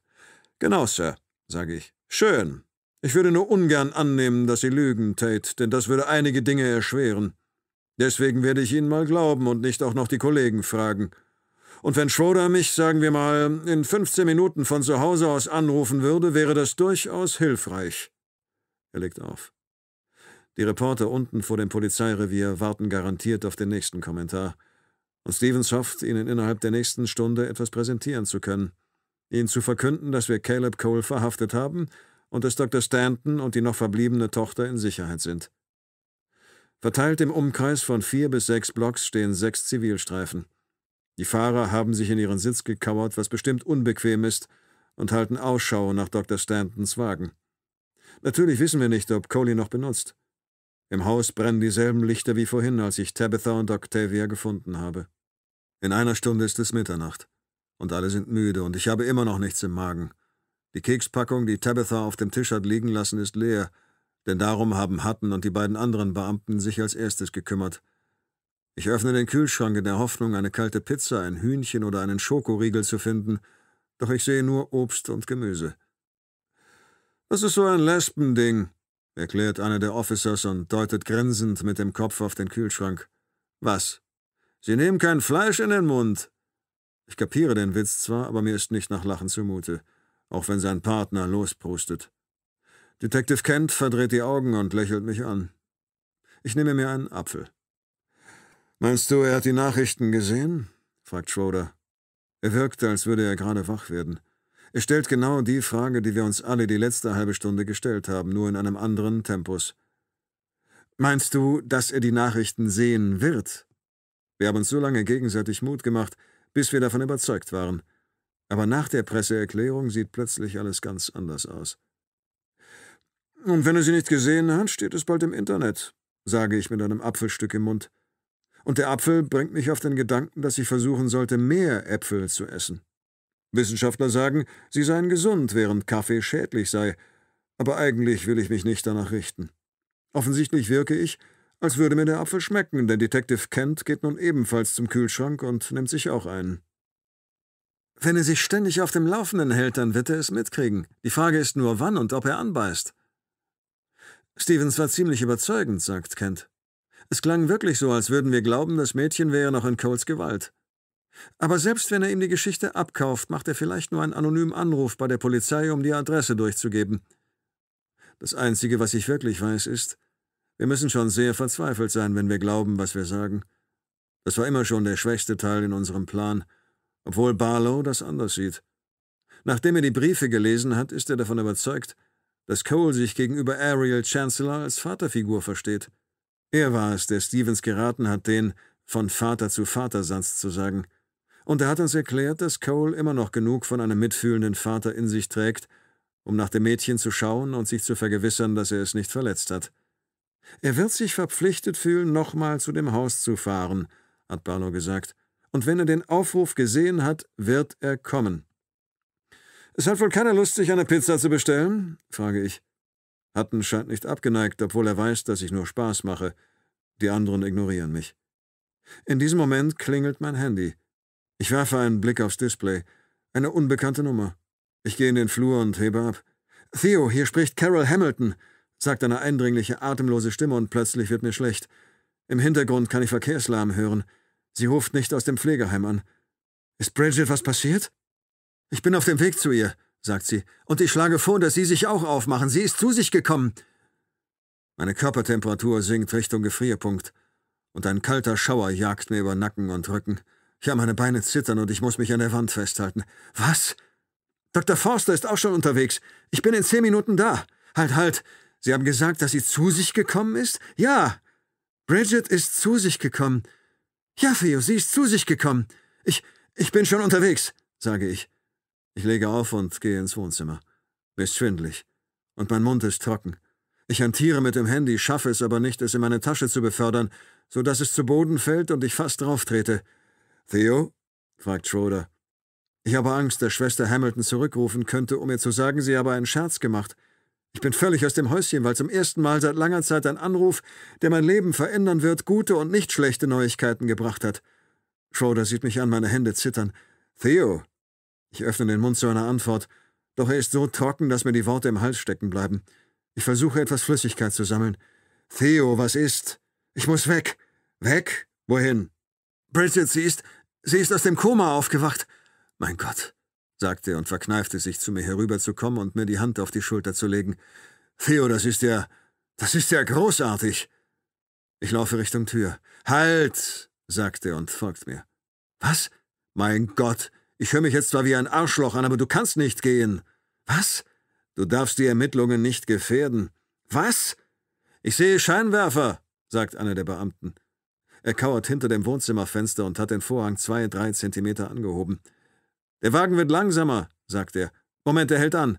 Etwa drei Häuser von hier. Er bleibt stehen, nichts rührt sich. Cole kennt dich, Theo, sagt Schroeder zu mir. Wenn er hierher unterwegs ist und sieht, wie du aus der Tür kommst oder die Straße runtermarschierst, wird das alles zunichte machen. Ich muss gehen, sage ich. Er nickt. Ich weiß, Theo, ich weiß. Aber du kannst jetzt nicht gehen. Noch nicht, bald, aber noch nicht. Er legt mir die Hand auf die Schulter, doch ich schüttle sie ab. Ich schwöre dir, Karl, wenn du versuchst, mich aufzuhalten, scheuer ich dir eine. Ladies, sagt Detective Kent, die ebenfalls durch den Vorhang späht und jetzt zu uns herüberschaut. Der Wagen steht immer noch da. Ich schätze, jetzt heißt es Showtime. Die Scheinwerfer sind immer noch eingeschaltet. Ich kann nicht mal erkennen, was das für ein Wagen ist oder wie viele Personen drin sitzen, sagt der Officer. Sollen wir jemanden rausschicken? Ich gehe sage ich. Nein, noch nicht, sagt Schroeder und dreht sich zu mir um. Theo, sie lag drei Jahre im Koma. Gib mir bitte noch ein paar Minuten. Weißt du, wie das klingt? Ja, sagt er. Karl, im Moment ist mir Caleb Cole völlig egal und der Fall auch. Das Einzige, was mich jetzt interessiert, ist, dass ich zu Bridget komme. Denk an Katie Stanton, sagt er, und das tue ich, und es funktioniert. Fünf Minuten, sage ich. Und wenn das da draußen nicht Cole ist, kannst du mich nicht davon abhalten zu gehen. Er nickt, obwohl er bestimmt glaubt, dass sie mich zu fünft von allem abhalten können. Aber das bezweifle ich. Gehen wir raus, sage ich. Ich will ihn nicht aufscheuchen. Wir wissen ja nicht mal, ob es überhaupt Cole ist. Vielleicht hat er jemanden vorgeschickt, womöglich wieder einen Pizzaboten, sagt Schroeder, und dann weist er zwei der Zivilstreifen über Funk an, ein paar Blocks näher zu rücken. Wenn er wegfährt, Kriegen wir ihn trotzdem, sagt er. Wer auch immer es ist, sagt Detective Kent. Er sitzt noch im Wagen. Wäre es einer der Nachbarn, wäre er in seiner Auffahrt gefahren, und ein Besucher wäre inzwischen ausgestiegen. Sie hat recht, sage ich zu Schroeder. Wir können rausgehen, uns von hinten anschleichen und. Halt, sagt der Officer. Die Scheinwerfer sind ausgegangen. Aber es tut sich immer noch nichts. Der Wagen sieht aus wie der von Stanton, so wie tausend andere auch. Mist. Es lässt sich von hier aus nichts sagen, aber ich kann einen Teil des Nummernschilds erkennen. Ich glaube, das ist nicht unser Wagen. Durch seine Bemerkung scheint die Spannung aus dem Raum zu weichen. Haben Sie das gesehen? fragt Kent. Ja. Was? fragt Schroeder. Die Tür hat sich geöffnet, die Fahrertür, sagt Kent. Im Wagen ist eine Person, männlich, weiß. Ich kann sie nicht besonders gut erkennen. Könnte unser Verdächtiger sein. Wer denn sonst? fragt Hutton. Der Mann steigt aus, sagt der Officer. Er steht jetzt neben dem Fahrzeug und schaut zum Haus rüber. Jetzt schließt er die Tür. Die Anspannung ist wieder da. Passt auf, dass er euch nicht sieht, sagt Schroeder. Er rührt sich nicht. Jetzt dreht er sich einmal im Kreis und betrachtet die anderen Häuser und setzt sich in Bewegung, sagt der Beamte. Seine Stimme überschlägt sich fast vor Aufregung. Er kommt rüber, ganz langsam. Mein Gott, meine Großmutter geht schneller als dieser Typ. Ist er es? frage ich. Weiß nicht. Ich gehe jetzt raus, sage ich zu Schroeder. Warte, sagt er. Denk an unseren Plan, Tate. Lass ihn ins Haus kommen, sagt er. Und er hat recht. Auch wenn es meinen Drang, nach draußen zu rennen, nicht mindert. Wir müssen vorsichtig sein. Wenn Stanton und seine Tochter nicht im Wagen sind, müssen sie irgendwo anders sein, und dann brauchen wir Cole noch, um ihren Aufenthaltsort aus ihm herauszukriegen. Wenn Tabithas Vermutung zutrifft, dass Cole sterben will und wir da rausrennen, rammt er sich womöglich ein Messer in den Hals.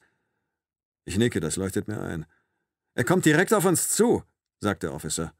Ihr beiden, sagt Schroeder und deutet auf den Beamten und Detective Kent. Ihr geht durch die Hintertür und schleicht euch durch den Garten nach vorn, aber bleibt auf Distanz zu dem Verdächtigen. Haltet euch bereit, um ihm den Fluchtweg abzuschneiden. Tate, mach dich bereit. Sobald er an die Haustür tritt, schnappen wir ihn uns, okay? Aber nicht vorher. Auf! Da kommt noch ein Fahrzeug, sagt der Beamte. Der Mann geht weiter auf das Haus zu. Der andere Wagen scheint ihn nicht zu stören. Scheiße, es sind sogar zwei Fahrzeuge. Sie werden langsamer. Der Verdächtige bleibt stehen und dreht sich um. Das sind keine PKWs, sondern Transporter. Was zum Henker ist da los? fragt Schroeder. Sie parken direkt vor dem Haus. Mist, der Verdächtige geht zurück zum Wagen. Wir müssen zuschlagen, sage ich. Los, los, los, brüllt Schroeder, und wir stürmen alle zur Tür, während die beiden Kollegen, die nach hinten raus sind, durch den Garten nach vorn rennen. Alles, was wir hören, sind die Schritte unserer Füße, die über den Boden trampeln. Die Tür ist nicht abgeschlossen, und ich bin der Erste, der draußen ist. Wir nähern uns alle gleichzeitig dem Mann. Aus den Transportern steigen mehrere Personen, mit Scheinwerfern und Kameras. Mist. Schroeder ist als erster bei Caleb Cole. Er sieht uns jetzt an, nicht im geringsten überrascht. Doch wie sich herausstellt, handelt es sich gar nicht um Cole. Was zum Geier haben Sie hier zu suchen? fragt Schroeder und packt ihn am Kragen. Ich habe die Nachrichten gesehen, Detectives, sagt Jonas Jones und schaut von Schroeder zu mir, während die Szenerie ins grelle Licht der Scheinwerfer getaucht wird. Schroeder wirft einen Blick auf die Kameras und lässt Jones Hemd los. Der Hellseher tritt einen Schritt zurück und streicht sein Hemd glatt. Dann fährt er sich mit der Hand durchs Haar, um sicherzugehen, dass es auch richtig liegt. Ich weiß, dass Octavia Stanton dringend ihre Medikamente braucht, sagt er. Ich wusste es bereits, bevor es in den Nachrichten kam. Und Detectives, sagt er und drückt erneut sein Hemd zurecht. Jessica Cole hat mir erzählt, dass ich Octavia aufspüren werde.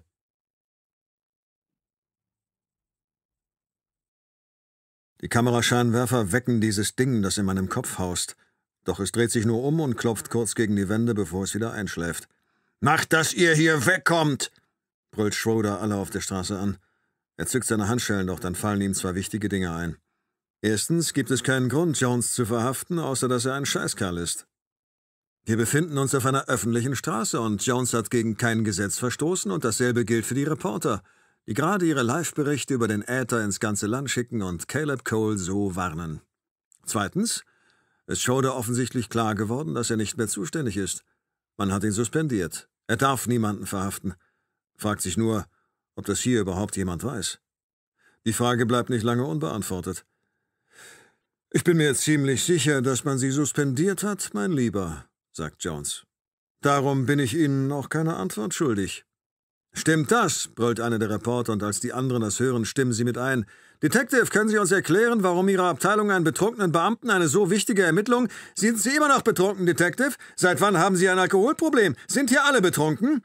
Jones hebt die Hände und die Reporter verstummen und starren ihn an, als würde er gleich einen Zaubertrick vorführen oder eine Botschaft von Gott empfangen. Bitte, Leute! Wir sind hier, um das Mädchen zu retten, sagt er und gewinnt so ihre Aufmerksamkeit zurück. So mag er es am liebsten. Sie ist hier, nicht wahr? Blödsinn, sagt Schroeder. Sie sind hier, um Werbung für Ihre Bücher zu machen. Wenn Sie geglaubt hätten, sie wäre hier, hätten Sie uns angerufen. Erstens, Sie haben noch nie einen meiner Anrufe entgegengenommen, sagt Jones. Und zweitens, wenn Sie hier sind, muss das Mädchen auch hier sein, obwohl. Jetzt, wo ich hier bin, spüre ich, dass sie weg ist, genauso wie ihr Job.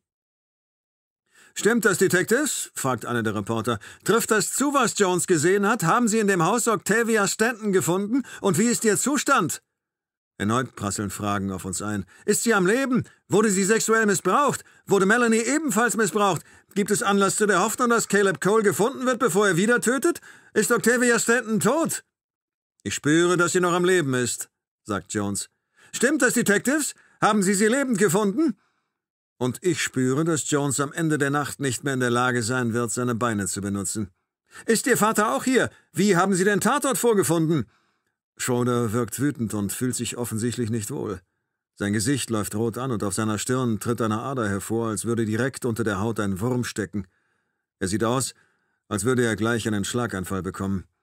Wenn er die Handschellen noch fester zusammendrückt, verbiegen sie sich. Am liebsten würde ich Jones die Fresse polieren, in den nächstbesten Wagen springen und zu meiner Frau rasen. Macht, dass ihr hier wegkommt, sagt Schroeder mit gedämpfter Stimme, doch seine Wut kann er nicht verbergen. Alle! Er klingt, als würde er überlegen, ob er genug Kugeln hat, um ihrem Fragen ein Ende zu bereiten.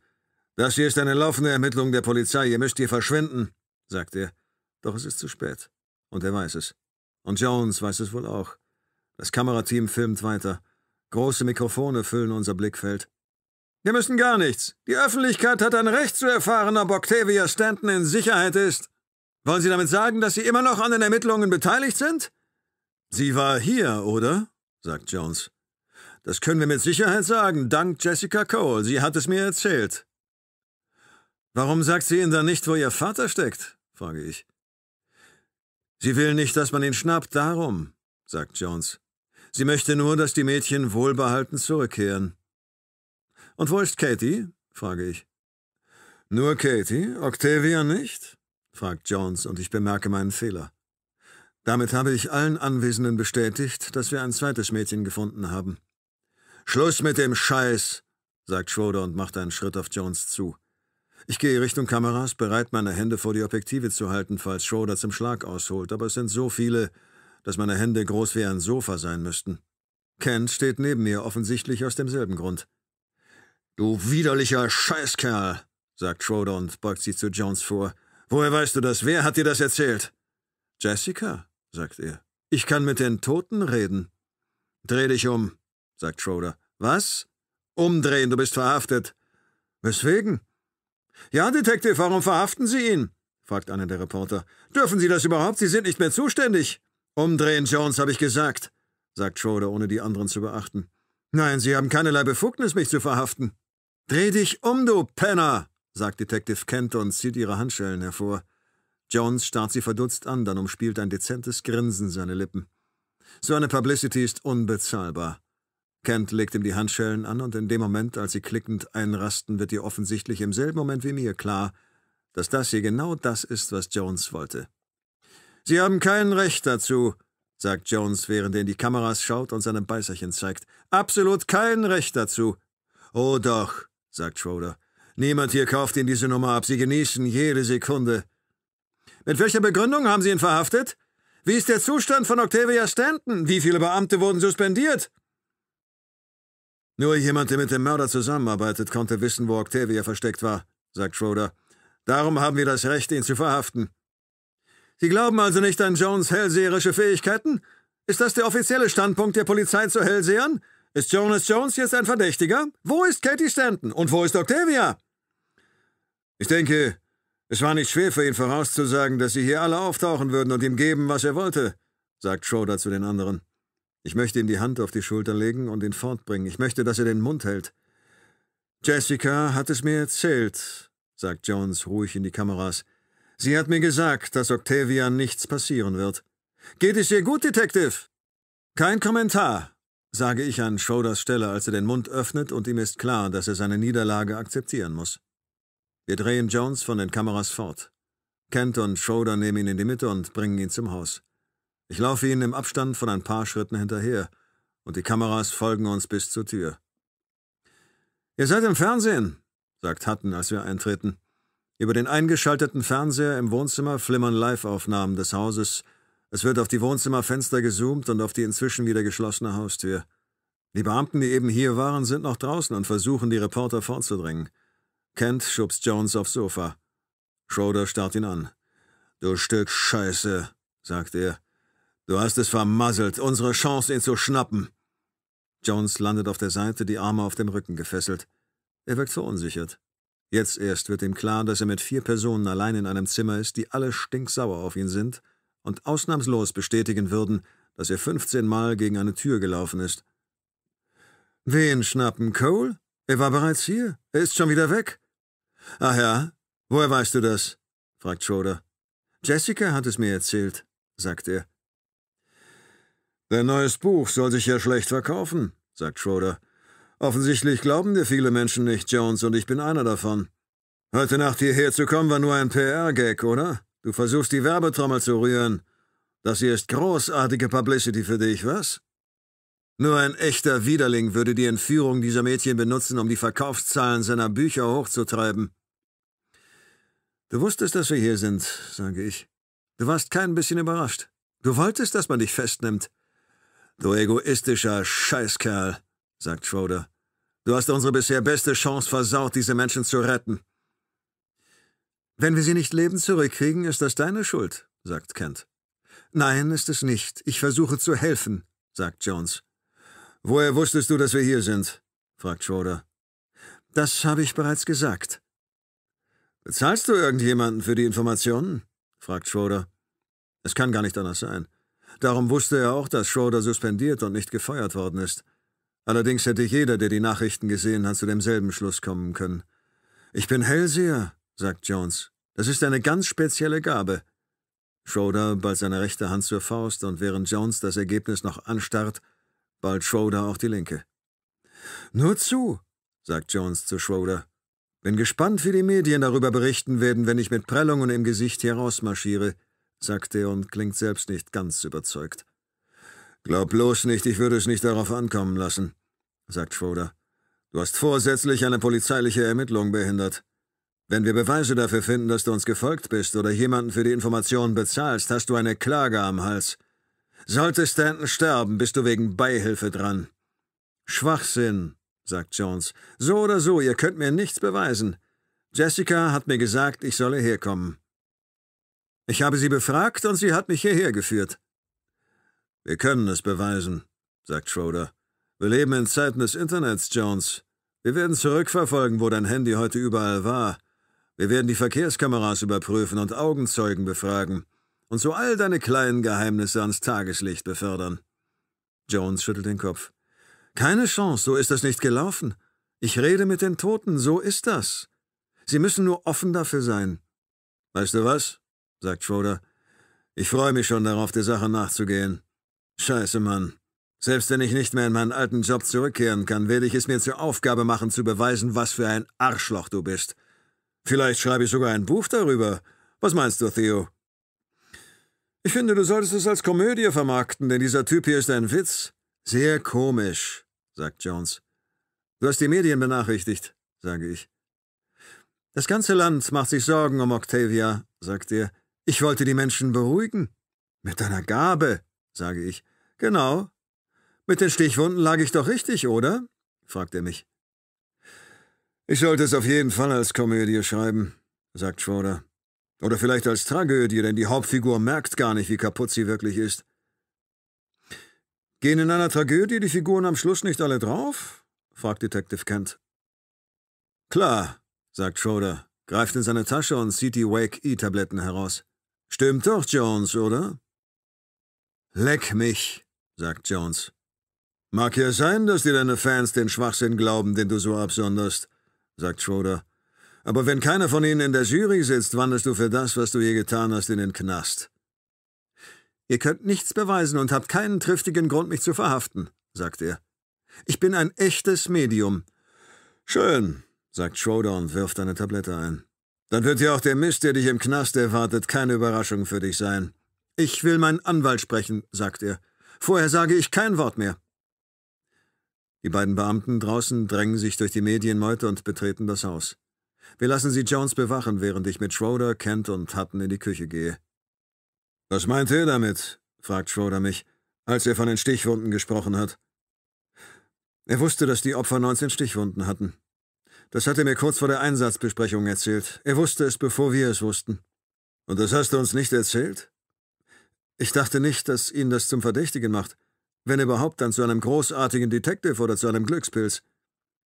Das mit den Stichwunden kam also von ihm, sagt Kent, und nicht von Ihnen. Ich merke, wie ich rot werde. Laut Jones kam es nicht von ihm. Angeblich hat es ihm ein Toter erzählt. Vielleicht ist er wirklich Hellseher, meint Hutton und beweist damit, dass sein Body Mass Index höher als sein IQ ist. Wir starren ihn alle an.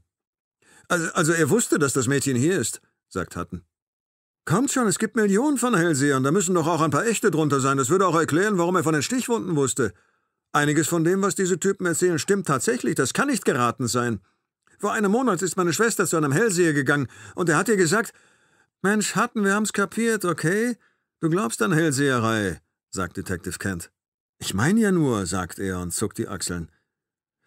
Was verdammt nochmal sollen wir jetzt tun? Sie bringen es bereits in den Nachrichten, sagt Schroeder. Caleb wird hier nicht auftauchen. Keine Chance. Er sieht mich an, damit ich ihm zustimme, und ich nicke langsam. Er hat recht. Und das bedeutet nichts Gutes für Katie und ihren Vater und für Schroders Karriere und die zukünftigen Kinder und Opfer, denen er hätte helfen können. Man hat ihn dabei erwischt, wie er trotz seiner Suspendierung an einem Fall arbeitet und mich dabei, wie ich Stevens belogen habe, als ich behauptet habe, Schroeder sei nicht hier. Jonas Jones hat uns alle in die Scheiße geritten. Aber das spielt jetzt keine Rolle. Ich brauche einen Wagen, sage ich zu Schroeder. Meiner wurde zum Revier gefahren, weit weg von hier, denn Caleb weiß, wie er aussieht. Schroeder gibt mir seine Autoschlüssel. Er ist in zwei Minuten hier, sagt er und greift nach dem Handy, um den Wagen anzufordern.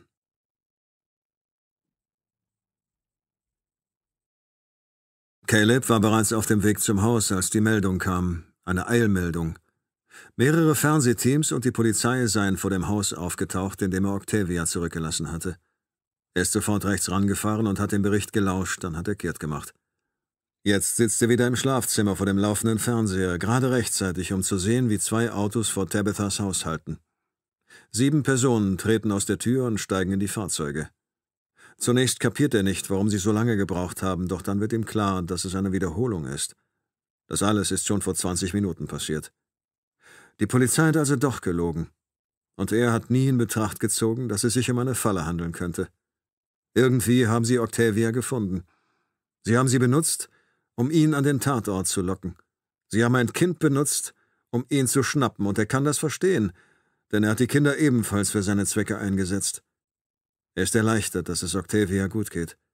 Aber gleichzeitig ist er besorgt. Wie hat die Polizei sie gefunden? Hinterlässt er Spuren? Wenn dem so ist, wird die Polizei dann bald auch hier auftauchen? Oder hat Tabitha es geschafft zu entkommen? Sollte er von hier verschwinden? Aber wo soll er hin? Und was würde das überhaupt für einen Unterschied machen? Er starrt auf den Fernseher und mustert den Mann, mit dem er heute gekämpft hat und dem er neulich Nacht auf dem Friedhof begegnet ist. Dann erscheint ein weiterer Detective, den er in den letzten Tagen öfter in den Nachrichten gesehen hat, und da ist Jonas Jones, der Hellseher, den er aus dem Frühstücksfernsehen kennt. Der Hellseher, den er von allen am liebsten aufgesucht hätte. Als Caleb anfing, sich mit den Hellsehern zu treffen, hatte er auch Jones kontaktiert, nur um festzustellen, dass dieser keine Termine frei hatte und mehr verlangte, als Caleb sich leisten konnte. Er sitzt mit dem Messer in der Hand auf der Bettkante. Die Nachrichten springen in der Chronologie der Ereignisse noch weiter zurück.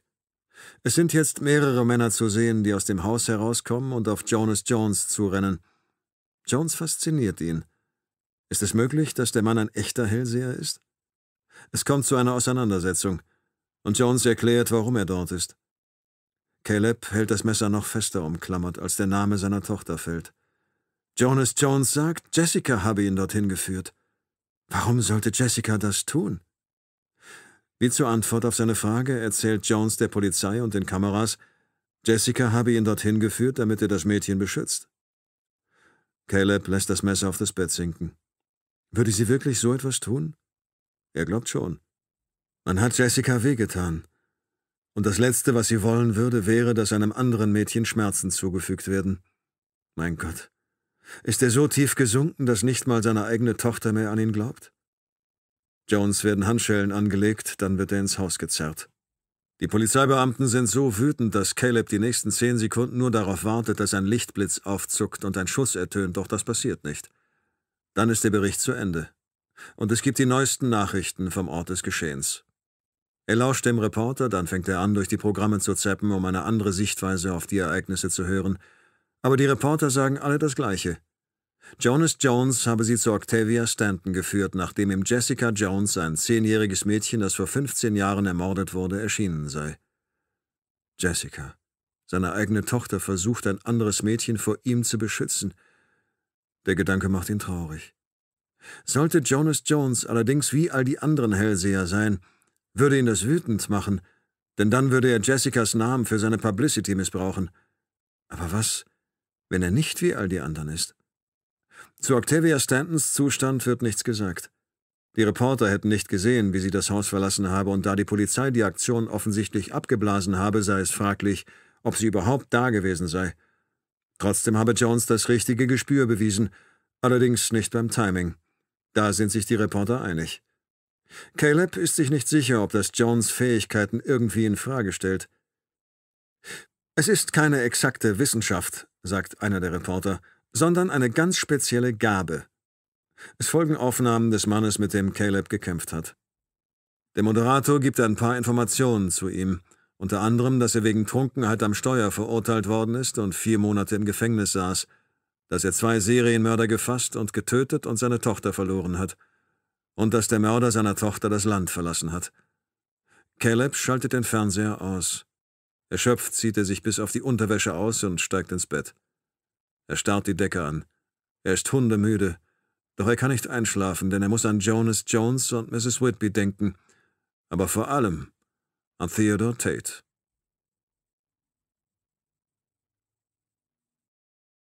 Mit eingeschalteter Sirene fahre ich in Schroders Wagen zu meiner Frau. Zu meiner Frau, die zu sich gekommen und nun lebendiger ist als in den drei Jahren zuvor. Ich rase durch die Straßen von Christchurch, während ich das Lenkrad umklammert halte und mir durch das offene Fenster der Wind ins Gesicht bläst. Es herrscht kaum Verkehr, aber ich komme an jede Menge roter Ampeln, die ich einfach überfahre. Ich lächle. Und wahrscheinlich wird das Lächeln einen Monat lang nicht mehr aus meinem Gesicht verschwinden. Vor meinem geistigen Auge laufen Bilder meiner Zukunft ab. Ich sehe sie auf der Windschutzscheibe, als wäre meine Fantasie ein Projektor und meine Augen wären die Linsen. Am Anfang wird es schwer werden. Bridget weiß nicht, dass unsere Tochter tot ist, dass die Benzinpreise um das Dreifache gestiegen sind und dass Hip-Hop überall auf dem Planeten seinen Siegeszug angetreten hat. Sie wird in einer neuen Welt zu sich kommen und der letzte Tag, an den sie sich erinnert, liegt drei Jahre zurück. In ihrer Wirklichkeit ist sie noch jünger, hat eine Zukunft und eine Familie. Vor ihr liegt eine schwere Zeit, doch es werden bessere Zeiten folgen, großartige Zeiten. Es wird nicht die Zukunft sein, die wir uns erträumt haben, aber wir werden eine Zukunft haben. Das Haus wird nicht mehr leer sein. Wir können uns eine neue Katze kaufen und vielleicht bekommen wir noch ein Kind. Noch ein Kind. Ich habe keine Ahnung, wie ich auf sowas komme. Ich habe nicht mal darüber nachgedacht. Noch ein Kind. Nein, ausgeschlossen. Ich weiß, was in dieser Welt mit Kindern geschieht. Ich werde auf keinen Fall noch ein Kind in diese Welt setzen. Trotzdem. Eins nach dem anderen. Zunächst einmal müssen wir mit dem Schmerz fertig werden.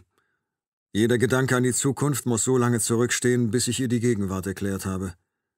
Ich muss mich mit ihr hinsetzen und ihr von Emily erzählen, sie in den Arm nehmen, während sie unseren Verlust betrauert.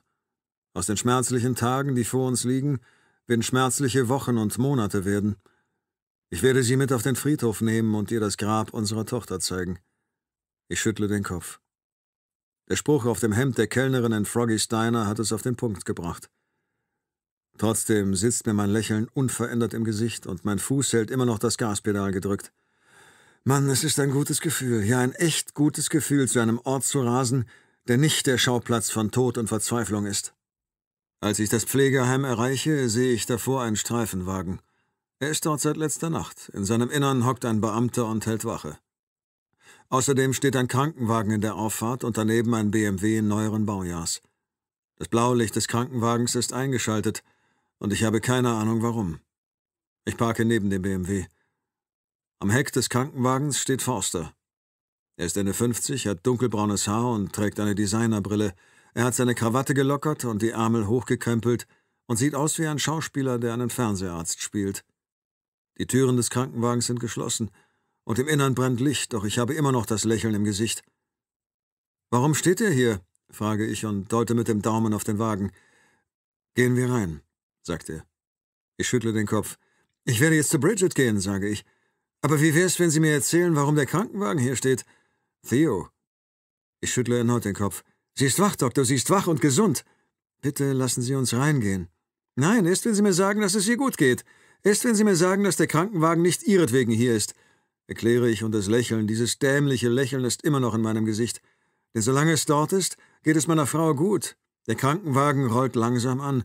Theo. Verdammt, sage ich, drängle mich an Forster vorbei zum Wagen und lege die Hand auf den Griff der Hecktür. Theo nicht, sagt er und greift nach meiner Schulter, doch ich lasse mich nicht aufhalten. Ich öffne die Krankenwagentür und jetzt ist mein Lächeln verflogen. Im Innern mit einer Beatmungsmaske vorm Gesicht liegt Bridget. Neben ihr sitzen zwei Männer. Der Fahrer bringt den Wagen zum Stehen. Was zum Teufel? sagt einer der Männer, als ich versuche, in den Wagen zu steigen. Verdammt nochmal, raus hier! Theo, sagt Forster. Und diesmal kriegt er mich zu fassen und zieht mich zurück. Was ist hier los? Schaffen Sie ihn heraus, sagt einer der Sanitäter, während der andere den Beatmungsbeutel drückt, um meine Frau mit Sauerstoff zu versorgen. Was? Sage ich, doch mehr bringe ich nicht heraus. Bridgets Augen wandern in meine Richtung. Ihre weit geöffneten blauen Augen, sie starren mich an und verweilen zum ersten Mal seit drei Jahren auf meinem Gesicht. Sie streckt die rechte Hand ein wenig nach mir aus. Sie hat mich erkannt.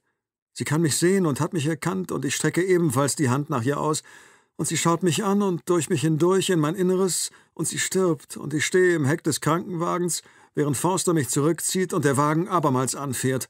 Raus hier! sagt der Sanitäter, und diesmal stößt er mir gegen die Brust. Ich lande auf Forster, und wir beide fallen unsanft auf die Auffahrt. Forster fängt meinen Sturz größtenteils ab. Trotzdem kehren meine Kopfschmerzen zurück. Die Tür des Krankenwagens schließt sich und der Wagen fährt davon, rast die Auffahrt hinunter, bis er nicht mehr zu sehen ist. Und als er auf die Straße biegt, fängt die Sirene an zu heulen. Tut mir leid, sagt Forster. Erzählen Sie es mir sage ich und reibe mir die Schläfe, nur dass mir die Worte nicht so flüssig über die Lippen kommen, sondern gepresst und undeutlich. Bitte?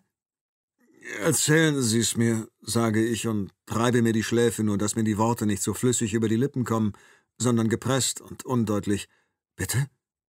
Erzählen Sie es mir, ich gesagt.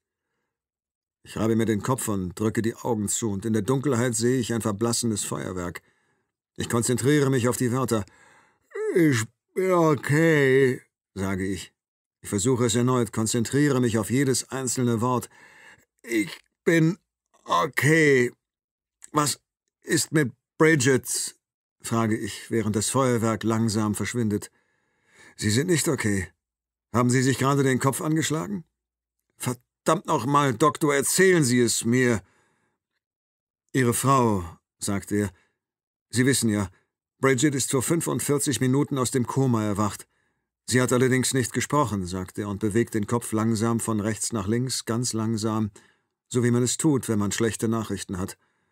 Sie ist zu sich gekommen und in den Flur gegangen. Die Schwester, die sie gefunden hat, dachte, sie würde mal wieder herumlaufen, doch dann hat Bridget sie an der Schulter gepackt und versucht, etwas zu sagen, aber sie brachte keinen Ton heraus. Sie war extrem erregt. Ist sie okay? Man hat mich angerufen, und als ich hier eintraf, hatte sie sich wieder beruhigt.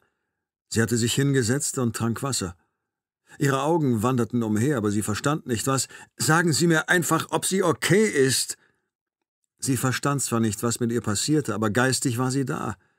Wir sagten ihr, wer sie ist und dass sie einen Unfall gehabt habe, und dann wurde sie wütend. Wir dachten schon, wir müssten ihr ein Beruhigungsmittel geben. Verdammt nochmal, Doktor, ist sie okay? frage ich und spüre Gallenflüssigkeit in meine Kehle steigen. Sollte er meine Frage verneinen, sollte er erklären, dass sie sterben wird, dann macht er besser, dass er hier wegkommt, dann sputet er sich lieber, als wäre der Teufel hinter ihm her. Er steht wieder auf und klopft sich seine Hose ab. Dann nimmt er meine Hand und zieht mich hoch. Sie hat einen Krampfanfall gehabt, sagt er. Bevor ich sie überhaupt untersuchen konnte, fing sie an zu krampfen. Wir konnten es nicht unterbinden. Darum haben wir einen Krankenwagen gerufen, und dann hat sie einen Herzstillstand gehabt. Man kümmert sich jetzt um sie, und jede Sekunde. Er hält inne. Es steht ernst um Sie, sagt er. Sie wollten sagen, jede Sekunde zählt, sage ich. Theo. Sie haben mir gerade erklärt, dass ich meine Frau 20 Sekunden gekostet habe. So dürfen Sie das nicht sehen. Ich hätte früher hier sein sollen, sage ich und denke an Cole und an Jones, und ich finde, dass die Stadt mir einen Gefallen schuldet. Mann, hundert Gefallen! Verdammte Scheiße, ich hätte hier sein sollen! Sie konnten ja nicht ahnen, dass so etwas passieren wird, Theo, und selbst wenn Sie hier gewesen wären, wäre alles genauso. Das Einzige, was ich getan habe, ist, den Krankenwagen aufzuhalten. Theo, Sie konnten doch nicht wissen. Seine Worte werden leiser, während ich zurück zu meinem Wagen renne, und jeder meiner wuchtigen Schritte hallt in meinem Schädel wieder. Ich habe das Gefühl, als müsste ich mich erneut übergeben. Ich rase ins Krankenhaus, fahre so schnell, wie ich noch nie gefahren bin. Passanten springen zur Seite. Die Kopfschmerzen kommen und gehen wie Wellen, die gegen einen Felsen branden, die nächste ein wenig schwächer als die vorangehende, aber immer noch verdammt heftig. Beim Krankenhaus angekommen, parke ich vor dem Haupteingang und renne in die Notaufnahme. Im Empfang drängle ich mich an zwei Leuten vorbei, die mich daraufhin beschimpfen und zeige der Schwester hinterm Tresen meine Marke. Ich fordere sie auf, mir die Sicherheitstür zwischen Wartezimmer und OPs zu öffnen, und sie tut es. Dahinter kommt ein Arzt auf mich zu und sagt mir, ich solle mich beruhigen, dann fragt er, was ich möchte, ich erkläre es ihm. Er fordert mich auf, ihm zu folgen, und er führt mich in das Wartezimmer, in dem Schroeder und ich gestern mit Mrs. Hayward gesprochen haben. Diesmal bin ich der Einzige hier. Ich gehe im Zimmer auf und ab, setze mich für eine halbe Minute hin und gehe dann erneut auf und ab. Im Laufe der Jahre haben Menschen hier die erfreulichsten oder niederschmetterndsten Nachrichten erhalten. Nachrichten, die ihr Leben verändert haben. Nach fünf Minuten betrete ich den Flur. Hier gehe ich ebenfalls auf und ab und betrachte andere Menschen in unterschiedlichen Stadien des Schmerzes. Ich starre eine Frau auf einer Trage an, deren ausdruckslose Augen weit aufgerissen sind.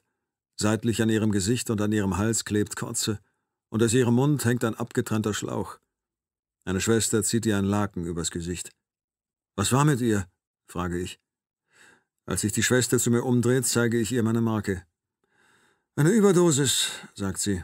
Wir konnten nichts mehr für sie tun. Es ist wirklich traurig, sagt sie. Es ist immer traurig. Erneut gehe ich im Flur auf und ab, bin aber noch nicht weit gekommen, als Dr. Forster zu mir tritt. Er hat Schnitte und Schürfwunden an den Ballen seiner Hände, mit denen er unseren Sturz abgefangen hat. Theo, sagt er und schnauft leicht, als wäre er auf der Suche nach mir gelaufen. Ich habe mit den Ärzten gesprochen, sagt er. Bridgets Blutdruck ist gefallen und ihr Herz schlägt unregelmäßig, aber sie sind dabei, die Vitalfunktion zu stabilisieren. Was zum Henker soll das heißen? frage ich. Das heißt, ihr Körper ist kollabiert und die Ärzte versuchen gerade, sie zu retten. Warum? Ich kapier's nicht. Sie war doch bei Bewusstsein, oder? Er schüttelt den Kopf. Schon, aber jetzt nicht mehr. Ich habe keine Erklärung dafür. Sobald wir sie stabilisiert haben und sie untersuchen können, wissen wir mehr. Aber sie wird doch wieder, oder? Wenn das hier vorbei ist, wird sie doch wieder gesund werden, wieder ganz die Alte sein. Ich. ich weiß es nicht. Ich möchte Sie sehen. Das geht nicht. Sie ist gerade im OP. Sie können jetzt nichts tun, sagt er. Ich werde hier nicht weggehen. Ich weiß, sagt er. Ich halte Sie auf dem Laufenden. Und dann lässt er mich allein. Ich greife nach meinem Handy und stelle fest, dass ich zwei Anrufe von Schroeder verpasst habe. Ich habe es nicht mal klingeln gehört. Ich rufe ihn zurück. Wie geht es ihr? fragt Schroeder. Ich fange an, ihm von Bridget zu erzählen, muss mich aber setzen, denn meine Beine sind kurz davor, unter mir wegzusacken. Er hört mir zu, ohne mich zu unterbrechen, und als ich fertig bin, sagt er, es tue ihm leid. Was passiert mit Jones? frage ich. Kommst du wieder auf die Beine? fragt er. Es ist eine dumme Frage, aber er muss sie stellen, und ich gebe ihm die Antwort, die er braucht. Ich werde schon wieder. Was ist jetzt mit Jones? Keine Ahnung. Man hat mich nach Hause gefahren. Ich bin nicht mehr auf dem Laufenden sagt er. Offensichtlich hast du eine Kopfverletzung, von der du nichts erzählt hast. Man will dir deinen Job zurückgeben und du machst dich aus dem Staub. Sie wollen, dass du zurückkommst. Sobald das hier vorbei ist, sage ich. Theo. Versprochen, sage ich. Es ist dein Gehirn, sagt er. Tu damit, was du willst, und wenn du die Abteilung auf den neuesten Stand bringen möchtest, bevor du stirbst, ruf Detective Kent an, sagt er und legt auf. Ich rufe Kent an. Wie geht es Ihrer Frau? fragt sie. Es geht dir gut, sage ich. Was ist mit Jones? Für ein paar Sekunden zögert sie. Jones scheint tatsächlich ein echter Hellseher zu sein, sagt sie. Denn obwohl er nicht telefonieren durfte, erwartete uns bereits sein Anwalt, als wir aufs Revier kamen. Ganz schön raffiniert. Aber vielleicht ist der ja auch Hellseher. Der Anwalt meint, Jones habe ein ums andere Mal bewiesen, dass er genau das ist, was er zu sein behauptet, ein echter Hellseher, dem es ausschließlich um das Allgemeinwohl geht. Und in dieser Funktion habe Jones versucht, mit Hilfe seiner wunderbaren Gabe das Leben eines Mädchens zu retten. Niemand dürfe für so eine Heldentat zur Rechenschaft gezogen werden. Außerdem habe Jones nicht ahnen können, dass er in einen Hinterhalt platzen würde. Wow, wir müssen wohl froh sein, dass es jemanden wie Jonas Jones gibt, sage ich. Sie lacht.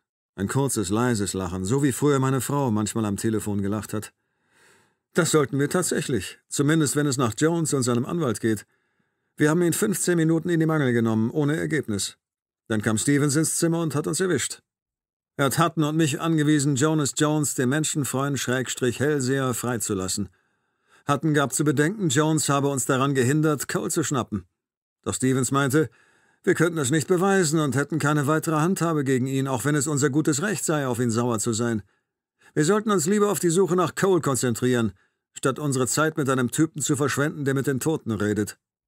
Hören Sie, ich habe Ariel Chancellor gefunden, sage ich. Was? Wo? Hier, sage ich, im Krankenhaus. Haben Sie mit ihr gesprochen? Nein, das fällt jetzt eher in Jonas Jones Wirkungsbereich, sage ich, und berichte ihr von der Frau mit der Überdosis.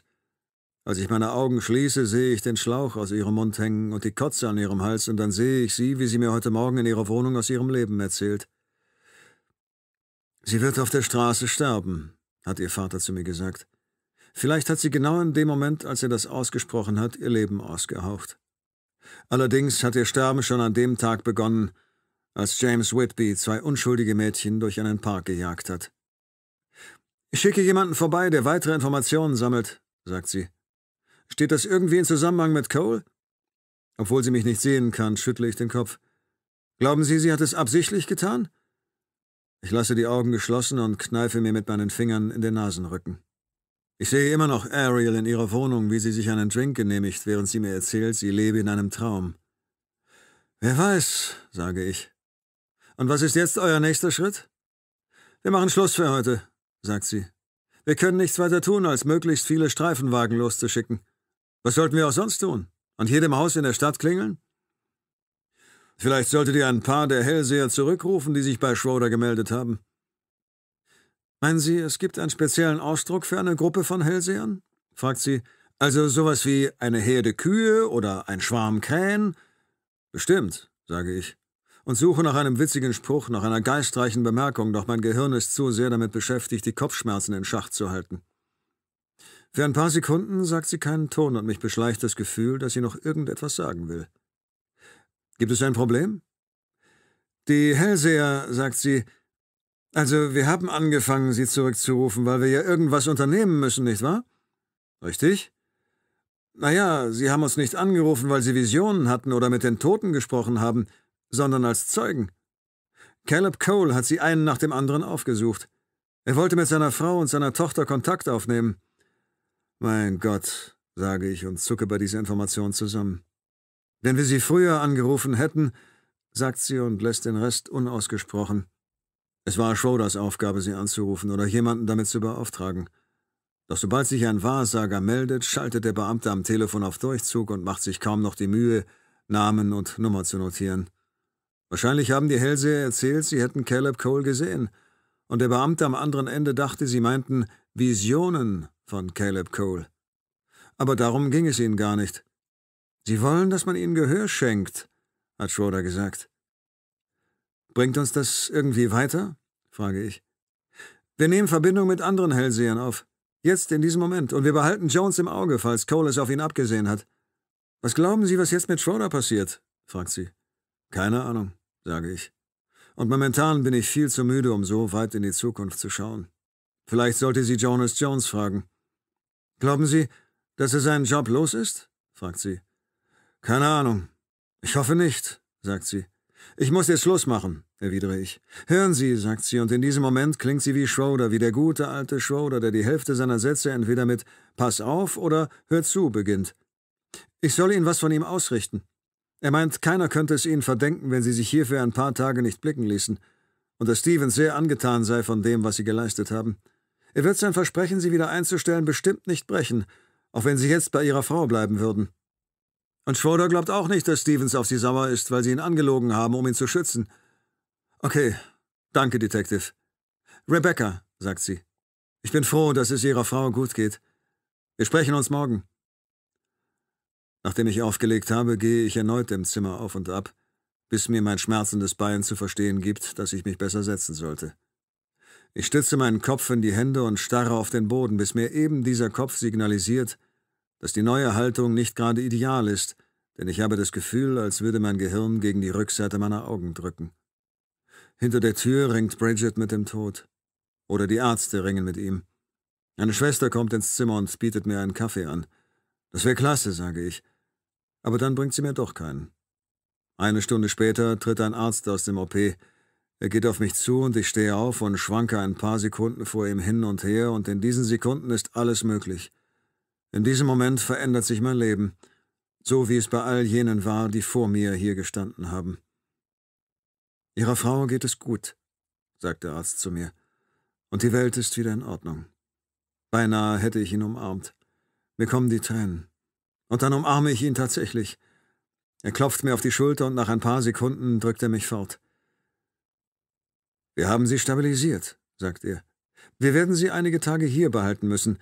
Außerdem möchte Dr. Forster ein paar Tests mit ihr machen, um herauszufinden, was passiert ist. Was ist denn passiert? frage ich. Er schüttelt kurz den Kopf. Ehrlich gesagt, wir wissen es nicht. Wir wissen nur, dass ihre lebenswichtigen Organe ausgefallen sind und es für eine Weile auf des Messers Schneide stand.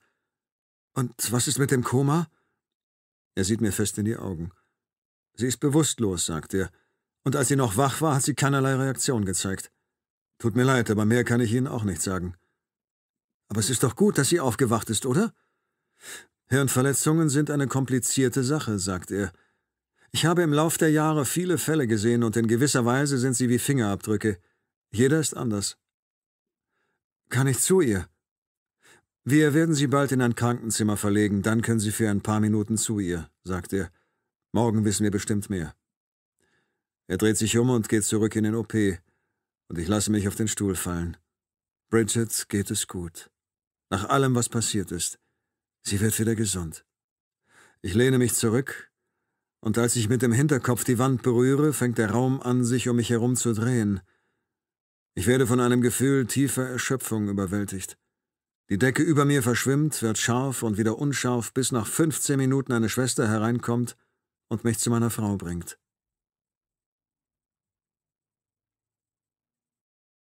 Caleb Cole starrt an die Decke und schließt dann für ein paar Sekunden die Augen, bevor er sie wieder öffnet und erneut die Decke anschaut. Der Anblick ist fast unverändert. Er denkt über Jonas Jones nach. Ob der Hellseher ein Betrüger ist oder nicht, spielt keine Rolle. Er wurde verhaftet. Er kommt an ihn genauso wenig heran wie an Mrs. Whitby. Er denkt über sie nach, darüber, wie befriedigend es wäre, sie zu zerstückeln. Mit dieser Vorstellung schläft er häufig ein. Vor allem aber denkt er an den Mann auf dem Friedhof, Theodore Tate. Und dann kommt ihm eine Idee. Sie ist gut. Er hatte sie, als er während seines Gesprächs mit Tabitha meinte, sie solle Mrs. Whitby für ihn töten. Er steht vom Bett auf und geht in die Küche. Auf dieser Seite des Hauses fällt von den Straßenlaternen etwas Licht ins Innere, so dass er mehr erkennen kann. Er füllt ein Glas mit Wasser, setzt sich ins Wohnzimmer und geht nur kurz mit seinem Handy ins Internet. Sollte die Polizei seine Nummer nicht schon vorher gehabt haben, dann hatte sie sie spätestens, nachdem er die Pizza bestellt hatte. Es ist schon erstaunlich, wie viel Technik in so ein kleines Telefon passt. Allerdings ist es eine Qual, es zu benutzen. Er gibt Theodore Tates Namen ein. Sie waren zur gleichen Zeit im Gefängnis. Vier Monate haben sie im selben Knast gesessen. Caleb kann sich jedoch nicht erinnern, ihn je gesehen zu haben. Sie müssen in unterschiedlichen Flügeln untergebracht gewesen sein. Ein Ex-Cop hätte man nicht in einem Bereich untergebracht, wo man ihm Tag für Tag die Seele aus dem Leib geprügelt hätte.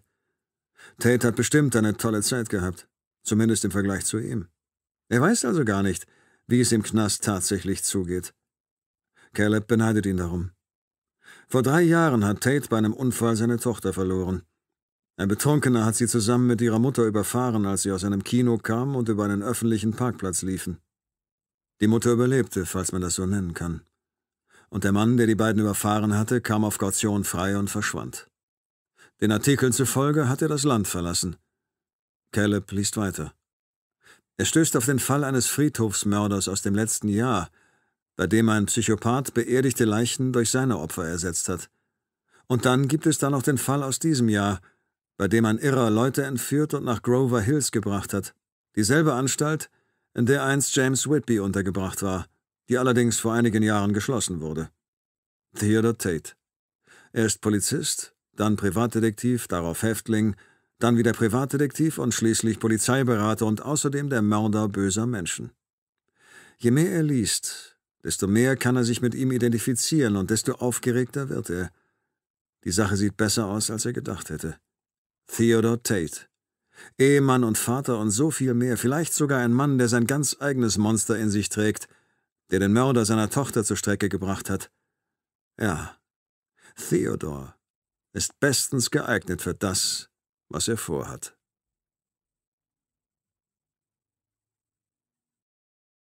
Ich fahre durch die Stadt und wenn ich an eine Kreuzung komme, weiß ich manchmal nicht mehr, wie ich überhaupt dorthin gelangt bin. Für zehn Minuten stehe ich im Stau, doch das ist mir egal. Autos hupen, fädeln sich ein und wieder aus.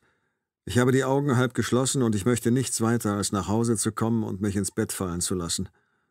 Mein Kopf tut etwas weh, und ich massiere ihn, doch das hilft kaum.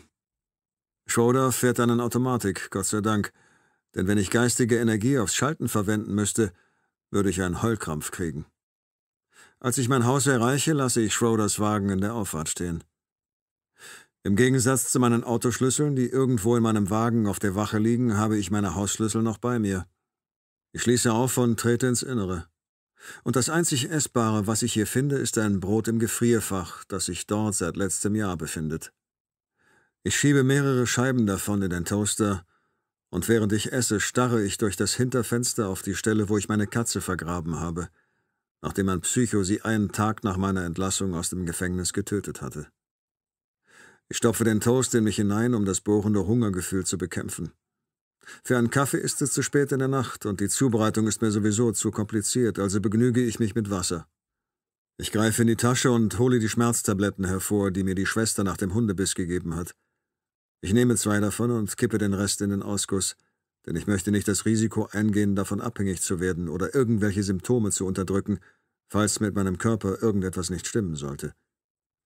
Ich kann im Fenster mein Spiegelbild erkennen und ich sehe immer noch das Krankenhauszimmer und meine Frau vor mir, die wie vor drei Jahren, als wäre das hier ein Science-Fiction-Film, an medizinische Geräte angeschlossen ist. Ich saß an ihrer Seite und habe ihr die fünf Minuten, die man mir gewährt hat, die Hand gehalten, in der Hoffnung, sie würde ihre Augen öffnen, obwohl mir klar war, dass das nicht passieren würde. Und genauso war es auch. Ich esse den Toast zu Ende und gehe ins Schlafzimmer. Dort lege ich mich ins Bett. Dann schalte ich die Lampe aus, schließe die Augen und warte darauf, dass die Pillen anfangen zu wirken. Heute Nacht spüre ich Bridgets Abwesenheit besonders stark. Die medizinischen Geräte, die Schläuche, all die Wissenschaft, die sie am Leben erhält. Es war so knapp. Sie war so knapp davor, wieder zurückzukehren.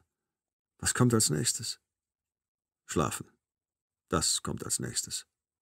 Morgen überlege ich mir alles weitere. Noch bevor es an die Haustür klopft, höre ich draußen bereits Schritte. Ich werfe einen Blick auf den Wecker und stelle fest, dass ich erst seit zwei Minuten im Bett liege. Ich schließe die Augen und versuche das Geräusch zu ignorieren, aber es will mir nicht gelingen, obwohl ich mir große Mühe gebe. Ich ziehe mir das Kissen über den Kopf, aber das Klopfen hört nicht auf. So, als hätte ich einen Specht in meinem Schädel. Da es Viertel vor drei ist, muss es wohl wichtig sein. Dann fällt mir plötzlich ein, dass es sich um einen Reporter handeln könnte oder noch schlimmer um einen Hellseher. Der Specht lässt keinen Zweifel daran, dass wer auch immer da klopft, sich nicht ignorieren lässt. Ich ziehe mir was über und schlurfe in die Diele, dabei falle ich fast über meine eigenen Füße. Ich schaffe es kaum, meine Augen aufzuhalten. Als ich die Außenbeleuchtung einschalte, verstummt das Klopfen. Obwohl ich lediglich zwei Minuten im Dunkeln gelegen habe, tut das Licht weh. Ich stütze mich mit der Hand an der Wand ab. Wer ist da? frage ich.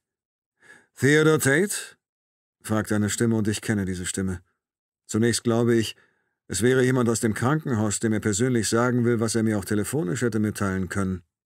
Doch mich beschleicht das Gefühl, dass mir diese Stimme von woanders her bekannt vorkommt. Und es ist ein unheilvolles Gefühl. Ja, sage ich, inzwischen etwas wacher, wenn auch nur unmerklich. Hier ist Caleb Cole, sagt die Stimme und bei der Antwort zieht sich mir der Magen zusammen und ich nehme meine Hand von der Wand und richte mich auf. Wenn Sie innerhalb der nächsten fünf Sekunden nicht die Tür öffnen, lege ich Ihnen ein totes Mädchen auf die Schwelle, dann können Sie sich darum kümmern. Mein Handy liegt im Schlafzimmer und ich bin unbewaffnet.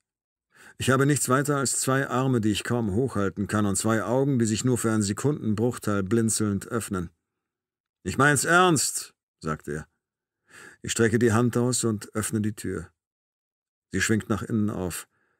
Caleb hält, wie er bereits angedeutet hat, Katie Stanton umklammert, und er hat ein Messer in der Hand. Bei diesem Anblick bin ich schlagartig wach. Ich gehe rückwärts ein paar Schritte in die Diele und er folgt mir ins Haus. Egal, was jetzt passiert, ich sollte von ihr wegziehen und mir eine Geheimadresse besorgen. Während des letzten Jahres standen Serienmörder, Verrückte, Anwälte, Reporter und sogar meine Eltern vor meiner Haustür. Er tritt mit dem Fuß hinter sich und die Tür schwingt zu. Sie fällt allerdings nicht ins Schloss, sondern öffnet sich wieder ein Spalt breit. Hätte ich Ihnen bloß nicht mit dem Wagen geholfen, sage ich. Denn dadurch habe ich es ihm ermöglicht, zu seinem nächsten Opfer zu fahren und Stanton und die Kinder zu entführen. Er öffnet den Mund, um etwas zu sagen, doch offensichtlich weiß er nicht was. Also schließt er ihn wieder und nickt zustimmend. Machen Sie das Licht an, sagt er. Ich strecke die Hand aus und drücke auf den Lichtschalter. Und jetzt? frage ich. Kann ich mich irgendwo hinsetzen? Ich nicke. Da lang, sage ich, drehe mich um und gehe los. Machen Sie keine? Ja, ich weiß, unterbreche ich ihn. Das sagten Sie bereits. Ich führe ihn ins Wohnzimmer. Ist das okay? frage ich. Sicher.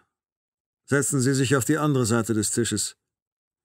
Sie müssen sie nicht mit dem Messer bedrohen sage ich und starre auf die Klinge, die in den letzten Tagen so vielen Menschen so viel genommen hat. Ich werde nichts versuchen. Setzen Sie sich, wiederholt er. Dann sehen wir weiter.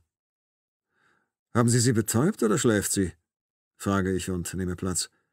Ihr geht's gut, sagt er und setzt sich ebenfalls. Das Mädchen legt er auf seinen Schoß.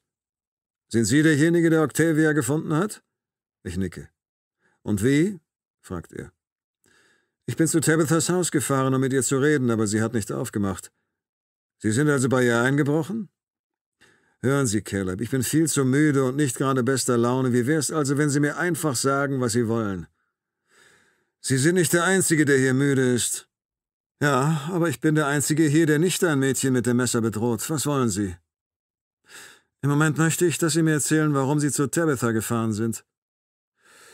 Weil sie Ariel Chancellor einen Brief geschrieben haben, in dem stand, dass sie Victoria Brown ins Koma befördert hat. Er denkt darüber nach, während er unablässig nickt. Das war dumm von mir, sagt er. Richtig, sage ich. Und nicht nur das, sondern auch das hier, sage ich mit ausgebreiteten Armen. Das alles hier ist dumm. Sie tun den falschen Menschen weh. Nein, es sind die richtigen. Bis jetzt ist kein Unschuldiger gestorben. Was verdammt nochmal ist mit Ihnen los? Vier Menschen sind gestorben, sage ich. Drei davon haben lediglich ihren Job gemacht, einen kannten sie nicht mal. Sie hätten ihren Job eben nicht auf diese Weise machen sollen, sagt er. Und dieses andere Arschloch hätte seinen Schwanz in der Hose behalten sollen. Was passiert eigentlich mit Tabitha jetzt, wo Sie wissen, was sie getan hat? Ich zucke die Achseln. Das liegt nicht in meiner Macht, erkläre ich. Wollen Sie, dass sie ins Gefängnis wandert? Nein. Warum? Weil es sinnlos wäre, sage ich. Was sie getan hat, war illegal, sagt er. Sie hätte fast eine Frau getötet, in gewisser Weise hat sie das sogar. Und Sie wollen, dass sie damit durchkommt, weil es aus Rache war. Ganz und gar nicht, sage ich. Nein, warum dann? Ich weiß keine Antwort.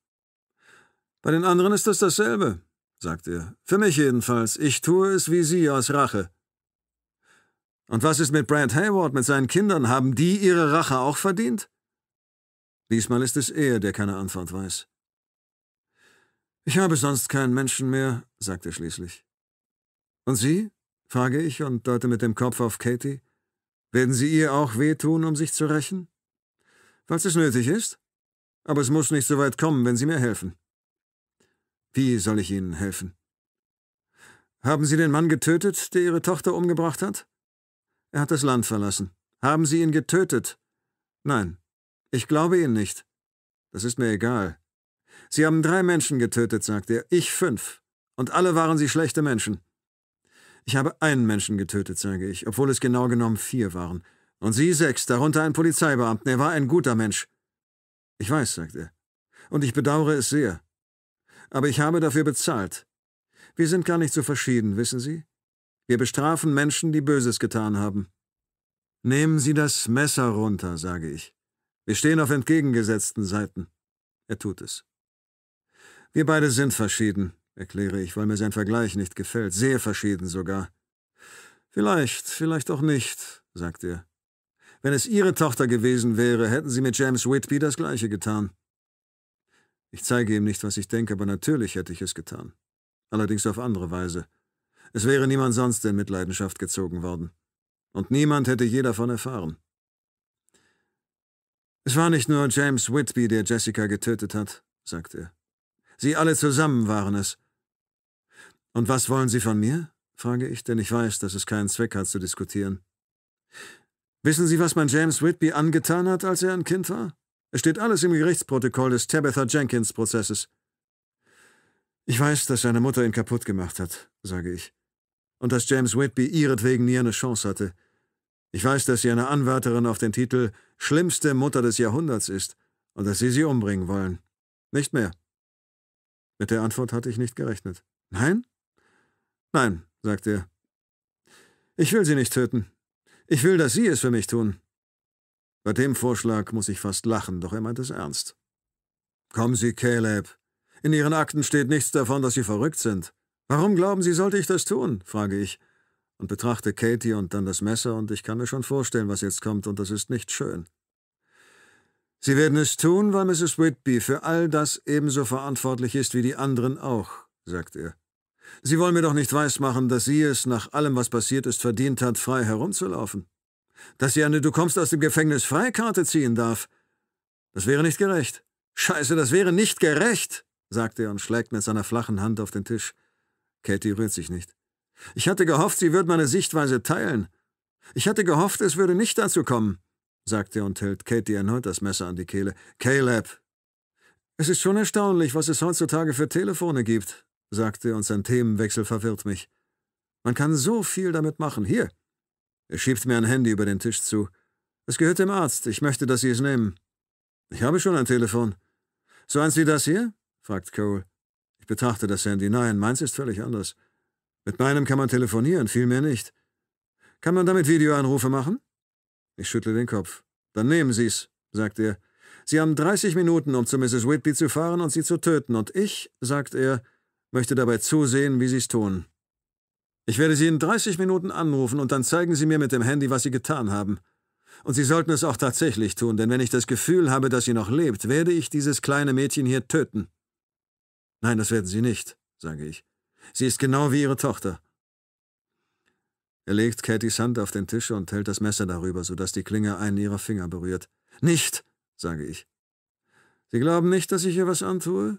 Sagt er und runzelt die Stirn, während er den Kopf schüttelt. Ich kann es Ihnen nicht verdenken, denn heute Morgen hätte ich genauso gedacht, doch jetzt sieht die Sache anders aus. Er fängt an, das Messer herunterzudrücken. Ich glaube Ihnen, sage ich und stehe auf. Meine Beine sind jetzt keineswegs mehr schwer und müde. Er richtet das Messer auf mich. Keine Bewegung, sagt er laut. Scheiße, Mann, keine Bewegung, setzen Sie sich wieder hin. Ich tue, was er verlangt. Meine Beine sind gespannt, bereit zum Sprung, aber sie zittern auch. Sie müssen nichts beweisen, sage ich. Sie irren sich. Ich bin ganz auf mich gestellt. Tabitha wollte mir nicht helfen, obwohl sie selbst Opfer war. Sie haben etwas Ähnliches durchgemacht und Sie wollen mir auch nicht helfen. Er drückt das Messer erneut gegen Katys Finger. Halt, halt, verdammt nochmal, Sie verstehen das alles falsch, sage ich. Sie tun den falschen Leuten weh, darum will Ihnen keiner helfen, und wenn Sie ihr was antun, dann. Caleb drückt das Messer fester nach unten. Verdammt, hören Sie zu, tun Sie's nicht, sage ich und bewege mich erneut. Er schaut zu mir auf. Scheiße, Mann, wenn Sie sich nochmal bewegen, ist sie tot. Doch ich setze mich nicht wieder, sondern bleibe stehen, die Beine gegen den Stuhl gepresst. Caleb, ich mein's ernst. Scheiße, was habt ihr alle nur? Man bittet euch auf Knien und keiner will mir helfen, will mir glauben. Was bleibt mir dann noch? fragte mit hoher Stimme. Hä? Was? Bevor ich etwas erwidern kann, gibt er sich selbst die Antwort, die er hören möchte. Nichts, es gibt sonst nichts. Das hier ist also deine Schuld. Er drückt das Messer fest nach unten. Caleb, Sie müssen das. Das Messer stößt auf Widerstand. Nicht tun! Mit einem dumpfen Geräusch durchtrennt die Klinge den kleinen Finger. Mein Gott, Caleb! brülle ich und stoße mit der Hüfte gegen den Tisch, als ich auf ihn zustürze. Aus Kattys Hand spritzt Blut. Doch sie wacht nicht auf, zuckt nicht einmal zusammen. Sie schläft nicht bloß, sie ist betäubt, wie Melanie es heute Nachmittag war. Er hält ihr das Messer an die Kehle und während er sich bewegt, bewegt sich Katie mit ihm und ihr Finger mit ihr. Er hängt an der Unterseite an ein paar Hautfäden, die nicht durchtrennt wurden. Scheiße, keine Bewegung, zischt er. Und ich bleibe mit schmerzender Hüfte ein paar Schritte vor ihm stehen. Ich koche vor Wut. Sie, sage ich und weiß nicht weiter. Kein Schimpfwort würde für ihn ausreichen. Setz dich wieder hin, los! Oder du erlebst, wozu ich sonst noch fähig bin. Ich trete zurück zum Stuhl, den Blick auf Caleb gerichtet. Als ich mit den Beinen den Stuhl berühre, falle ich mehr auf die Sitzfläche, als dass ich mich setzen würde. Die Erschütterung lässt meinen Kopf vibrieren und hätte beinahe die Bestie geweckt, die ihre Hand auf dem Kopfschmerzknopf hat. Ich lege meine Arme vor mich auf den Tisch. Caleb! Er bemerkt ihren herabbaumelnden Finger, legt ihre Hand wieder auf den Tisch und lässt das Messer über die Hautfetzen gleiten. Ich kann nicht hinschauen und starre auf meine eigenen Hände mit ihren unverletzten Fingern.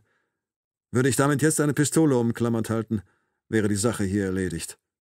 Ich habe Mühe, stillzuhalten. Nichts zu tun, während ich dabei zuhöre, wie die Messerklinge über den Tisch gezogen wird. Aber was bleibt mir anderes übrig? Dazwischen gehen? Nein. Ein Mann, der bereit ist, einem kleinen Mädchen einen Finger abzuschneiden, ist zu allem fähig. Das will er mir damit demonstrieren. Fertig, sagt er, und der Finger ist ab. Ich habe nicht die Kraft, irgendetwas zu sagen. Ich starre ihn bloß an. Meine ganze Zuversicht ist verschwunden. Vorhin dachte ich noch, wir würden die Mädchen alle wohlbehalten zurückbekommen, aber jetzt? Jetzt weiß ich nicht mehr, was ich glauben soll. Er steht auf und richtet das Messer auf mich. Von Katies Hand tropft Blut auf die Vorderseite seines Hemdes. In der Tischplatte ist eine Furche und sie ist voller Blut. Dreißig Minuten, sagt er. Und sollte Mrs. Whitby noch leben, wenn ich dich dann anrufe, ich schwör's dir, dann gehen der Kleinen hier die Finger aus. Und das ist erst der Anfang.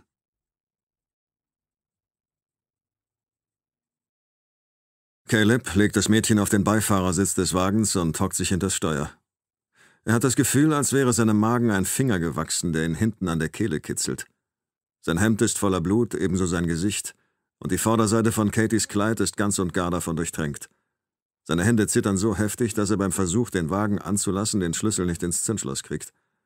Er schaut zu dem Mädchen hinüber auf ihre Hände und den Finger stumpf. In der Haustür steht Tate. Caleb ist kurz davor, sich zu übergeben. Nicht, ermahnt er sich. Dann startet er den Wagen. Er lässt den Motor aufheulen und wendet.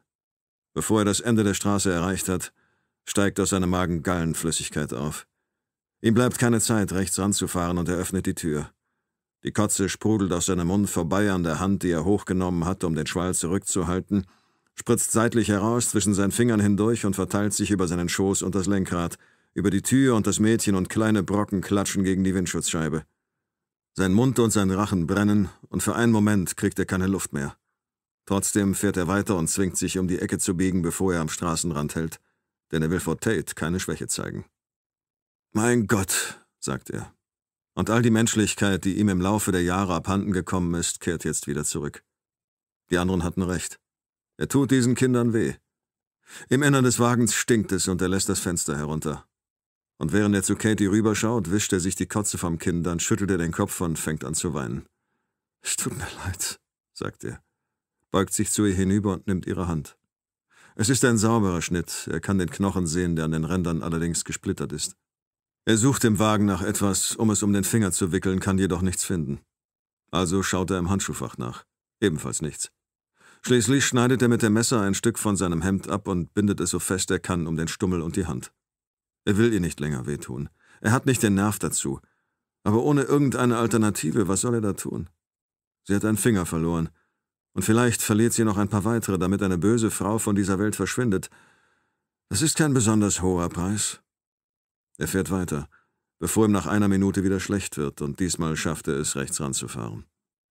Er öffnet die Tür und beugt sich hinaus. Als er fertig ist, steigt er aus und zieht sein Hemd aus. Er knüllt es zusammen und schmeißt es auf die Straße. Dann wirft er einen Blick auf die Uhr. Es sind inzwischen fünf Minuten vergangen. Er braucht weitere zehn Minuten, um zu dem Haus mit den Mustermöbeln und dem gefesselten Doktor zu fahren. Er parkt in der Auffahrt und trägt Katie ins Innere. Nur damit du weißt, dass das hier nicht bloß ein Albtraum ist, aus dem du wieder aufwachst, sagt er zu Stanton und hebt dessen Tochter hoch, so dass er ihre Hand sehen kann. Stanton übergibt sich beinahe ins Klebeband, und Laute, die eigentlich Wörter sein sollen, werden davon erstickt. Das ist alles deine Schuld, sagt Caleb. Ganz und gar deine verdammte Schuld, sagt er, und es ist wahr, so wahr. Er verlässt den Raum und trägt Katie in eines der anderen Schlafzimmer. Dort legt er sie vorsichtig hin, bettet ihren Kopf auf ein Kissen und deckt sie zu. Ihre Hand hat aufgehört zu bluten. Er ist froh darüber. Wenn sie aufwacht, wird sie wahrscheinlich ein paar Wochen lang ihre wirre Version des Alphabets vor sich hin summen, während die Leute sie anlächeln und sagen, was für eine Schande. Aber sie wird darüber hinwegkommen. In zehn Minuten wird Theodore Tate Mrs. Whitby töten. Oder auch nicht. In dem Fall wird er Katie weitere Finger abschneiden, bis dieses böse alte Miststück tot ist. Er muss. Er will nicht, aber er muss. Ihm bleibt nichts anderes übrig. Mrs. Whitby muss bestraft werden. Und dann ist das hier alles zu Ende. Keine Frage. Denn dann gibt es nichts mehr zu tun.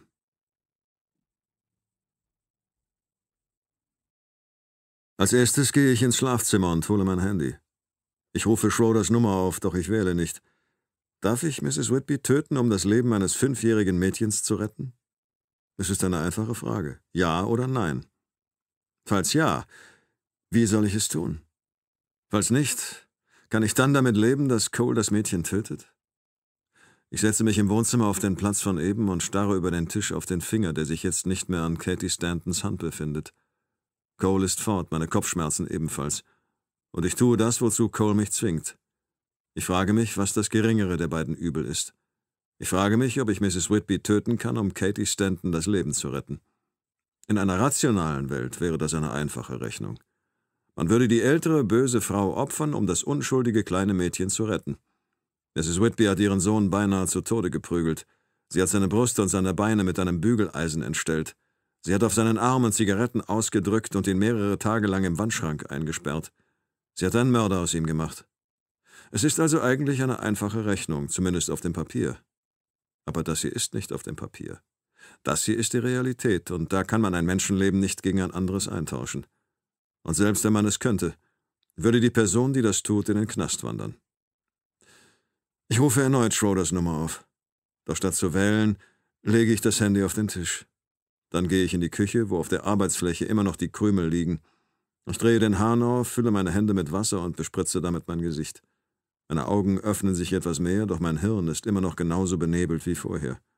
Ob ich nun müde oder munter bin oder voll auf Adrenalin, für die Lösung des Problems macht das keinen Unterschied. Wenn Mrs. Whitby in 30 Minuten noch am Leben ist, wird Cole Katie dann töten? Ich weiß nur, dass ich noch vor fünf Minuten dachte, er würde ihr keinen ihrer Finger abschneiden. Jegliches Verständnis, das ich für ihn hatte, ist verloren gegangen, als er die Klinge runtergedrückt hat. Und mit ihm das Profil, das wir von ihm erstellt haben. Cole ist verzweifelt. Und ein verzweifelter Mann ist zu allem fähig. Ich spritze mir noch mehr Wasser ins Gesicht, klammere mich an der Arbeitsfläche fest, bis meine Finger anfangen zu pochen dann drücke ich mich nach oben und mein Spiegelbild im Küchenfenster tut es mir gleich. Ich ziehe meine Schuhe an, lasse beide Handys in meine Tasche gleiten, schnappe mir eine Jacke und die Autoschlüssel. Und als ich auf die Haustür zugehe, höre ich, wie im Esszimmer die Katzenklappe aufschwingt. Ich laufe durch den Flur zurück und sehe, wie die Katze des Nachbarn auf den Tisch hüpft. Hey! brülle ich. Sie springt wieder herunter und rennt mit einem Ausdruck nackter Panik auf die Katzenklappe zu, im Maul den Finger. Ich versuche sie aufzuhalten, doch sie wechselt die Richtung und läuft ins Esszimmer zurück und von dort ins Wohnzimmer. Ich stürze ihr hinterher, aber sie versteckt sich unter dem Sofa. Mensch, ich habe keine Zeit für sowas. Die Uhr läuft. Ich kippe das Sofa um und die Katze stürmt an mir vorbei zur Tür. Ich greife nach ihr, krieg sie aber nicht zu packen. Doch sie dreht sich zu mir um und rennt gegen die Wand, worauf ihr der Finger aus dem Maul fällt. Sie schnappt danach, aber inzwischen bin ich fast bei ihr und sie faucht mich an. Ich klatsche laut in die Hände, worauf sie sich umdreht und nach draußen verschwindet. Ich hebe den Finger auf. Ist leichter als gedacht, aber ich habe mir bisher wohl noch nie Gedanken darüber gemacht, wie schwer so ein Finger ist. Ich wickle ihn in eine Plastiktüte und lege ihn in den Kühlschrank. Ich nehme an, man sollte ihn kühl lagern, falls man noch eine Chance haben will, ihn wieder anzunähen, und im Gefrierfach würde er womöglich zu sehr Schaden nehmen. Womöglich kristallisieren die Zellen oder sowas. Vielleicht bilde ich mir das aber auch nur ein. Ich weiß nicht. Der Kühlschrank ist wohl immer noch besser, als wenn die verdammte Katze darauf herumkaut. Ich gehe raus zum Wagen und schalte das Blaulicht ein. Ich habe nicht die geringste Ahnung, was ich tun soll. Schroeder anrufen? Und das Leben des Mädchens gefährden? Ich weiß es nicht. Ich weiß es einfach nicht. Ich weiß nur, dass der Wagen die Distanz zwischen meinem Haus und dem von Mrs. Whitby immer weiter verkürzt. Ich sehe vor mir, wie das Messer durch Katys Finger schneidet und den Gesichtsausdruck, den Cole dabei gemacht hat. Und es war nicht das Gesicht eines Mannes, dem Spaß bereitete, was er da tat. Er wollte etwas deutlich machen. Würde er sie zu diesem Zweck auch töten? Ich weiß es nicht. Wenn ich Verstärkung anfordere, wird Cole sie dann töten? Und wenn er es tut, werde ich damit leben können? Und wenn ich Mrs. Whitby umbringen würde, könnte ich auch damit leben? Käme ich damit zurecht, wieder in den Knast zu wandern? Obwohl es egoistisch ist, auf diese Frage läuft es hinaus. Nein, ich käme nicht damit zurecht. Nicht, wenn Bridget wieder bei mir leben würde. Während ich weiterfahre, ziehe ich mein Handy aus der Tasche. Ich erreiche die Außenbezirke und rase hindurch, bis ich auf eine der Hauptstraßen komme, auf der mindestens 200 Autofreaks parken und den Verkehr blockieren. Scheiße. Ich fahre über den Mittelstreifen auf die leere Gegenfahrbahn. Weiter hinten kann ich die Blaulichter eines Feuerwehrautos und den orangefarbenen Schein eines Feuers erkennen. Ich rufe Schroeder an. Es klingelt einige Male, bevor er abhebt. Theo, sagt er. Und im Hintergrund kann ich seine Frau und ein schreiendes Baby hören. Sein Tonfall verrät mir, dass er mit schlechten Nachrichten rechnet. Dass ich ihm mitteile, Bridget sei gestorben. Ich brauche deine Hilfe, sage ich. Was ist los? Ich habe keine Ahnung, ob ich dich als Freund oder als Cop anrufe. Als Freund, Theo. Ich bin kein Cop mehr. Zumindest nicht heute Abend. Vielleicht sogar nie wieder. Dann also als Freund. Okay, Theo, du hast meine ungeteilte Aufmerksamkeit. Was ist passiert? Caleb Cole war bei mir. Bitte was? Gerade eben. Ist er immer noch da? Nein, er ist wieder gefahren. Du hast ihn laufen lassen? Ich erzähle ihm, was passiert ist. Dafür brauche ich drei der 30 Minuten, die Cole mir gegeben hat. In diesen drei Minuten komme ich an zwei brennenden Autos vorbei und an Schaulustigen, die einer Prügelei beiwohnen, sowie an einem lilafarbenen Wagen, der im Schleichtempo ebenfalls auf der falschen Seite fährt. Er hat zwei platte Reifen und dort, wo sich die Gummifetzen von den Felgen lösen und gegen die Neonlichter unten schlagen, sprühen Funken. Als ich zu Ende erzählt habe, sagt Schroeder keinen Ton, aber ich kann hören, wie er seine Packung Wake Ease aufschnippt und einen Moment später kaut er auf einer Tablette herum. Und? Also, du solltest Detective Kent anrufen oder direkt Stevens. Natürlich kannst du sie nicht töten, sagt er. Wann ist er weggefahren? Vor 18 Minuten, sage ich. Mir ist schon klar, dass ich das nicht tun kann. Wenn dir das klar wäre, hättest du mich vor 18 Minuten angerufen. Hör zu, Karl, ich weiß auch nicht, warum ich mich nicht gemeldet habe, okay, aber darum geht es nicht, sondern darum, was jetzt zu tun ist. Du kannst sie nicht umbringen. Ich weiß, das hast du bereits gesagt, und ich habe dir erklärt, dass mir das klar ist. Wir müssen irgendwas inszenieren. Was anderes können wir nicht tun. Wir müssen Cole weismachen, dass wir sie getötet haben. Darauf wird er nicht reinfallen. Wenn er mich anruft, wird er einen Beweis sehen wollen. Und dann wird er von mir etwas verlangen, was wir nicht inszenieren können.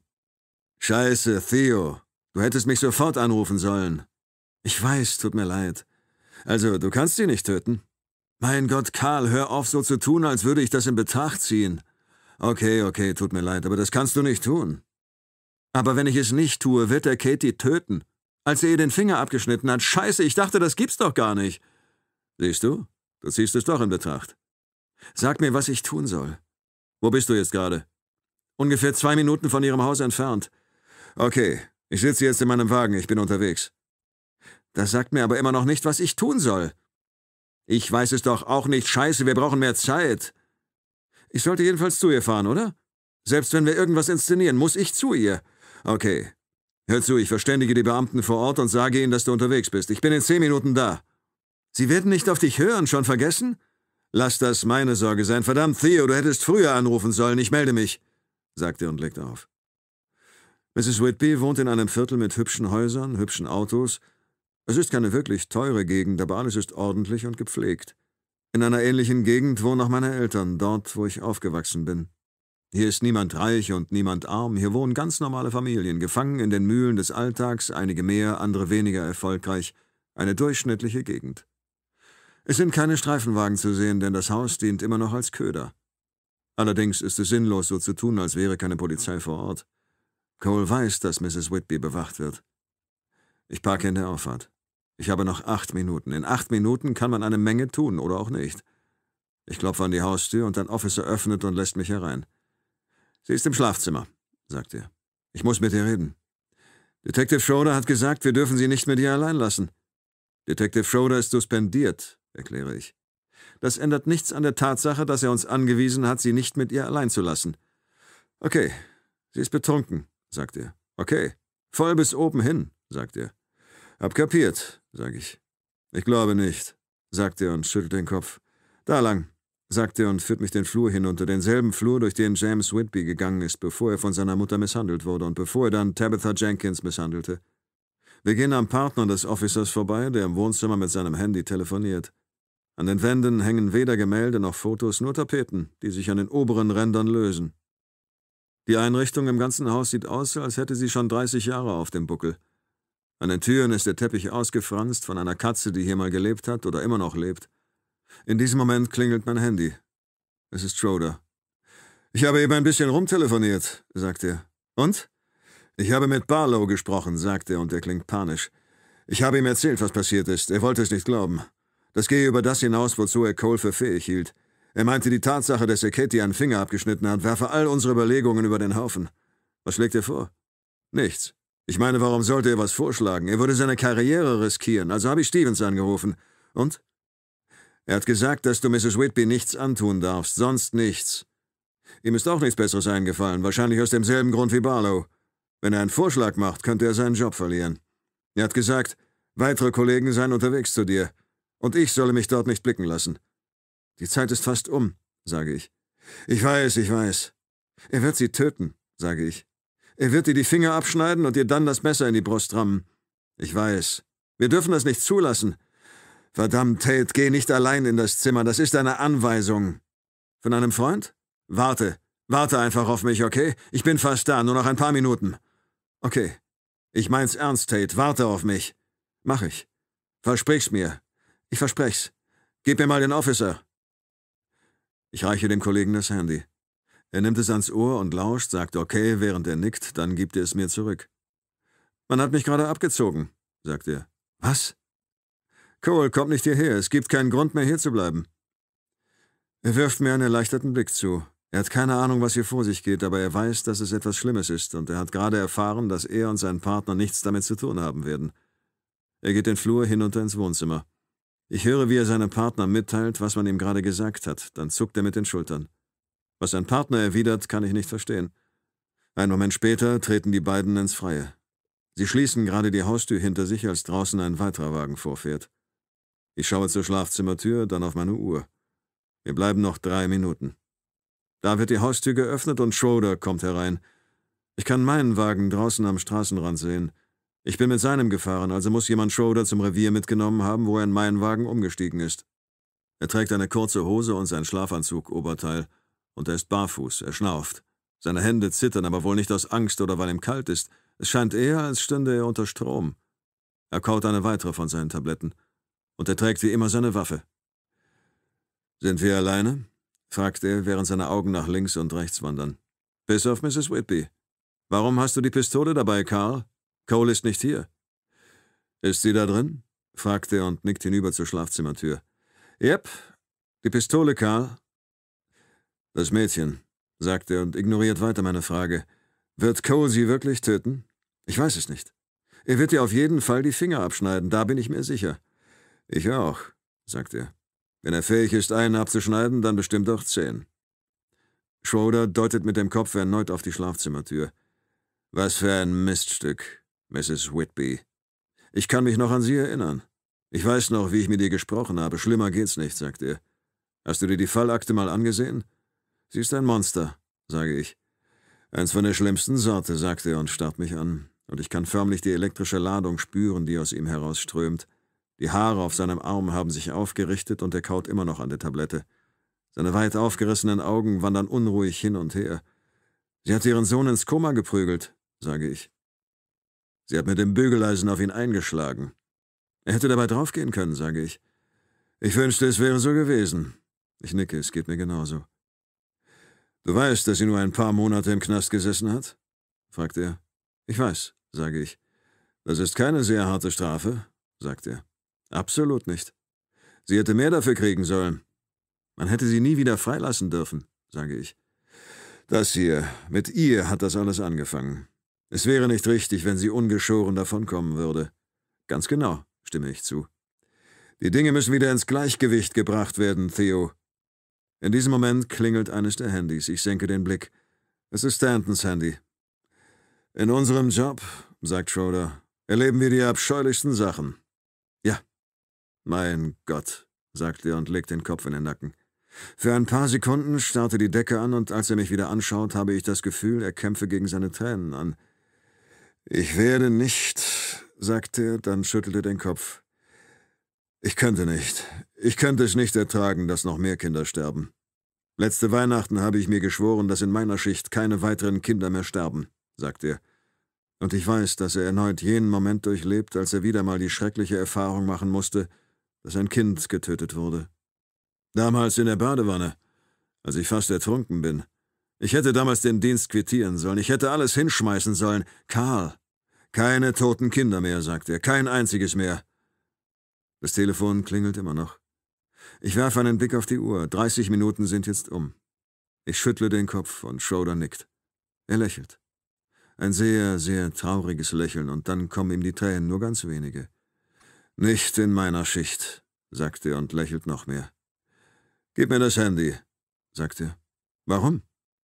Weil die Dinge aus dem Gleichgewicht geraten sind, Theo. Darum, gib mir das Handy. Ich reiche es ihm. Er schaut es einen Moment an, als hätte er vergessen, wie man es benutzt. Im Display leuchtet die Nummer des Anrufers auf. Vier Minuten lang war ich tot, sagt er. Vier Minuten und da war nichts, gar nichts. Wenn diese Kinder sterben, kommen sie nicht an einen besseren Ort. Wir möchten das gerne glauben, aber das stimmt nicht. Das Einzige, was uns erwartet, ist ein gigantisches Nichts. Er nimmt den Anruf entgegen. Hier spricht Detective Inspector Carl Schroeder sagt er ins Telefon, während er sich streckt und sich die Augen reibt. Er hält jetzt seine Pistole so, dass er ein paar Finger frei hat, um sein Schlafanzug-Oberteil zurechtzuzupfen, so als wollte er darin gleich zu einer Besprechung gehen. Ich höre Coles Stimme aus dem Lautsprecher. Wo ist Theodore Tate? Direkt neben mir. Geben Sie ihn mir, sagt Cole. Nein, ich bin jetzt Ihr Ansprechpartner. Wenn Sie ihn mir nicht geben, werde ich. Halt die Klappe, Caleb. Halt einfach die Klappe und schau dir das hier an sagt Schroeder und fummelt an dem Handy herum, schaltet es auf Stumm und einen Moment später kann man auf dem Display sehen, worauf das Telefon gerichtet ist. Nämlich auf meine Füße, dann auf die von Schroeder und auf den Türrahmen. Schließlich sieht man, wie Schroders Hand nach dem Knauf greift. Die Aufnahme ist unscharf und verwackelt. Beim Anschauen von Schroders Home-Videos muss man sich bestimmt übergeben. Karl, sage ich. Er schüttelt den Kopf und lächelt immer noch, dann zuckt er die Achseln. Manchmal müssen anständige Menschen schlimme Dinge tun. Karl, halt den Mund, Theo. Das ist nicht deine Entscheidung. Du musst nicht damit leben, sagt er, und ich versuche nicht, ihn aufzuhalten. Ich halte mich zurück und sehe dabei zu, wie er die Schlafzimmertür öffnet und hineingeht. Im Zimmer brennt Licht. Ich kann erkennen, wie Mrs. Whitby sich im Bett aufsetzt. Sie hat den Mund geöffnet und die Augen geschlossen. Auf dem Nachttisch neben ihr steht eine leere Wodkaflasche und im Zimmer stinkt es nach Alkohol, Zigaretten und Katzenpüsse. Sie trägt einen Morgenrock, der vorn über und über mit Flecken übersät ist. Schroeder dreht sich zu mir um.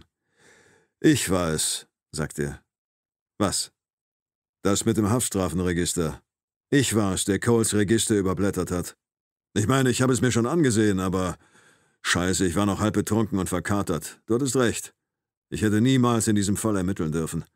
Ich habe mir die Fallakte zwar angesehen, aber ich war zu fertig, um zu merken, dass sie relevant war, und jetzt. Tja, Jetzt muss ich tun, was nötig ist, um das kleine Mädchen zu retten. Karl! Es stimmt, und du weißt es. Wenn mir die Verbindung aufgefallen wäre, hätte das meiste von dem hier verhindert werden können.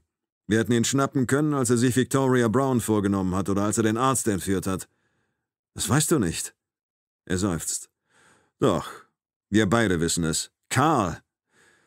Ich bin müde, Theo, sehr müde. Und ich will einfach nur, dass das hier vorbei ist, sagt er dann schaltet er den Handy-Lautsprecher wieder an und schließt die Tür. Ich bleibe im Korridor stehen, schließe die Augen und warte auf den Schuss. Es dauert nicht lange. Fünf Sekunden. Aber sein Hall wälzt sich noch eine Weile wie eine Bowlingkugel durch meinen Schädel.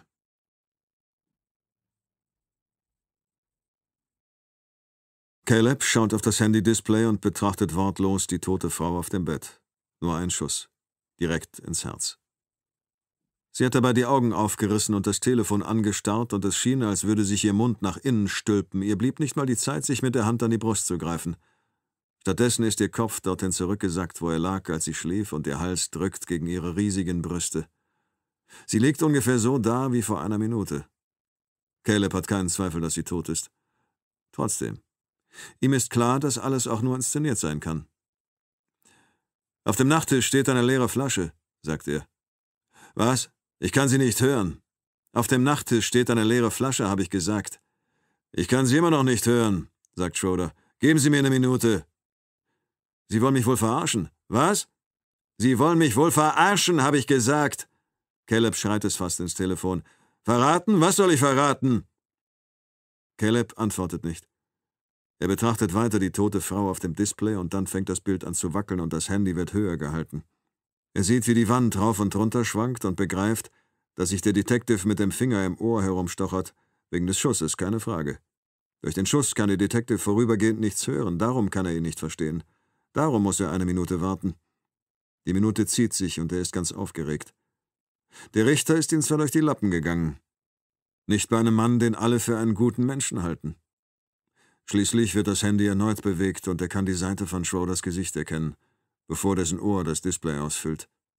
Offensichtlich hat er vergessen, dass Kamera und Freisprecheinrichtung eingeschaltet sind. Was haben Sie gesagt? Auf dem Nachttisch steht eine Flasche. Und? Ich möchte, dass Sie sie nehmen und sie auf Ihrem Kopf zerschlagen. Was? Sie haben schon verstanden. Das werde ich nicht tun. Müssen Sie aber. Nein, muss ich nicht, sie ist tot. Dann kann sie auch nichts spüren und es wird ihr egal sein. Nein. Ich muss sicher gehen, dass sie tot ist. Ach ja? Warum kommen Sie da nicht einfach vorbei und schauen Sie sich verdammt nochmal an? Ich werde Sie nicht mit der Flasche schlagen. Caleb denkt darüber nach, nickt. Denkt weiter darüber nach, nickt erneut. Er glaubt dem Detective. Haben Sie einen Filzstift? Was? Ein Stift, suchen Sie einen Stift. Ich habe einen dabei. Ich möchte, dass Sie ihr etwas auf die Stirn schreiben. Das werde ich auch nicht tun. Das werden Sie, Detective, weil ich Ihnen dann nämlich sagen werde, wo ich bin. In der Leitung ertönt ein Knurren. Aber klar doch. Sie können mir glauben, sagt Caleb und schaut hinunter auf das kleine Mädchen, dem er nie wieder etwas wird abschneiden müssen. Ich verspreche Ihnen, wenn Sie ihr etwas auf die Stirn schreiben, können Sie und Theodore Tate mich mitnehmen. Ich gebe Ihnen mein Wort. Und Sie können damit Katie Stantons Leben retten. Und was ist mit Ihrem Vater? fragt Schroeder. Da habe ich noch keine Entscheidung getroffen. Wenn Sie ihm nichts tun, kommen wir ins Geschäft. Wenn Sie schreiben, was ich will, krümme ich keinem der beiden ein Haar. Abgemacht? Was soll ich schreiben? Ich bin ein übles Miststück. Warum? Weil Sie das war, das wissen Sie, das wissen wir alle. Warum sich dann noch die Mühe machen, es hinzuschreiben? fragte Detective. Schreiben Sie es jetzt endlich hin? Oder gilt unsere Abmachung nicht mehr? Ein Moment. Erneut verändert sich das Bild. Caleb sieht Schroders Hemd und dann für eine Weile nur das Bett. Schließlich wird das Handy wieder hochgenommen.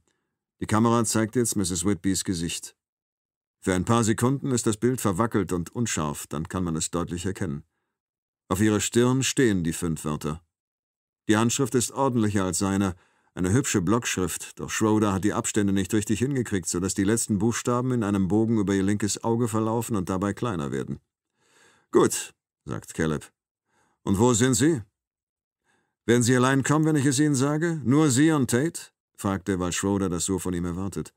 In Wirklichkeit ist ihm egal, ob er und Tate allein kommen oder in Begleitung einer Hundertschaft Polizisten. Ja. Woher weiß ich, dass ich Ihnen trauen kann? Keine Spielchen mehr, Caleb. Sagen Sie uns einfach, wo Sie sind.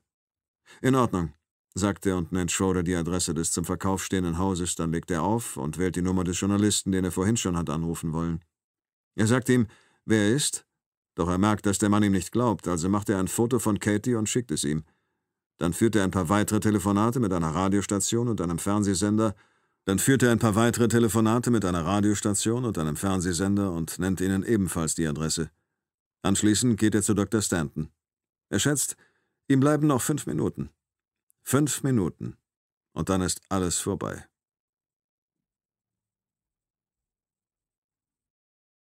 Schroeder öffnet die Tür und gibt mir das Handy. Ich habe den gleichen Blick ins Zimmer wie eben, als er es betreten hat. Mrs. Whitby liegt fast unverändert da, in sich zusammengesackt, als wäre sie betrunken, nur dass Schroeder ihr was auf die Stirn gekritzelt hat. Sag jetzt nichts, sagt Schroeder. Du hast das Richtige getan, sage ich und greife mir mit der Hand seitlich an den Kopf. Der Schuss rumpelt immer noch darin umher. Er wirft mir einen merkwürdigen Blick zu, dann schüttelt er den Kopf. Theo, im Ernst, halt die Klappe, okay? Wir werden jetzt eine kleine Fahrt machen und ich will währenddessen kein einziges Wort von dir hören. Hast du kapiert? Hab kapiert. Wir treten hinaus auf die Straße. In den Nachbarhäusern brennt Licht, der Schuss hat die Bewohner aus dem Schlaf gerissen. Es ist das erste Mal, dass Schroeder einen Menschen getötet hat. Er hätte wahrscheinlich nie gedacht, dass er das mal tun müsste und ganz bestimmt nicht, dass es unter solchen Umständen geschieht. Er glaubte, er habe eine unschuldige Frau getötet, aber das stimmt nicht. Er hat eine gerettet. Die Schlüssel, sagt er und streckt seine Hand aus. Ich reiche ihm die Autoschlüssel und er gibt mir meine. Dann steigen wir in seinen Wagen. Ich frage ihn nicht, wohin wir fahren. Sein Handy klingelt und er greift in seine Tasche und legt auf, ohne überhaupt abzuheben. Darauf klingelt meins. Geh nicht ran, sagt er. Ich werfe einen Blick auf das Display für den Fall, dass es jemand aus dem Krankenhaus ist, doch dem ist nicht so. Es ist das Revier. Ich drücke den Anrufer weg und lasse das Handy in meine Tasche gleiten. Darauf fängt das von Schroeder an zu klingeln. Er dreht es um, nimmt den Akku heraus und wirft alles auf den Rücksitz. Als mein Telefon erneut zu klingeln beginnt, starte es an, bereit mit ihm dasselbe zu tun. Doch ich gehe nicht dran und schalte es stumm. Für ein paar Minuten beobachte ich abwechselnd Schroeder und starre nach draußen, wo die Nacht allmählich ihren Kampf gegen das Licht verliert. Langsam kehren die Kopfschmerzen zurück. In den letzten paar Minuten hat die Wirkung der Tabletten, die sie in Schach gehalten haben, nachgelassen. In der Ferne schimmert der Himmel dunkelblau. In einigen Stunden werden die Leute aufstehen und zur Arbeit gehen, sich dort schwer ins Zeug legen und produktiv sein. Aber im Moment schlafen die meisten noch, jeder in seiner eigenen Traumwelt. Einige werden von Monstern gejagt, andere begegnen Frauen, die sie aus dem Fernsehen kennen, einige fliegen umher und andere stürzen in die Tiefe. Wo fahren wir hin? frage ich. Wir werden Caleb Cole verhaften und Katie Stanton retten. Und wie stellen wir das an? Er hat dir nicht zufällig gesagt, wo sie sich befinden, oder? Er nickt. Zufällig hat er das. Was? Er hat mir die Adresse genannt. Glaubst du ihm? frage ich und massiere meine Schläfe. Ja. Warum hast du mir das nicht erzählt? Das sagt er der Richtige, erwidert er. Wann bist du das letzte Mal mit deiner Sache gleich zu mir gekommen? Das ist alles Teil des großen Finales, sage ich. Egal was er vorhat, es wird passieren, sobald wir dort aufkreuzen. Ich weiß, Theo, ich bin kein Vollidiot. Sein großes Finale ist der eigene Tod, damit rechnet jeder. Aber das wird nicht passieren. Dafür werden wir sorgen. Wenn wir dort sind, werden wir uns den Scheißkerl Leben schnappen, denn das ist das Letzte, was er will. Verstanden? Sicher doch. Was? Sicher doch, habe ich gesagt. Hör zu, ich mein's ernst, Tate. Wir lassen diesen Wichser nicht so einfach davonkommen. Er wird wieder in den Knast wandern. Sicher habe ich gesagt, okay, aber sollten wir nicht lieber Verstärkung anfordern? Hast du vergessen, dass man dich suspendiert hat? Er hat gesagt, wir sollen allein kommen. Das ist gefährlich, Karl, und dumm. Damit bringst du dich um die letzte Chance, deinen Job zu behalten. Behalten? Was? Er schüttelt den Kopf. Ich kann dich hier absetzen, wenn du willst. Ich nehm's dir nicht übel. Karl, du baust gerade Scheiße. So läuft das nicht. Wir sollten Verstärkung rufen. Schließlich schaut er zu mir herüber. Für etwa fünf Sekunden, was eine lange Zeit ist, wenn man bedenkt, dass er gerade einen Wagen steuert, der mit Vollgas durch die Gegend rast. Ich massiere mir noch fester die Schläfe. Mann, Theo, bist du okay? Und du? Hör zu. Wenn es andersherum wäre, würdest du dich auch nicht davon abhalten lassen, es auf deine Art zu machen. Das hast du immer getan, selbst als du noch ein Kopf warst. Es musste immer auf Tates Art gemacht werden. Tate weiß alles besser. Tate muss sich nicht an die Vorschriften halten. Und jetzt machen wir es auf Schroders Art, okay? Okay, verdammt nochmal, okay. Bist du sicher, dass bei dir alles okay ist? Ja, schnauze ich und reibe mir den Kopf. So langsam mache ich mir Sorgen, dass die Prophezeiung in Erfüllung geht, die mir der Arzt in der Notaufnahme auf das Rezept geschrieben hat. Schroeder drosselt das Tempo und wirft einen Blick auf die Straßenschilder. Dann biegt er nach rechts ab und beschleunigt wieder. Halt nach einem zu verkaufen Schild Ausschau, nach der Nummer 92. Okay, sage ich. Doch ich kann die Nummer nur verschwommen erkennen. Wie alles um mich herum. Das Ding in meinem Kopf erwacht immer mehr zum Leben. Zehn Sekunden später entdeckt Schroeder das Schild in einem Vorgarten. Ich sehe es erst, nachdem er abgebremst hat. Vor dem Haus kommt er zum Stehen. Ich reibe mir die Augen und kann nun etwas mehr erkennen. Ich hätte diese blöden Pillen nicht in den Ausguss kippen sollen. Wir brauchen gar nicht erst zu versuchen, unbemerkt hineinzukommen, sagt er. Er erwartet uns. Was sollen wir also tun? Wir gehen zur Haustür und klopfen an, ganz einfach. Und dann? Und dann machen wir es auf Schroders Art, sagt er. Doch bevor wir aussteigen können, tauchen hinter uns weitere Fahrzeuge auf. Die Medien sind hier, um Caleb Coles Verhaftung beizuwohnen.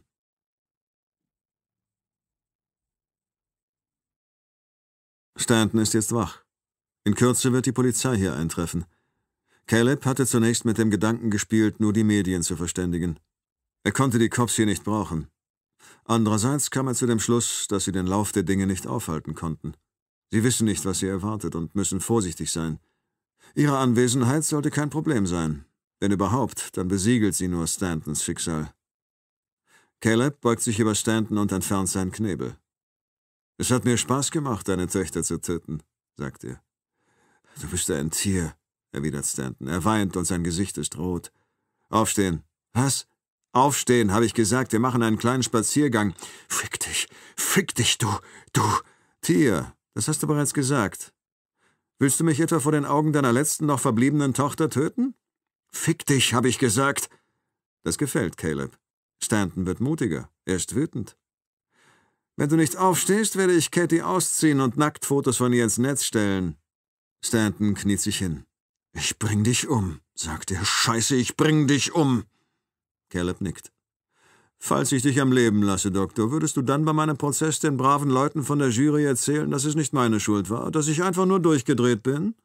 Du bist wahnsinnig, sagt Stanton. Gut. Caleb packt ihn an den Haaren und zieht ihn daran hoch. Und jetzt auf mit dir! Er führt den Arzt den Flur entlang, vorbei an dem Schlafzimmer, wo Katie schläft, ins Wohnzimmer. Dort schaltet er das Licht an. Er drückt das Messer, das er fest umklammert hält, an Stantons Kehle und rührt sich nicht. Worauf wartest du noch? fragt Stanton. Klappe, sagt Caleb. Es vergeht nur eine Minute, dann fährt ein Wagen vor. Er weiß nicht, ob es die Reporter oder die Bullen sind, aber das spielt doch keine Rolle. Vorwärts, sagt er und schiebt Stanton Richtung Tür. Der stolpert vorwärts und als er die Tür erreicht, bleibt er stehen. Caleb dreht sich zusammen mit dem Arzt herum, so dass er selbst mit dem Rücken zur Tür steht und Stanton in den Flur blickt. Und jetzt? fragt Stanton. Jetzt solltest du um dein Leben flehen, sagt er und durchschneidet die Fesseln an Stantons Handgelenken.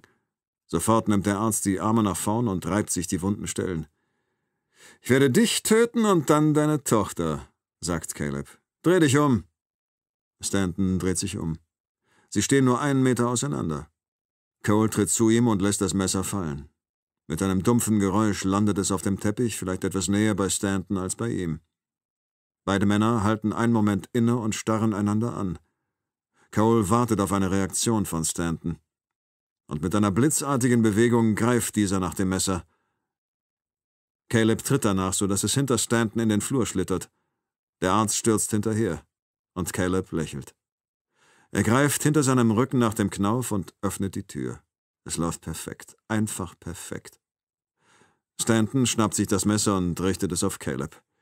Ich werde dich töten, sagt er triumphierend und schüttelt den Kopf.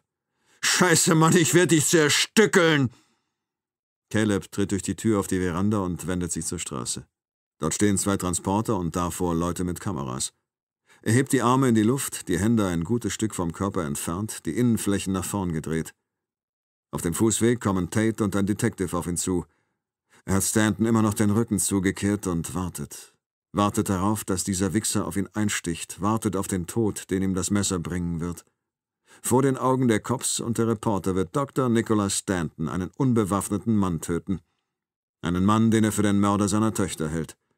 Er wird sich dafür verantworten müssen und es wird einen Prozess geben.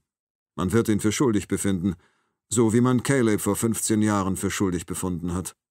Und dann wandert er ins Gefängnis. Und dort wird man ihn zusammenschlagen und vergewaltigen und dieselben Arschlöcher mit einer Abneigung gegen Körpersymmetrie werden ihm immer wieder die Finger brechen. Und dann wird Nicholas Stanton endlich begreifen, was es bedeutet, sich in Caleb Coles Rolle zu versetzen.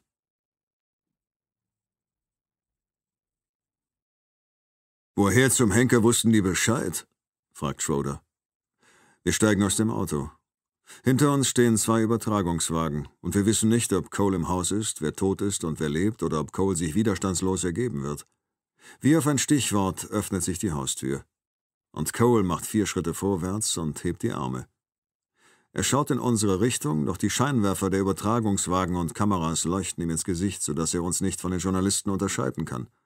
Die anderen gehen auf ihn zu.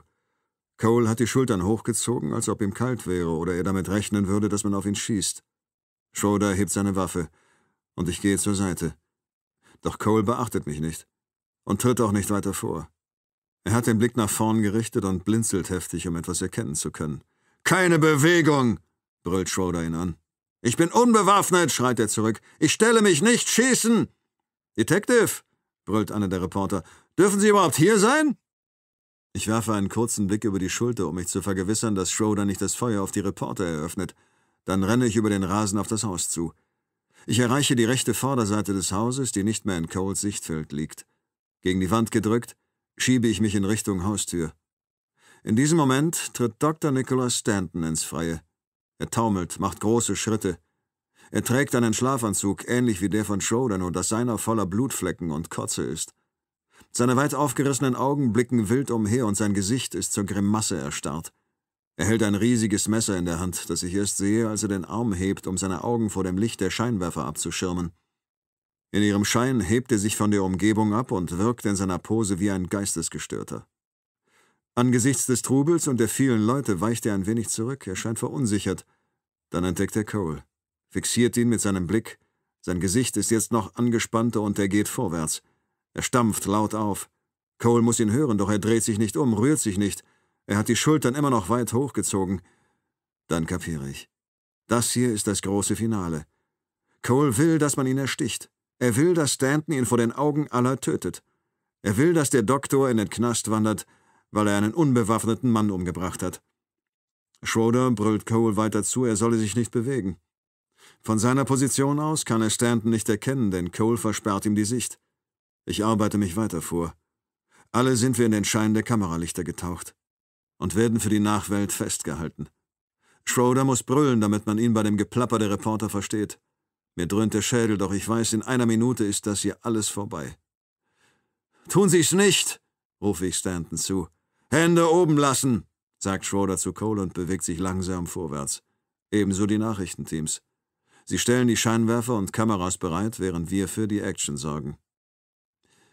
Ihre Kinder sind noch am Leben, erkläre ich Stanton. Ich bin jetzt nur noch drei Meter von ihm entfernt. Cole wirft mir einen Blick zu, runzelt die Stirn, dann schaut er wieder Richtung Kameras.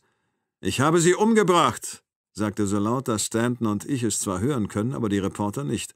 Und eine von ihnen vergewaltigt. Er hat ihn nicht geschahen, sage ich und merke, dass ich nicht richtig sprechen kann. Scheiße! Du hast meine Kinder getötet, sagt Stanton, der mich nicht hört und nur Augen für Cole hat. Und es hat mir Spaß gemacht. Stanton macht einen letzten Schritt nach vorn. Ich versuche ihn zu erreichen, doch ich schaffe es nicht, nicht in der Zeit, die Stanton braucht, um zuzustechen. Falls er Cole mitten im Rücken erwischen wollte, hat er fast einen Volltreffer gelandet.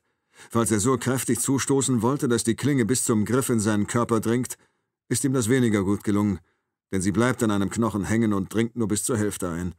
Er zieht das Messer wieder heraus, während Cole auf die Knie sinkt, und jetzt hat Schroeder freie Sicht auf das Geschehen. Lassen Sie das Messer fallen, ruft er und richtet die Waffe von Cole auf Stanton, dann wieder auf Cole und schließlich erneut auf Stanton. Ich nähere mich dem Arzt bis auf zwei Schritte. Ich schreie und konzentriere mich ganz auf meine Worte, um ihm zu sagen, dass es seinen Kindern gut geht. Ich strecke meine Arme aus, die Handflächen nach außen, und er dreht sich zu mir um, dieser wilde Mann mit seinen wilden Haaren, dem die Augen fast aus dem Schädel treten. Sage ich. Er sieht mich an und hat nicht die geringste Ahnung, was ich sagen will. Er hebt das Messer, und diesmal zielt er auf Coles Nacken.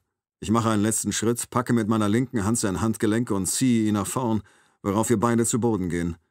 Ich spüre, wie die Nähte an meinem Bein aufplatzen und wie der Druck in meinem Schädel zunimmt.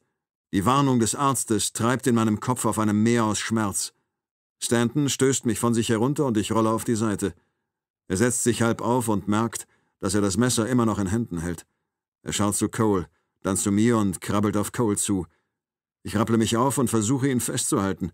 Er sieht mich erneut an, dann holt er mit dem Messer nach mir aus. Mir bleibt keine Zeit mehr auszuweichen. Und Schroeder eröffnet das Feuer auf ihn. Der Schuss setzt in meinem Kopf mehrere Kettenreaktionen in Gang. Zunächst stellen die Nervenverbindungen zwischen meinen Augen und dem Gehirn die Arbeit ein. Ich stehe im Dunkeln, ohne zu wissen, was gerade passiert. Dann wird ein Schalter umgelegt und ich kann wieder sehen, habe aber schreckliche Schmerzen. Ich taumle seitwärts und halte mir den Kopf, als wäre ich es, der die Kugel abgekriegt hat. Die Scheinwerfer der Nachrichtenteams leuchten in unterschiedliche Richtungen, während alle in Deckung gehen. Ich lehne mich gegen die Hauswand. Cole dreht sich zu uns um. Nein, schreit er, immer noch auf den Knien. Nein, ruft er erneut und zwischen seinen Lippen bläht sich eine Blase aus Blut und zerplatzt. Er verliert das Gleichgewicht und fällt vornüber. Die Rückseite seines Hemdes ist blutdurchtränkt. Er stürzt zu Boden und bleibt mit dem Gesicht auf dem Fußweg liegen. In der Zwischenzeit versucht Stanton, sich hochzurappeln, aber es will ihm nicht recht gelingen. Die Vorderseite seines Schlafanzugs hat sich an der rechten Schulter rot verfärbt. Ich halte mir die Hand vor eines der Augen, denn das lindert die Schmerzen von dem, was auch immer mein Hirn gerade anstellt. Stanton versucht, das Messer aufzuheben, doch sein Arm verweigert ihm den Dienst. An seinem Gesicht kann ich erkennen, dass er Koordinationsschwierigkeiten hat. Er versucht es trotzdem weiter und benutzt seinen unverletzten Arm, um es aus der unverletzten Hand an seinen verletzten Arm zu nehmen. Er schaut sich um und fuchtelt mit dem Messer herum, richtet es auf die Medienleute auf Schroeder und dann auf mich. Offensichtlich bemerkt er Cole nicht. Als er das Messer auf mich richtet, gibt Schroeder einen zweiten Schuss ab. Ich kann nicht sehen, wo Stanton getroffen wird, aber die Kugel lässt ihn augenblicklich innehalten. Er schaut an seinem Körper herunter, dann zu mir, und seine Augen werden wieder klar. Ich versuche mit ihm zu reden, ihm zu sagen, dass es seinen Kindern gut geht, doch ich bringe die Wörter einfach nicht heraus. Sie wiegen zu schwer, und was ich herausbringe, ergibt keinen Sinn. Schroeder tritt zu uns. Er kickt das Messer fort und hilft mir unter Stanton hervor. Bist du okay? fragt er. Ich nicke. Er nimmt sein Handy und ruft einen Krankenwagen. Zwei Krankenwagen. Die Pistole hält er weiter umklammert. Einige der Scheinwerfer sind auf ihn gerichtet, andere auf mich und einige auf Cole und Stanton. Überall ist Blut, das macht sich gut im Fernsehen. Er hatte nie vor, ihren Kindern etwas anzutun, sagt Schroeder zu Stanton, nachdem er aufgelegt hat. Ich. ich verstehe nicht, stammelt der Arzt und er wirkte, als wäre er gerade aus einem Traum erwacht. Es geht Ihnen gut, erklärt Schroeder. Und Katie? Ihr auch, da bin ich mir sicher. Er. er hat ihr einen Finger abgeschnitten. Ich weiß, aber mehr nicht, sagt Schroeder, als wäre ein Finger eine Lappalie. Er. er hat sie nicht getötet? fragt Stanton. Nein, sage ich, und es ist das erste Wort, das ich wieder deutlich ausspreche. Ich hätte, sagt er und fängt an zu husten. Als er wieder zu Atem kommt, lächelt er. Ich hätte es wissen müssen, sagt er, und dann sagt er nichts mehr, sondern schaut er leichter zu uns hoch, und das Lächeln ist immer noch da, als fünf Minuten später der Krankenwagen eintrifft.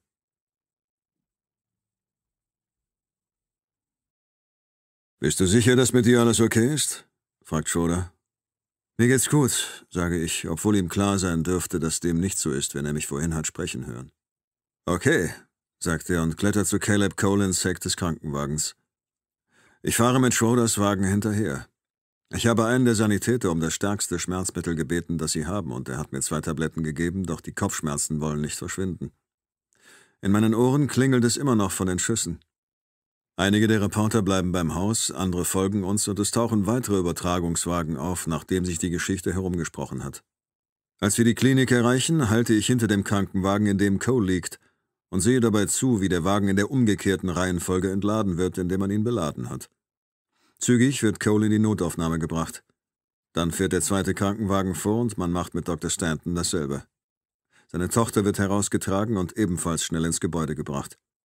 Bei Katys Anblick fällt mir ein, dass ich noch ihren Finger im Kühlschrank habe. Ich starte den Wagen und mache mich auf den Weg nach Hause. Die Autofreaks sind offensichtlich heimgefahren. Die einzigen Leute, die jetzt noch unterwegs sind, kommen von der Nachtschicht oder müssen früh zur Arbeit. Zu Hause sehe ich gerade noch den flauschigen Schwanz und die zwei schwarzen Beine der Katze, die vom Hintereingang fortrennt. Ich nehme den Finger aus dem Kühlschrank. Er fühlt sich kalt und fest an und ich stopfe ihn in meine Tasche, doch das ist keine gute Idee, denn meine Körperwärme könnte ihn beschädigen. Ich schenke mir einen Schluck Wasser ein und stehe mit geschlossenen Augen an der Spüle, während ich versuche, Kraft meiner Gedanken die Kopfschmerzen zu vertreiben, doch es will mir nicht gelingen, denn das Ding, das dort haust, möchte nicht länger ignoriert werden. Ich habe immer noch das Klingeln in den Ohren. Mit dem Finger auf dem Beifahrersitz fahre ich zum Krankenhaus zurück, und unterwegs bietet sich mir derselbe Anblick wie eben. nur in umgekehrter Reihenfolge und vor hellerem Hintergrund. Als ich das Krankenhaus erreiche, kann ich keinen freien Parkplatz finden. Überall stehen Polizeifahrzeuge und Übertragungswagen, so dass ich mein Auto auf der anderen Straßenseite am Rand des Hagley Parks abstellen muss, jener riesigen Grünfläche inmitten der Stadt, auf der selbst um diese Zeit ein paar Jogger gemächlich ihre Runden drehen. Die Schwester, mit der ich bereits gesprochen habe, als ich meine Frau besucht habe, öffnet mir die Türen. Ich halte den Finger in die Höhe und zeige ihn dem ersten Arzt, der mir über den Weg läuft, während ich ihm erkläre, wem er gehört. Er nimmt ihn an sich und eilt davon. Ich suche das Wartezimmer auf, in dem ich vorhin schon einmal war. Dort hockt Schroeder. Zusammen mit ein paar anderen Cops. Ich setze mich neben ihn. Wir wechseln kein Wort. Einige der Kollegen unterhalten sich. Schroeder starrt bloß vor sich hin und ich weiß, dass er vor seinem geistigen Auge immer wieder die Schüsse abspult. Erst den auf Mrs. Whitby, dann die auf Dr. Stanton und ich rufe sie mir ebenfalls noch einmal ins Gedächtnis, während ich mich frage, ob es eine andere Möglichkeit gegeben hätte. So verstreicht eine Stunde. Niemand kommt, niemand geht. Das, was ich vor meinem geistigen Auge sehe, wird nicht besser, aber die Kopfschmerzen verschwinden wieder. Und mir fällt kein anderes Szenario ein, das funktioniert hätte. Schroeder starrt weiter die Wand an. Schließlich schaue ich auf meinem Handy nach, ob ich einen Anruf verpasst habe. Es sind einige, die meisten vom Revier und einen von Dr. Forster. Beim Anblick seiner Nummer wird mir ganz mulmig. So wie diese Woche gelaufen ist, kann ich mir nicht vorstellen, dass es gute Neuigkeiten sind. Ich rufe ihn nicht zurück, ich kann nicht. Egal, was er mir zu sagen hat, egal wie schlimm es ist. Wenn ich nicht höre, wie er es sagt, dann ist es vielleicht auch nicht passiert. Nach einer weiteren Stunde erscheint ein Arzt. Inzwischen gehe ich im Zimmer auf und ab und greife alle paar Minuten nach meinem Handy, nur um mir jedes Mal zu sagen, dass es keinen Zweck hat, dass die Nachricht, die auf mich wartet, nur Schmerz bereithält. Auf dem Kittel des Arztes ist etwas Blut. Er schaut uns zwar an, doch sein Gesichtsausdruck lässt sich nicht deuten. Der Zustand von Caleb Cole ist ernst, sagt er an uns alle gerichtet, aber vor allem schaut der Detective Kent an. Wer kann es ihm verdenken? Aber so wie es aussieht, wird er durchkommen. Ich weiß nicht, wie ich das finden soll. Schroeder sagt keinen Ton. Kent nickt und der Arzt wirft einen flüchtigen Blick auf ihre Brust, bevor er sich wieder uns zuwendet. Als der Arzt merkt, dass es keine weiteren Fragen gibt, dreht er sich um und verschwindet durch dieselbe Tür, durch die er gekommen ist. Was meinst du, wie viel wird er kriegen? frage ich Schroeder. Was? Cole. Meinst du, dass er den Knast je wieder verlassen wird? Wortlos schüttelt Schroeder den Kopf.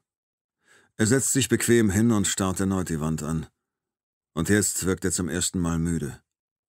Ich denke an Coles Schlachtplan und daran, wie wütend er sein wird, wenn er zu sich kommt und feststellt, dass er noch lebt. Er wird wieder in den Knast wandern und sich erneut verprügeln lassen. Als er das letzte Mal gesessen hat, hat er sich nicht umgebracht. Wird er es diesmal tun? Und sollte er in 20 Jahren wieder rauskommen, was dann? Ich kann mir allerdings nicht vorstellen, dass er es 20 Jahre durchhält. Eine weitere Stunde verstreicht. Die meiste Zeit habe ich die Augen geschlossen und den Kopf an die Wand gelehnt. Dann tritt ein anderer Arzt aus dem Flur hinter uns ins Zimmer. Er schüttelt den Kopf. Wir konnten ihren Finger nicht retten, sagt er. Aber abgesehen davon geht es Katie gut. In ein paar Stunden können wir sie entlassen. Okay, sagt Kent, und der Ablauf ist der gleiche wie beim letzten Arzt. Er steht da und wartet darauf, dass wir irgendetwas sagen, und als nichts kommt, geht er dorthin zurück, woher er gekommen ist. Ich frage mich, was jetzt mit dem Finger passiert. Einige der Detectives verlassen das Zimmer. Und kurz darauf sind wir nur noch zu fünft. Keiner sagt ein Wort. Dann erscheint Dominic Stevens. Während er den Raum betritt, lässt er seinen Blick über die Gesichter wandern. Unter irgendeinem Vorwand geht Detective Kent mit den anderen in den Flur und lässt mich und Schroeder im Zimmer zurück. Bevor uns Stevens die Leviten lesen kann, kommt ein dritter Arzt herein, durch dieselbe Tür wie der erste. Die Schulterverletzung von Nicholas Stanton ist nichts Ernstes, sagt er. Aber die zweite Kugel ist unter seiner Achselhöhle in den rechten Lungenflügel eingedrungen. Er hat viel Blut verloren. Wir haben ihn wieder zusammengeflickt, und sollte nichts Unvorhergesehenes passieren, müsste er durchkommen. Gut, sagt Stevens und nickt langsam. Sehr, sehr gut. Er legt Schroeder die Hand auf die Schulter. Vertreten wir uns ein wenig die Beine, sagt er zu ihm. Schroeder und Stevens gehen in den Gang und ich bleibe allein mit dem Arzt zurück. Als ich versuche aufzustehen, verliere ich das Gleichgewicht und plumpse zurück auf meinen Stuhl. Ich brauche Schlaf. Denn plötzlich kann ich meine Augen kaum noch aufhalten. Alles in Ordnung? fragt der Arzt. Mir geht's gut, ich bin nur müde, das ist alles, sage ich. Danke, dass Sie sein Leben gerettet haben. Er nickt. Er ist noch nicht über den Berg, aber es sieht gut aus. Okay, sage ich. Doch er bleibt stehen und mustert mich. Ihr rechtes Auge, sagt er. Sie haben sich verletzt. Was? Er geht vor mir in die Hocke und leuchtet mir mit einer Taschenlampe unvermittelt ins Auge, worauf mein Gehirn einen Salto macht. Trotzdem bleibe ich Herr meiner Sinne. Die Pupille zeigt keinerlei Reflexe. Haben Sie Kopfschmerzen? Ja. Seit wann? Seit sechs Wochen. Wie bitte? Immer mal wieder, sage ich. Ich habe einen Schlag auf den Kopf bekommen. Wie stark? Sehr stark, sage ich und reibe mir die Beule. Man hat mir was dagegen verschrieben, sage ich und greife in meine Tasche, doch ich bin zu müde, um nach dem Rezept zu suchen. Meine Hand gleitet aus der Tasche, fällt zur Seite und baumelt schlaff neben dem Stuhl herab. Warten Sie hier, sagt er und verschwindet. Trotzdem verlasse ich das Wartezimmer, mein rechter Arm hängt seitlich an mir herunter. Im Flur unterhält sich Dominic Stevens mit Schroeder. Stevens trägt Jeans und Hemd. Ich habe ihn noch nie so salopp gekleidet gesehen. Er macht einen ruhigen Eindruck. Beide reden mit gedämpfter Stimme, und ich lehne mich gegen die Wand und beobachte sie. Schroeder schüttelt den Kopf, dann fängt er an zu nicken. Schließlich grüßt mich Stevens mit einer kurzen Kopfbewegung, richtet erneut das Wort an Schroeder und verschwindet dann. Und wie lautet das Urteil? frage ich, denn es ging in dem Gespräch um Mrs. Whitby. Ich werde nicht gefeuert, sagt er. Aber? Aber man hat mir nahegelegt zu kündigen. Tut mir leid. Ja, mir auch. Obwohl ein Teil von mir das wollte. Und Mrs. Whitby? Stevens meinte, der Tatort sei noch nicht freigegeben, aber ihr Tod werde vielleicht als Selbstmord deklariert. Er sagt, es könne durchaus sein, dass man Mrs. Whitby mit der Waffe in der Hand gefunden hat dass sie sich umgebracht hat, weil sie ein schlechtes Gewissen hatte und glaubte, das alles wäre nur ihre Schuld. Kannst du damit leben? Er schüttelt den Kopf, sagt dann aber, doch, ich kann damit leben. Wir haben das Mädchen gerettet, oder? Und es gibt eine böse alte Frau weniger auf der Welt. Ja, ich kann damit leben. Aber ich bin mir nicht sicher, ob das stimmt. Außerdem hängt Stevens Plan ganz davon ab, ob sie es schaffen, Cole zum Schweigen zu bringen. Und Stanton? Er schüttelt den Kopf. Ich weiß nicht. Das liegt nicht in unserer Macht, Theo. Stanton hat vor laufenden Kameras einen unbewaffneten Mann niedergestochen. Das müssen die Anwälte klären. Ich gehe jetzt nach Hause, sagt er, bevor meine Frau mich auch noch feuert. Ich schaue ihm hinterher, während er den Flur hinuntergeht. Ich schätze, Katie, Cole und Stanton, sie werden alle wieder auf die Beine kommen. Ich schätze, das ist ein gutes Omen, doch dann fällt mir das Gleichgewicht der Kräfte ein, von dem Schroeder vorhin gesprochen hat, und dass meine Frau dieses Gleichgewicht wiederherstellen wird. Ich starre einen Moment auf mein Handy. Dann wähle ich die Nummer, doch ich weiß bereits, was man mir erzählen wird. Wann hat mich zuletzt jemand angerufen, um mir eine gute Neuigkeit zu überbringen? Ich rufe Dr. Forster zurück, und nach dem zweiten Klingeln hebt er ab. Ich höre ihm schweigend zu, lausche seinen Ausführungen.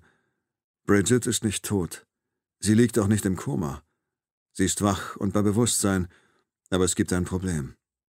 Er versucht es mir zu erklären, doch ich verstehe es nicht. Ich drehe mich im Flur herum, um mich zu orientieren, um herauszufinden, auf welcher Station meine Frau liegt und wie ich dorthin komme. Nachdem ich mich einmal im Kreis gedreht habe, sinke ich auf die Knie und übergebe mich. Der Arzt, der vor ein paar Minuten meine Augen untersucht hat, bemerkt mich und kommt zu mir herübergeeilt, doch ich rapple mich wieder auf und betrete den Aufzug. Die Türen schließen sich, bevor er mich erreicht hat, und ich fahre mehrere Stockwerke nach oben. Als ich vor das Zimmer meiner Frau trete, kann ich kaum noch gerade gehen. Zunächst glaube ich, die Hälfte der Lichter sei ausgeschaltet worden, aber dann merke ich, dass es an mir liegt, dass ich Probleme habe, etwas zu erkennen. Ich öffne die Tür und Bridget schaut mich an. Ein Lächeln macht sich auf meinem Gesicht breit, doch dann kommt der Fußboden auf mich zugerast ich knalle mit dem Kopf gegen die Bettkante, und das Ding in meinem Schädel zündet den Rest seiner Notruf-Leuchtkugeln. Ich liege auf dem Boden und begreife, dass in dieser Stadt für jedes positive Ereignis etwas Schlimmes passiert. Das ist das Gleichgewicht, von dem Schroeder gesprochen hat. Cole Stanton, meine Frau, ich bin das Gegengewicht zu ihrem Überleben. Ich kann hören, wie sich hinter mir die Tür öffnet und jemand ins Zimmer eilt, wie jemand sagt, da ist er, und sich über mich beugt. Ich höre, mein Gott, das sieht nicht gut aus. Und dann verschwindet alles. Die Lichter, der Schmerz, meine Frau, und ich spüre Tränen auf meiner Wange. Und dann gar nichts mehr.